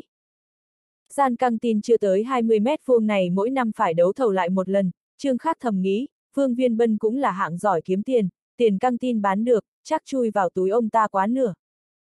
Giờ là thời gian lên lớp, trường học rất hiền tĩnh, ánh mặt trời tháng 9 không gay gắt như mùa hè, Trương Khắc ngồi ở ghế đá dài dưới tán cây, lấy điếu thuốc ra đặt lên miệng, hít mùi hương quen thuộc mang theo thương cảm chịu nặng. Trương Khắc châm thuốc, nhắm mắt nhớ lại mọi chuyện hơn một tháng rưỡi qua, thế giới này không còn là thế giới ban đầu nữa, mặc dù đường thanh vẫn cái dáng vẻ thích thuyết giáo đó, nhưng chắc trong lòng rất ỉ lại vào mình, ở nhất trung mình và cô ấy cũng học ở lớp khác rồi, hẳn là từ bây giờ sẽ là một cuộc sống khác. Trương Khắc ngậm khói thuốc trong miệng, chậm chậm nhả ra, cảm giác có người đứng trước mặt, mở mắt nhìn, thì ra chủ nhiệm ban giáo vụ Tào Quang Minh, ánh mắt ông ta nghiêm lại. Trương Khắc theo bản năng rút ra điếu thuốc khác đưa mời ông ta, thấy ánh mắt ông ta tỏ ra cực kỳ kinh ngạc, Trương Khắc choảng tình, không biết nên thu tay lại hay tiếp tục mới ông ta hút thuốc. Đứng sau Tào Quang Minh còn có 7-8 đứa học sinh, trên tay đều ôm chồng sách cao, bọn chúng nhìn mà choáng luôn, kẻ đứng đầu tứ đại công tử đúng là không tầm thường. Trong mắt học sinh, chủ nhiệm ban giáo vụ còn khủng bố hơn cả hiệu trưởng. Tào Quang Minh hừ một tiếng, mặt có chút khó coi, nhớ tới lời Lý Chi Phương trong văn phòng hôm qua, mới đầu ông ta không tin trương khác mới vào trường đã ngang tàng như vậy, ai rẻ tới lượt mình bị sượng mặt nhanh như thế. Nhớ tới tin đồn thị trưởng đường cũng mời rượu y, sắc mặt tuy có coi, nhưng vẫn nhận lấy điếu thuốc, trầm giọng nói. Tuổi của cậu, ít hút thuốc thì tốt hơn. Rồi xoay người rời đi. Bảy tám đứa học sinh chết đứng tại chỗ, Tào Quang Minh quay đầu lại nhìn mới tỉnh lại, vừa đi về lớp vừa liên tục quay đầu nhìn Trương Khác. Trương Khác hối hận không thôi, thế là dù có muốn làm học sinh ngoan cũng không được nữa rồi, thuận tay ném bao thuốc lá vào thùng rác, quyết định cai thuốc. Trương Khác hôm nay làm rất nhiều chuyện ngu xuẩn, cần phải dự phòng ở chỗ đường thanh, liền đem chuyện mời thuốc Tào Quang Minh thành cố ý trắc nghiệp tâm lý. Bạn đoán xem khi ấy thầy Tào vẻ mặt thế nào? Đường thanh làm cô bé ngoan lâu rồi, tâm lý nổi loạn sâu trong lòng bắt đầu ngo ngoe trỗi dậy, không thấy trương khác làm thế có gì không hay, vừa hưng phấn lại tò mò hỏi. Thầy ấy có vẻ mặt thế nào? Đôi mắt trong veo ngây thơ khờ khạo, như hồ nước tinh khiết không lẫn chút tạp chất nào, khiến trương khác không thể mặt dày tiếp tục bịa đặt nữa. Đỗ Phi chạy như gió vào phòng học, hắn vừa nghe thấy sự tích oai hùng của trương khác, hưng phấn nháy mắt với y suốt. Trương khác ôm đầu, thôi, mình chỉ cần giữ hình tượng thuần khiết trong lòng đường thanh là được. Tiếp theo đó giáo viên môn chính môn phụ đều xuất hiện ở lớp học, vừa mới vào lớp là hỏi Trương Khác là ai. Mỗi lần trường Khác đều muốn tự giới thiệu một phen, định nhổm người đứng dậy thì giáo viên đó nói ngay. Làm quen một chút là được, không cần đứng dậy. Ánh mắt quái dị làm Trương Khác uất ức vô cùng. Ngày đầu khai giảng trôi qua như thế đó, tan học trước tiên đưa đường thanh lên xe buýt, khả năng là buổi sáng đường học khiêm và lãnh đạo cục giao thông đi xe buýt cho nên xe không đông. Sau đó Trương Khác dùng điện thoại công cộng gọi điện cho hứa tư, hỏi xem cô có tới giúp mình phụ đạo được không.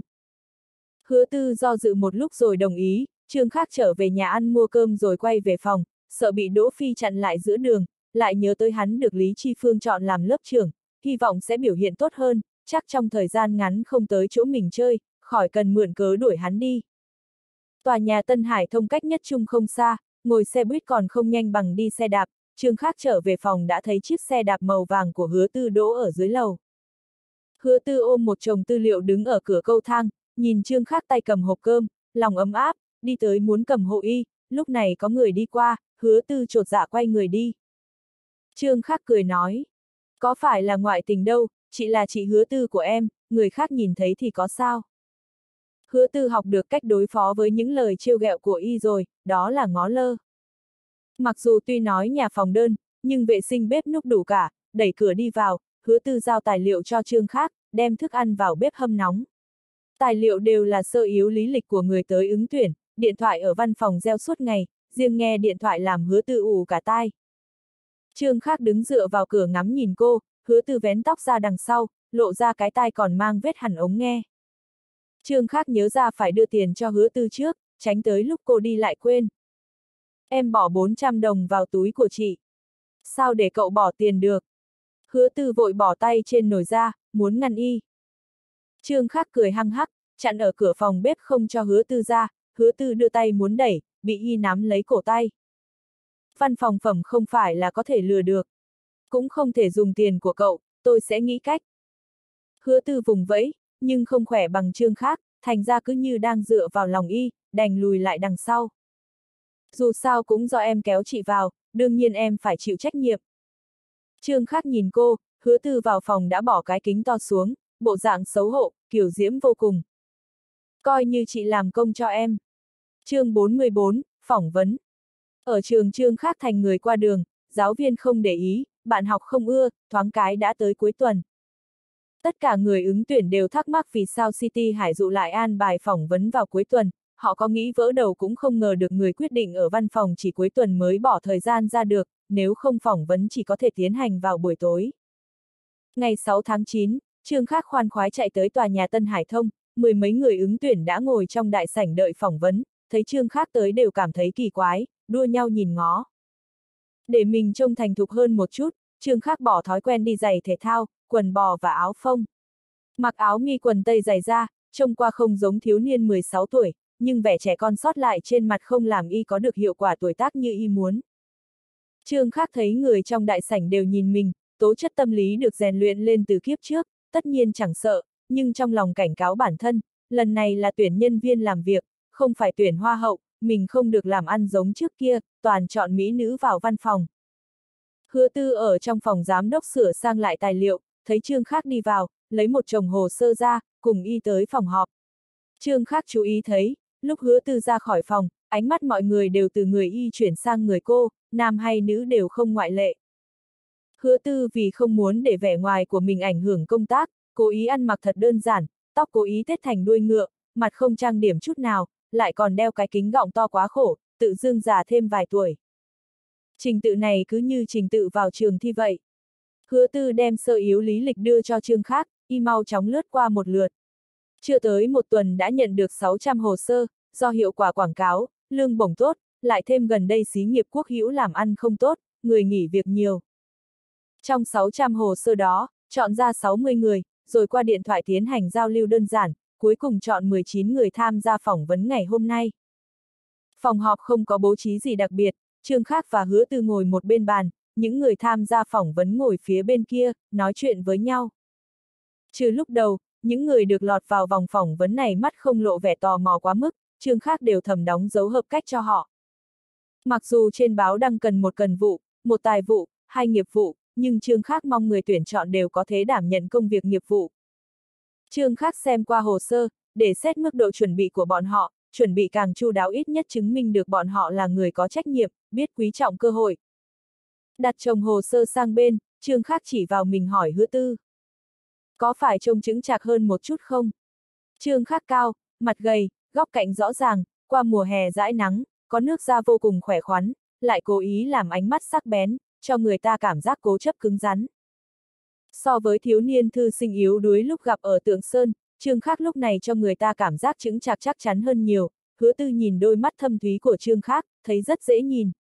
Nếu chẳng phải Trương Khác cố ý nhắc, hứa tư đúng là không chú ý tới, chỉ trong chưa tới hai tháng, y có thể thay đổi lớn như vậy. Thế nào em có thể làm chủ khảo phỏng vấn được không? Hả? Hứa tư mới phát hiện ra mình nhìn vào mắt Trương Khác một lúc lâu, mặt ửng đỏ. Ừm, được. Vậy chị thông báo cho người đầu tiên vào đi.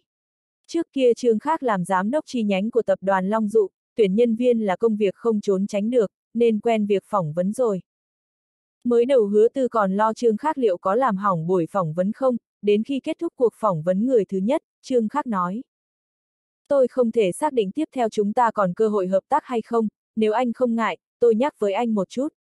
Từ lúc anh bước vào phòng, mắt của anh liền liếc qua liếc lại, mặc dù tôi rất muốn thu hút sự chú ý của anh, nhưng tôi phát hiện ra mình rất thất bại, cả cuộc nói chuyện, chúng ta gần như không giao lưu ánh mắt với nhau.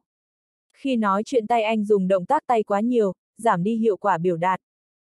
Trương Khắc vung tay lên.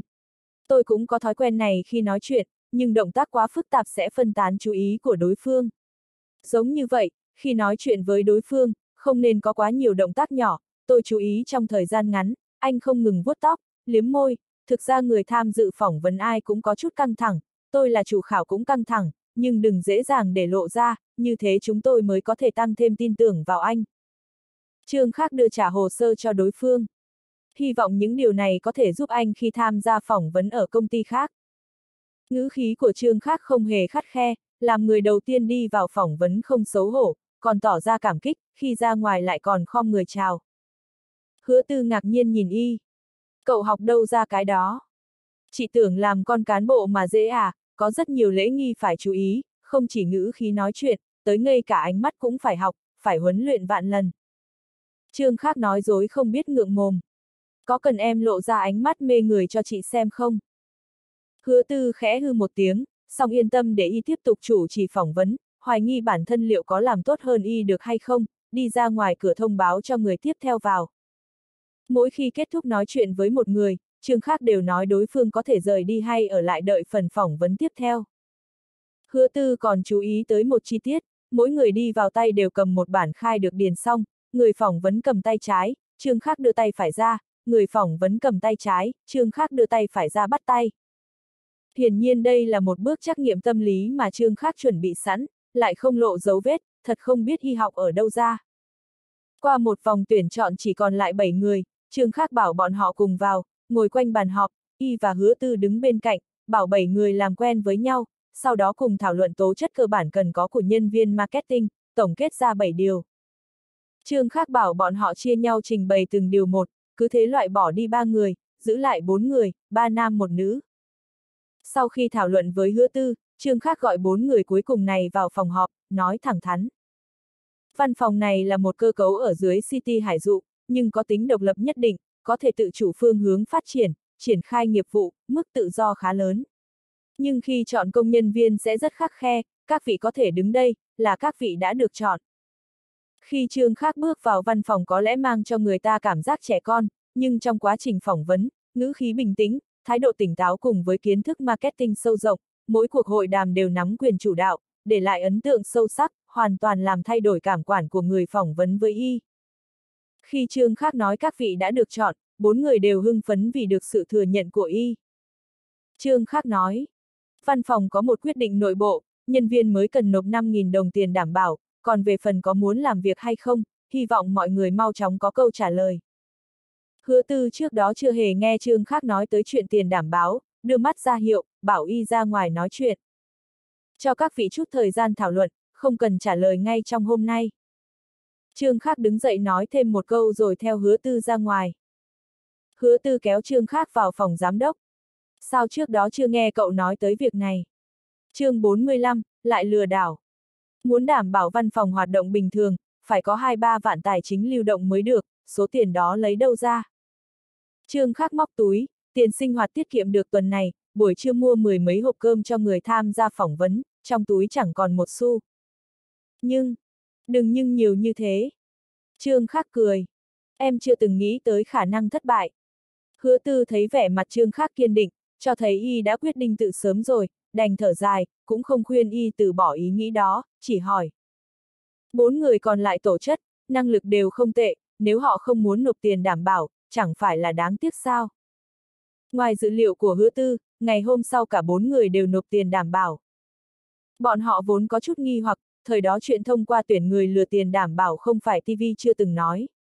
Nhưng qua cuộc phỏng vấn, bọn họ có cảm giác rất chính quy, hơn nữa chương khác để lại cho bọn họ ấn tượng sâu sắc, bọn họ nói đùa. Nếu như là lừa đảo, vị giám đốc trường đó nhất định là kẻ lừa đảo chuyên nghiệp nhất. Họ cũng không tin y chỉ chọn bốn người cuối cùng để tiến hành lừa đảo. Hứa tư thì nghĩ, hành vi của trương khác có gọi là lừa đảo cũng không phải là quá, cái gọi là tiền đảm bảo, chẳng qua vì văn phòng thiếu tài chính lưu động, vậy mà y lại thành công. Vốn định tuyển một cần vụ, một tài vụ và hai nghiệp vụ, nhưng bốn người giữ lại này đều xứng với vai trò nghiệp vụ. Trong bốn người, trẻ nhất là Lưu Minh Huy, tốt nghiệp khóa 93 học thị trường Marketing, Đại học Hoa Đông. Đơn vị công tác trước kia nửa năm không phát lương, hắn không muốn ôm cái cây chết chờ treo cổ, nhưng mãi chưa tìm được công việc mới. Chu Nhất Bình tốt nghiệp khóa 91 khoa cơ khí Đại học Hải Châu, không chịu nổi công việc kỹ thuật ở công ty ban đầu, thấy trên báo đăng tuyển người đãi ngộ tốt, liền tới thử. Dương Vân, tốt nghiệp học viện thương nghiệp Hải Châu năm 90, là người có kinh nghiệm marketing phong phú nhất trong số 4 người, chính vì thế khi nói chuyện với Trương Khác, thấy mỗi câu như nói vào tâm khảm mình, chính hắn khuyên ba người còn lại bỏ đi nghi ngờ. Tương Vi là phụ nữ duy nhất, vóc dáng còn bốc lửa hơn cả hứa tư, đôi mắt rất quyến rũ, mới 31 tuổi, đã nghỉ hưu nội bộ trong đơn vị công tác ban đầu, làm đám hứa tư nghe mà hâm mộ không thôi. Trương khác chẳng lạ gì, chỉ cần bên trên có người thì mới tốt nghiệp mẫu giáo cũng có thể nghỉ hưu nội bộ lĩnh lương. Về sau mới biết cô ta là con dâu phó cục trưởng cục vệ sinh, ban đầu cô ta công tác trong cục tài chính khu thành Nam, năm nay tranh chấp lên chính khoa với người ta, bị người ta phao tin đồn có quan hệ bất chính với lãnh đạo trong khu, chồng cô ta ép cô ta phải nghỉ hưu nội bộ nếu không sẽ ly hôn. Đãi ngộ bao nhiêu tương vi không quan tâm, chỉ không muốn ngồi nhà cầm tiền lương hưu đợi già. Trương Khác gọi bốn người vào phòng họp, nói. Nhân thủ đã gần đủ rồi, không có thời gian để huấn luyện nghiệp vụ chuyên môn mọi người, hiện nay có một số việc cần làm ngay. Kéo hứa tư ngồi xuống bên mình. Việc cụ thể trong văn phòng do hứa tư phụ trách, thường ngày tôi rất bận, nhưng tất cả cuộc họp marketing tôi sẽ bỏ thời gian tham gia, tới khi mọi người có thể độc lập triển khai nghiệp vụ. Hứa tư nhìn trương khác, thấy mặt y đầy tự tin, từ thần thái, cử chỉ, lời nói thật khó làm người ta tin y vừa vào cao trung. Từ lúc phỏng vấn tới nay, đám tương vi căn bản chưa từng hoài nghi tuổi tác của y, thật làm người ta không thể tin nổi. Trương khác thấy hứa tư nhìn mình, quay sang mỉm cười với cô, giờ không phải lúc lộ cái xấu ra, y kéo bảng trắng di động góc phòng họp tới, thứ này cùng rất nhiều đồ văn phòng đều lấy danh nghĩa dùng thử lừa được từ nhà cung cấp. Trương Khác treo tấm ảnh chiếc Ericsson GS388 lên bảng, tấm ảnh này Trương Khác lấy từ tạp chí, nói.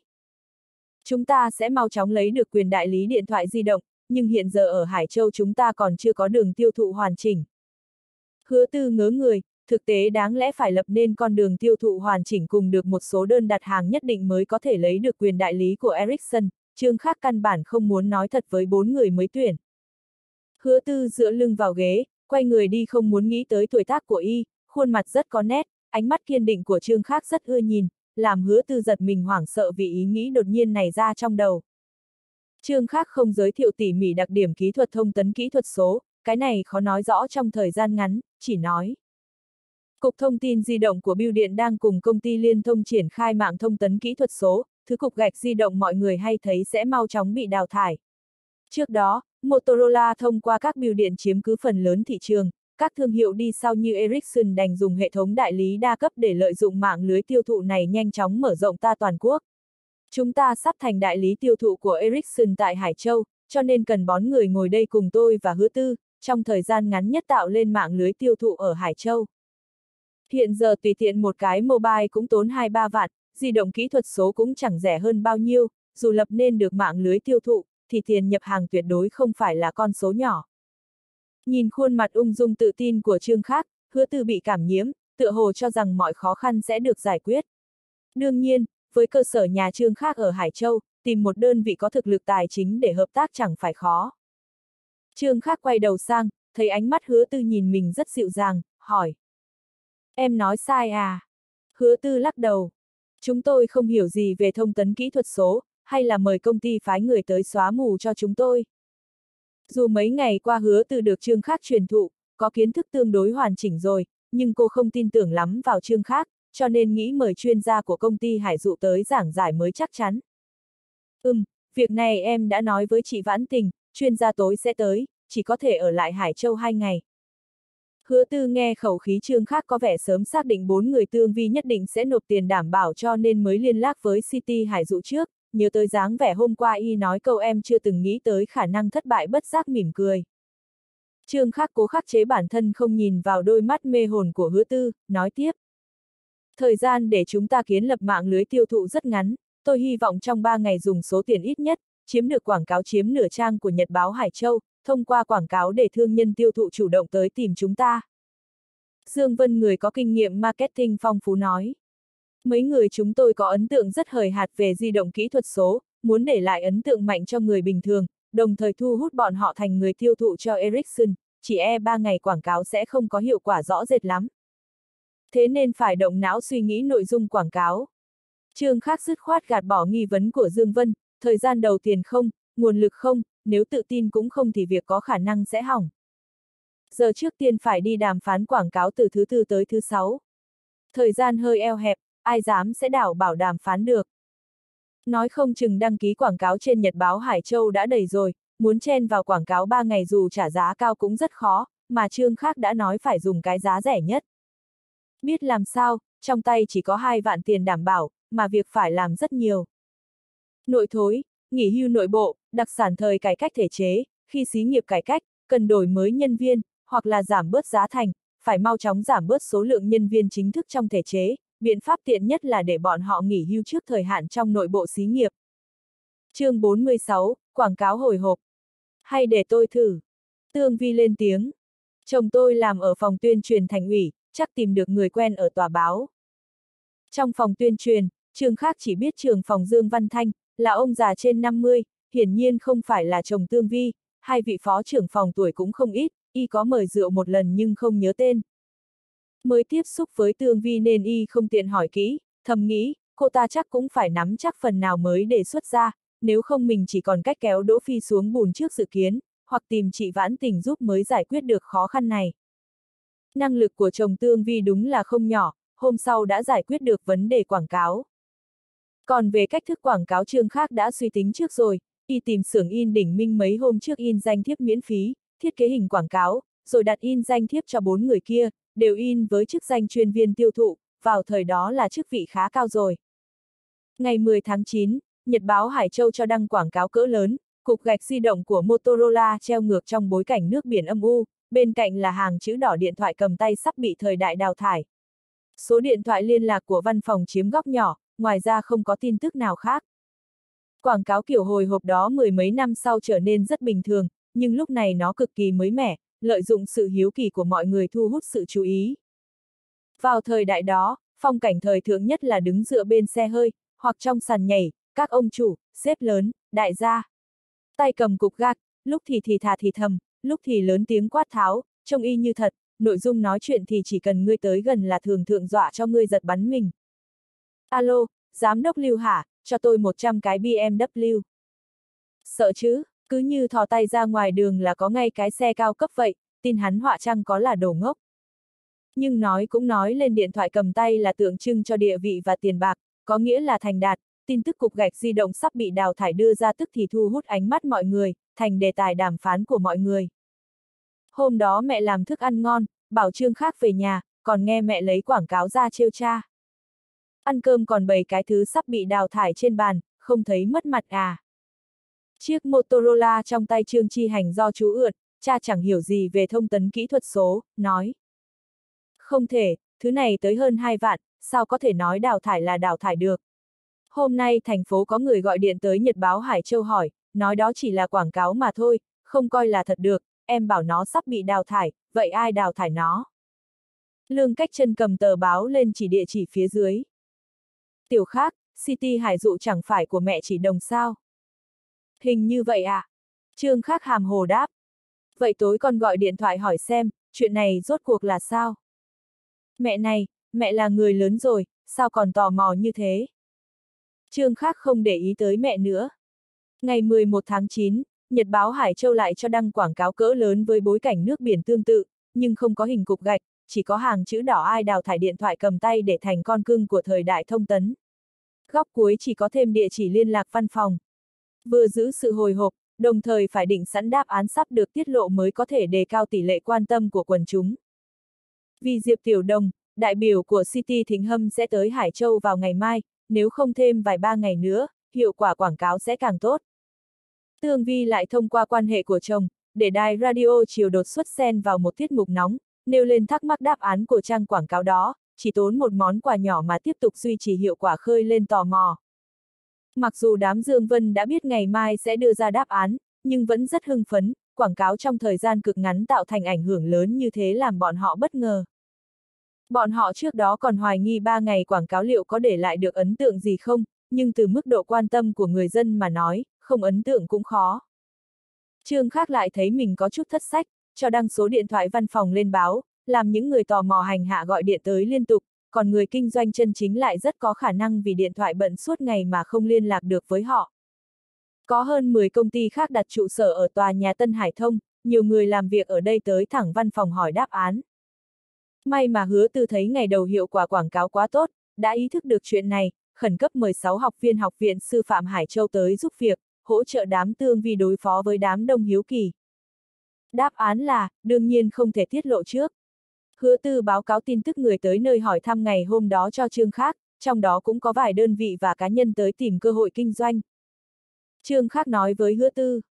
Phải phân biệt ra những người đó, đấy là đối tượng đánh hạ trọng điểm của chúng ta, chiều mai em sẽ bỏ thời gian ra tới văn phòng. Hứa tư vẫn có chút lo lắng. Đăng quảng cáo như thế sẽ làm người ta hiểu lầm chúng ta là đại lý của Ericsson, lừa gạt thế sợ không hay lắm. Trương Khắc cười. Từ đầu tới cuối đều không có tin tức nói chúng ta là đại lý của Ericsson, cho nên không tính là chúng ta lừa gạt. Hứa tự oán trách. Sao cậu có thể nói vô trách nhiệm như thế? Ngày 12 tháng 9, thứ sáu, Nhật báo Hải Châu kết thức cho ù tim, ở vị trí cục gạch được thay thế bằng chiếc Ericsson GS388, bên cạnh còn có hàng chữ lớn điện thoại di động Ericsson sẽ thành con cưng của thời đại thông tấn. Tiếp đó là thông tin sơ lược về kỹ thuật số, địa chỉ liên lạc văn phòng vẫn chiếm cứ vị trí ở góc. Tiết đầu tiên của buổi học chiều thứ năm là môn ngữ văn của Lý Chi Phương, chuông mới reo lên thì Trương Khác đã ôm bụng chạy khỏi phòng học, quanh quẩn bên nhà xí một hồi, trở về xin nghỉ bệch, sau đó bắt taxi chạy thẳng tới tòa nhà Tân Hải Thông. Văn phòng chen lấn rất nhiều người, trong tay bọn họ đều cầm nhật báo Hải Châu hôm nay, những học viên làm công tạm thời đang mệt mỏi ứng phó, hiện giờ người tới tìm hiểu không phải là người dân tò mò nữa rồi, còn các nhà phân phối, còn cả các xếp lớn hứng thú với di động kỹ thuật số. Mặc dù mục đích quảng cáo là để thu hút thương buôn, nhưng với những vị xếp tới tìm hiểu kia vẫn phải tiếp đãi chu đáo xin lại địa chỉ, nếu như có thể nắm được cả khách hàng trong tay, thì chắc chắn khi đám phán quyền đại lý càng có lợi. Theo trình tự công tác trao đổi trước, đầu tiên phân chia ra thương buôn tiêu thụ, tiến hành xóa mù kỹ thuật, sau đó để Dương Vân, Tương Vi tiếp từng người một, trao đổi ý hướng hợp tác, hứa tư phụ trách nắm toàn cục. Trương Khắc đi vào phòng làm việc, thấy Lưu Minh Huy đang tươi cười tạm biệt một người trung niên, liền vẫy tay với hắn, Lưu Minh Huy chạy tới ghé vào tai Trương Khắc nói. Đại biểu City Thịnh Hâm tới từ trưa, đang ở trong phòng giám đốc hứa. Trương Khắc không hề nói với bọn họ mình vẫn là học sinh, mỗi ngày do hứa tư phụ trách xử lý công việc chủ yếu, tan học Trương Khắc tới nghe báo cáo, thảo luận tình hình làm việc. Đám tương vi cũng không nghĩ nhiều, mãi về sau mới biết sự thực, đều kinh ngạc nói. Không nhìn mặt giám đốc Trương, chỉ nghe ngữ khí nói chuyện, cũng phải trên 30, à phải, giọng nói hơi trẻ con một chút.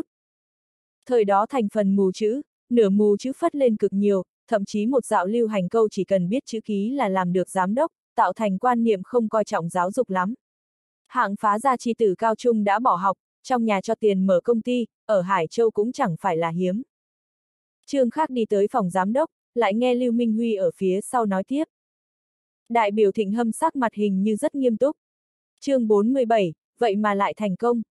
Trương Khắc cười, đẩy cửa phòng, đại biểu của thịnh hâm ngồi quay lưng về phía y, mái tóc dài vắt sang một bên vai, lộ ra chiếc cổ trắng, vóc dáng thanh mảnh, mặc váy bó, sơ mi xám, trông rất khỏe khoắn năng động. Trương Khắc còn nhớ cô ta tên Diệp Tiểu Đồng.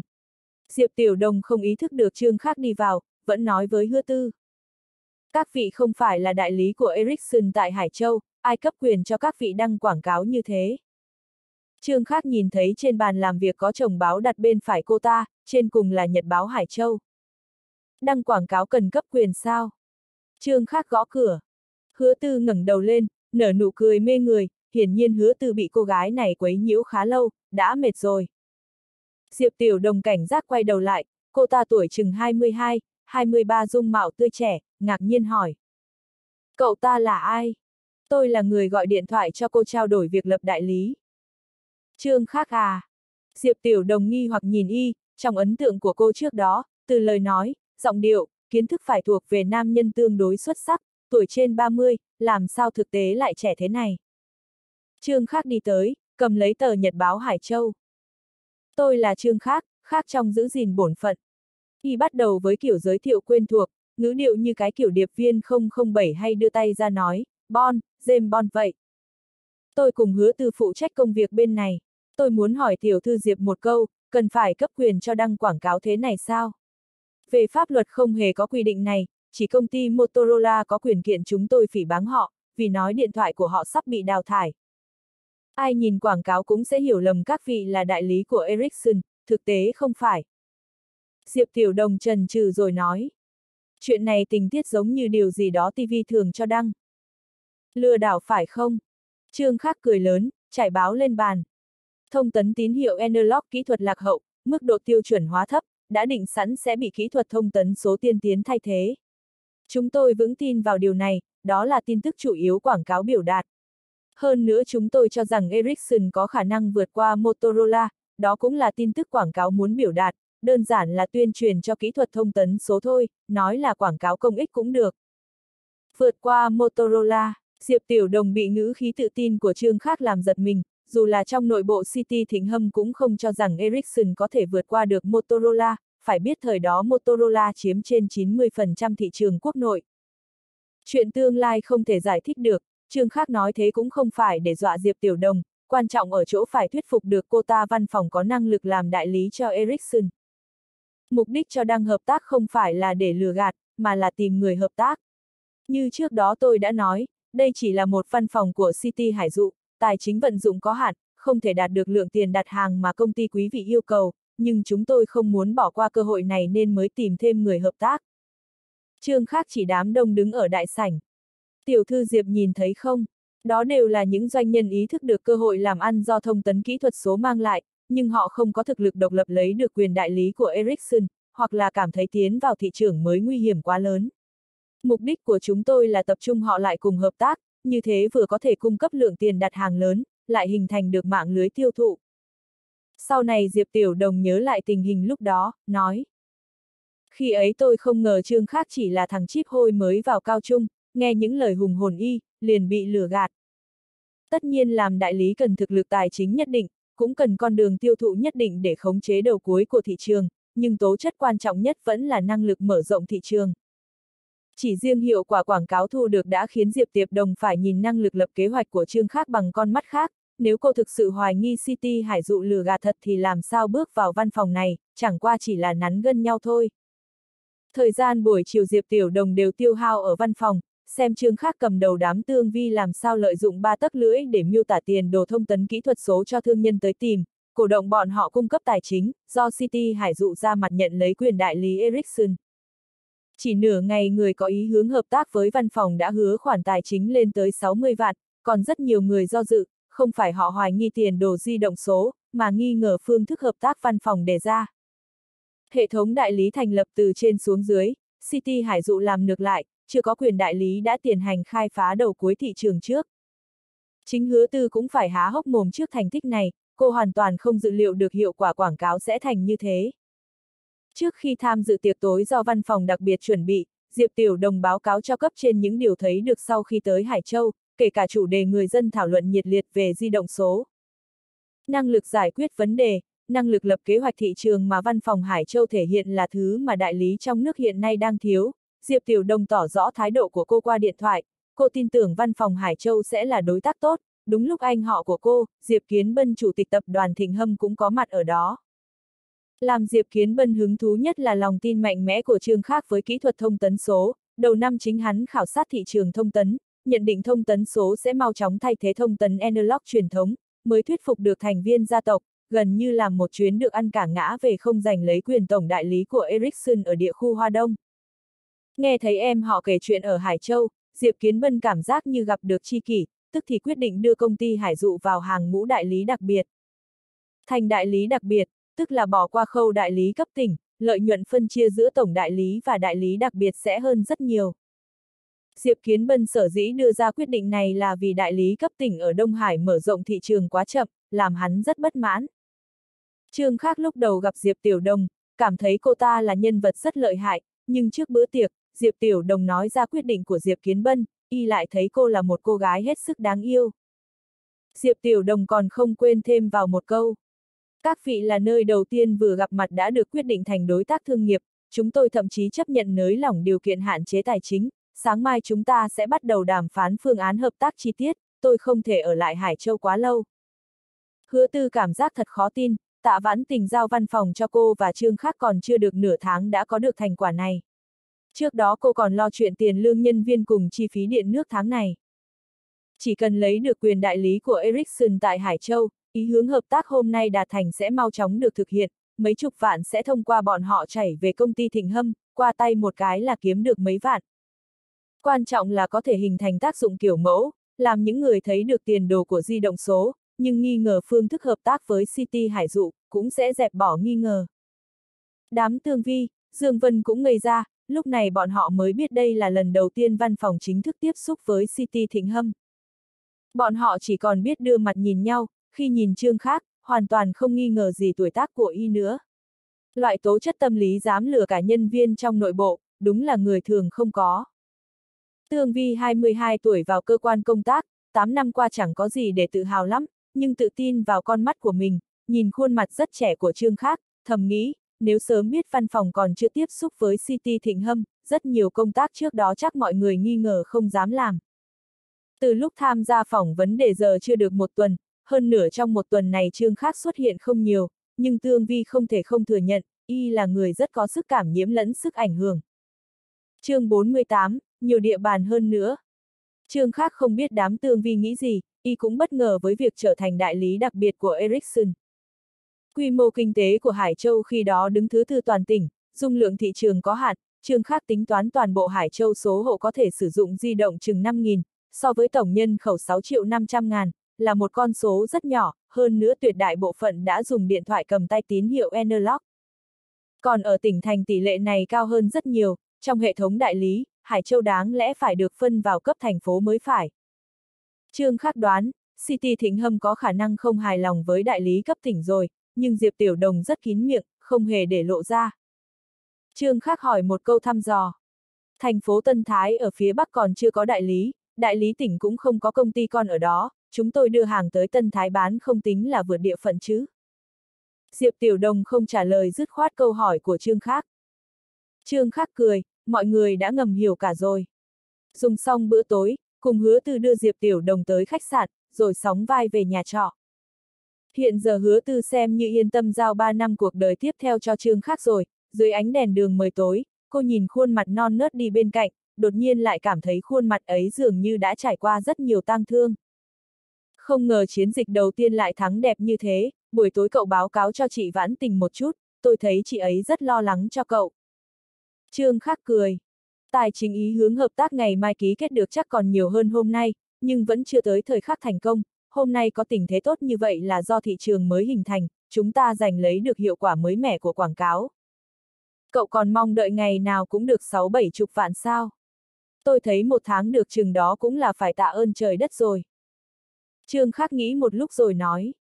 Năm nay lượng tăng trưởng của thị trường di động hết sức có hạn, phần lớn định sẵn là của Motorola, Ericsson năm nay đưa ra di động GS 388 giao diện tiếng Anh, nếu như không khai phá tốt thị trường, thị trường sẽ rất thê lương, một tháng chỉ kiếm được 100 vạn. Một tháng 100 vạn mà còn thê lương, cậu đúng là lòng tham không đáy. Trương Khắc quay đầy sang thấy hứa tư vở phùng mang trợn mắt, bóng hàng mi chiếu lên gò má, liền hỏi cô. Mắt của chị có thể đốt được củi không? Cái gì? Hứa tư hơi ngẩn ra, thấy Trương Khắc đắm đuối nhìn mắt mình, đẩy y một cái.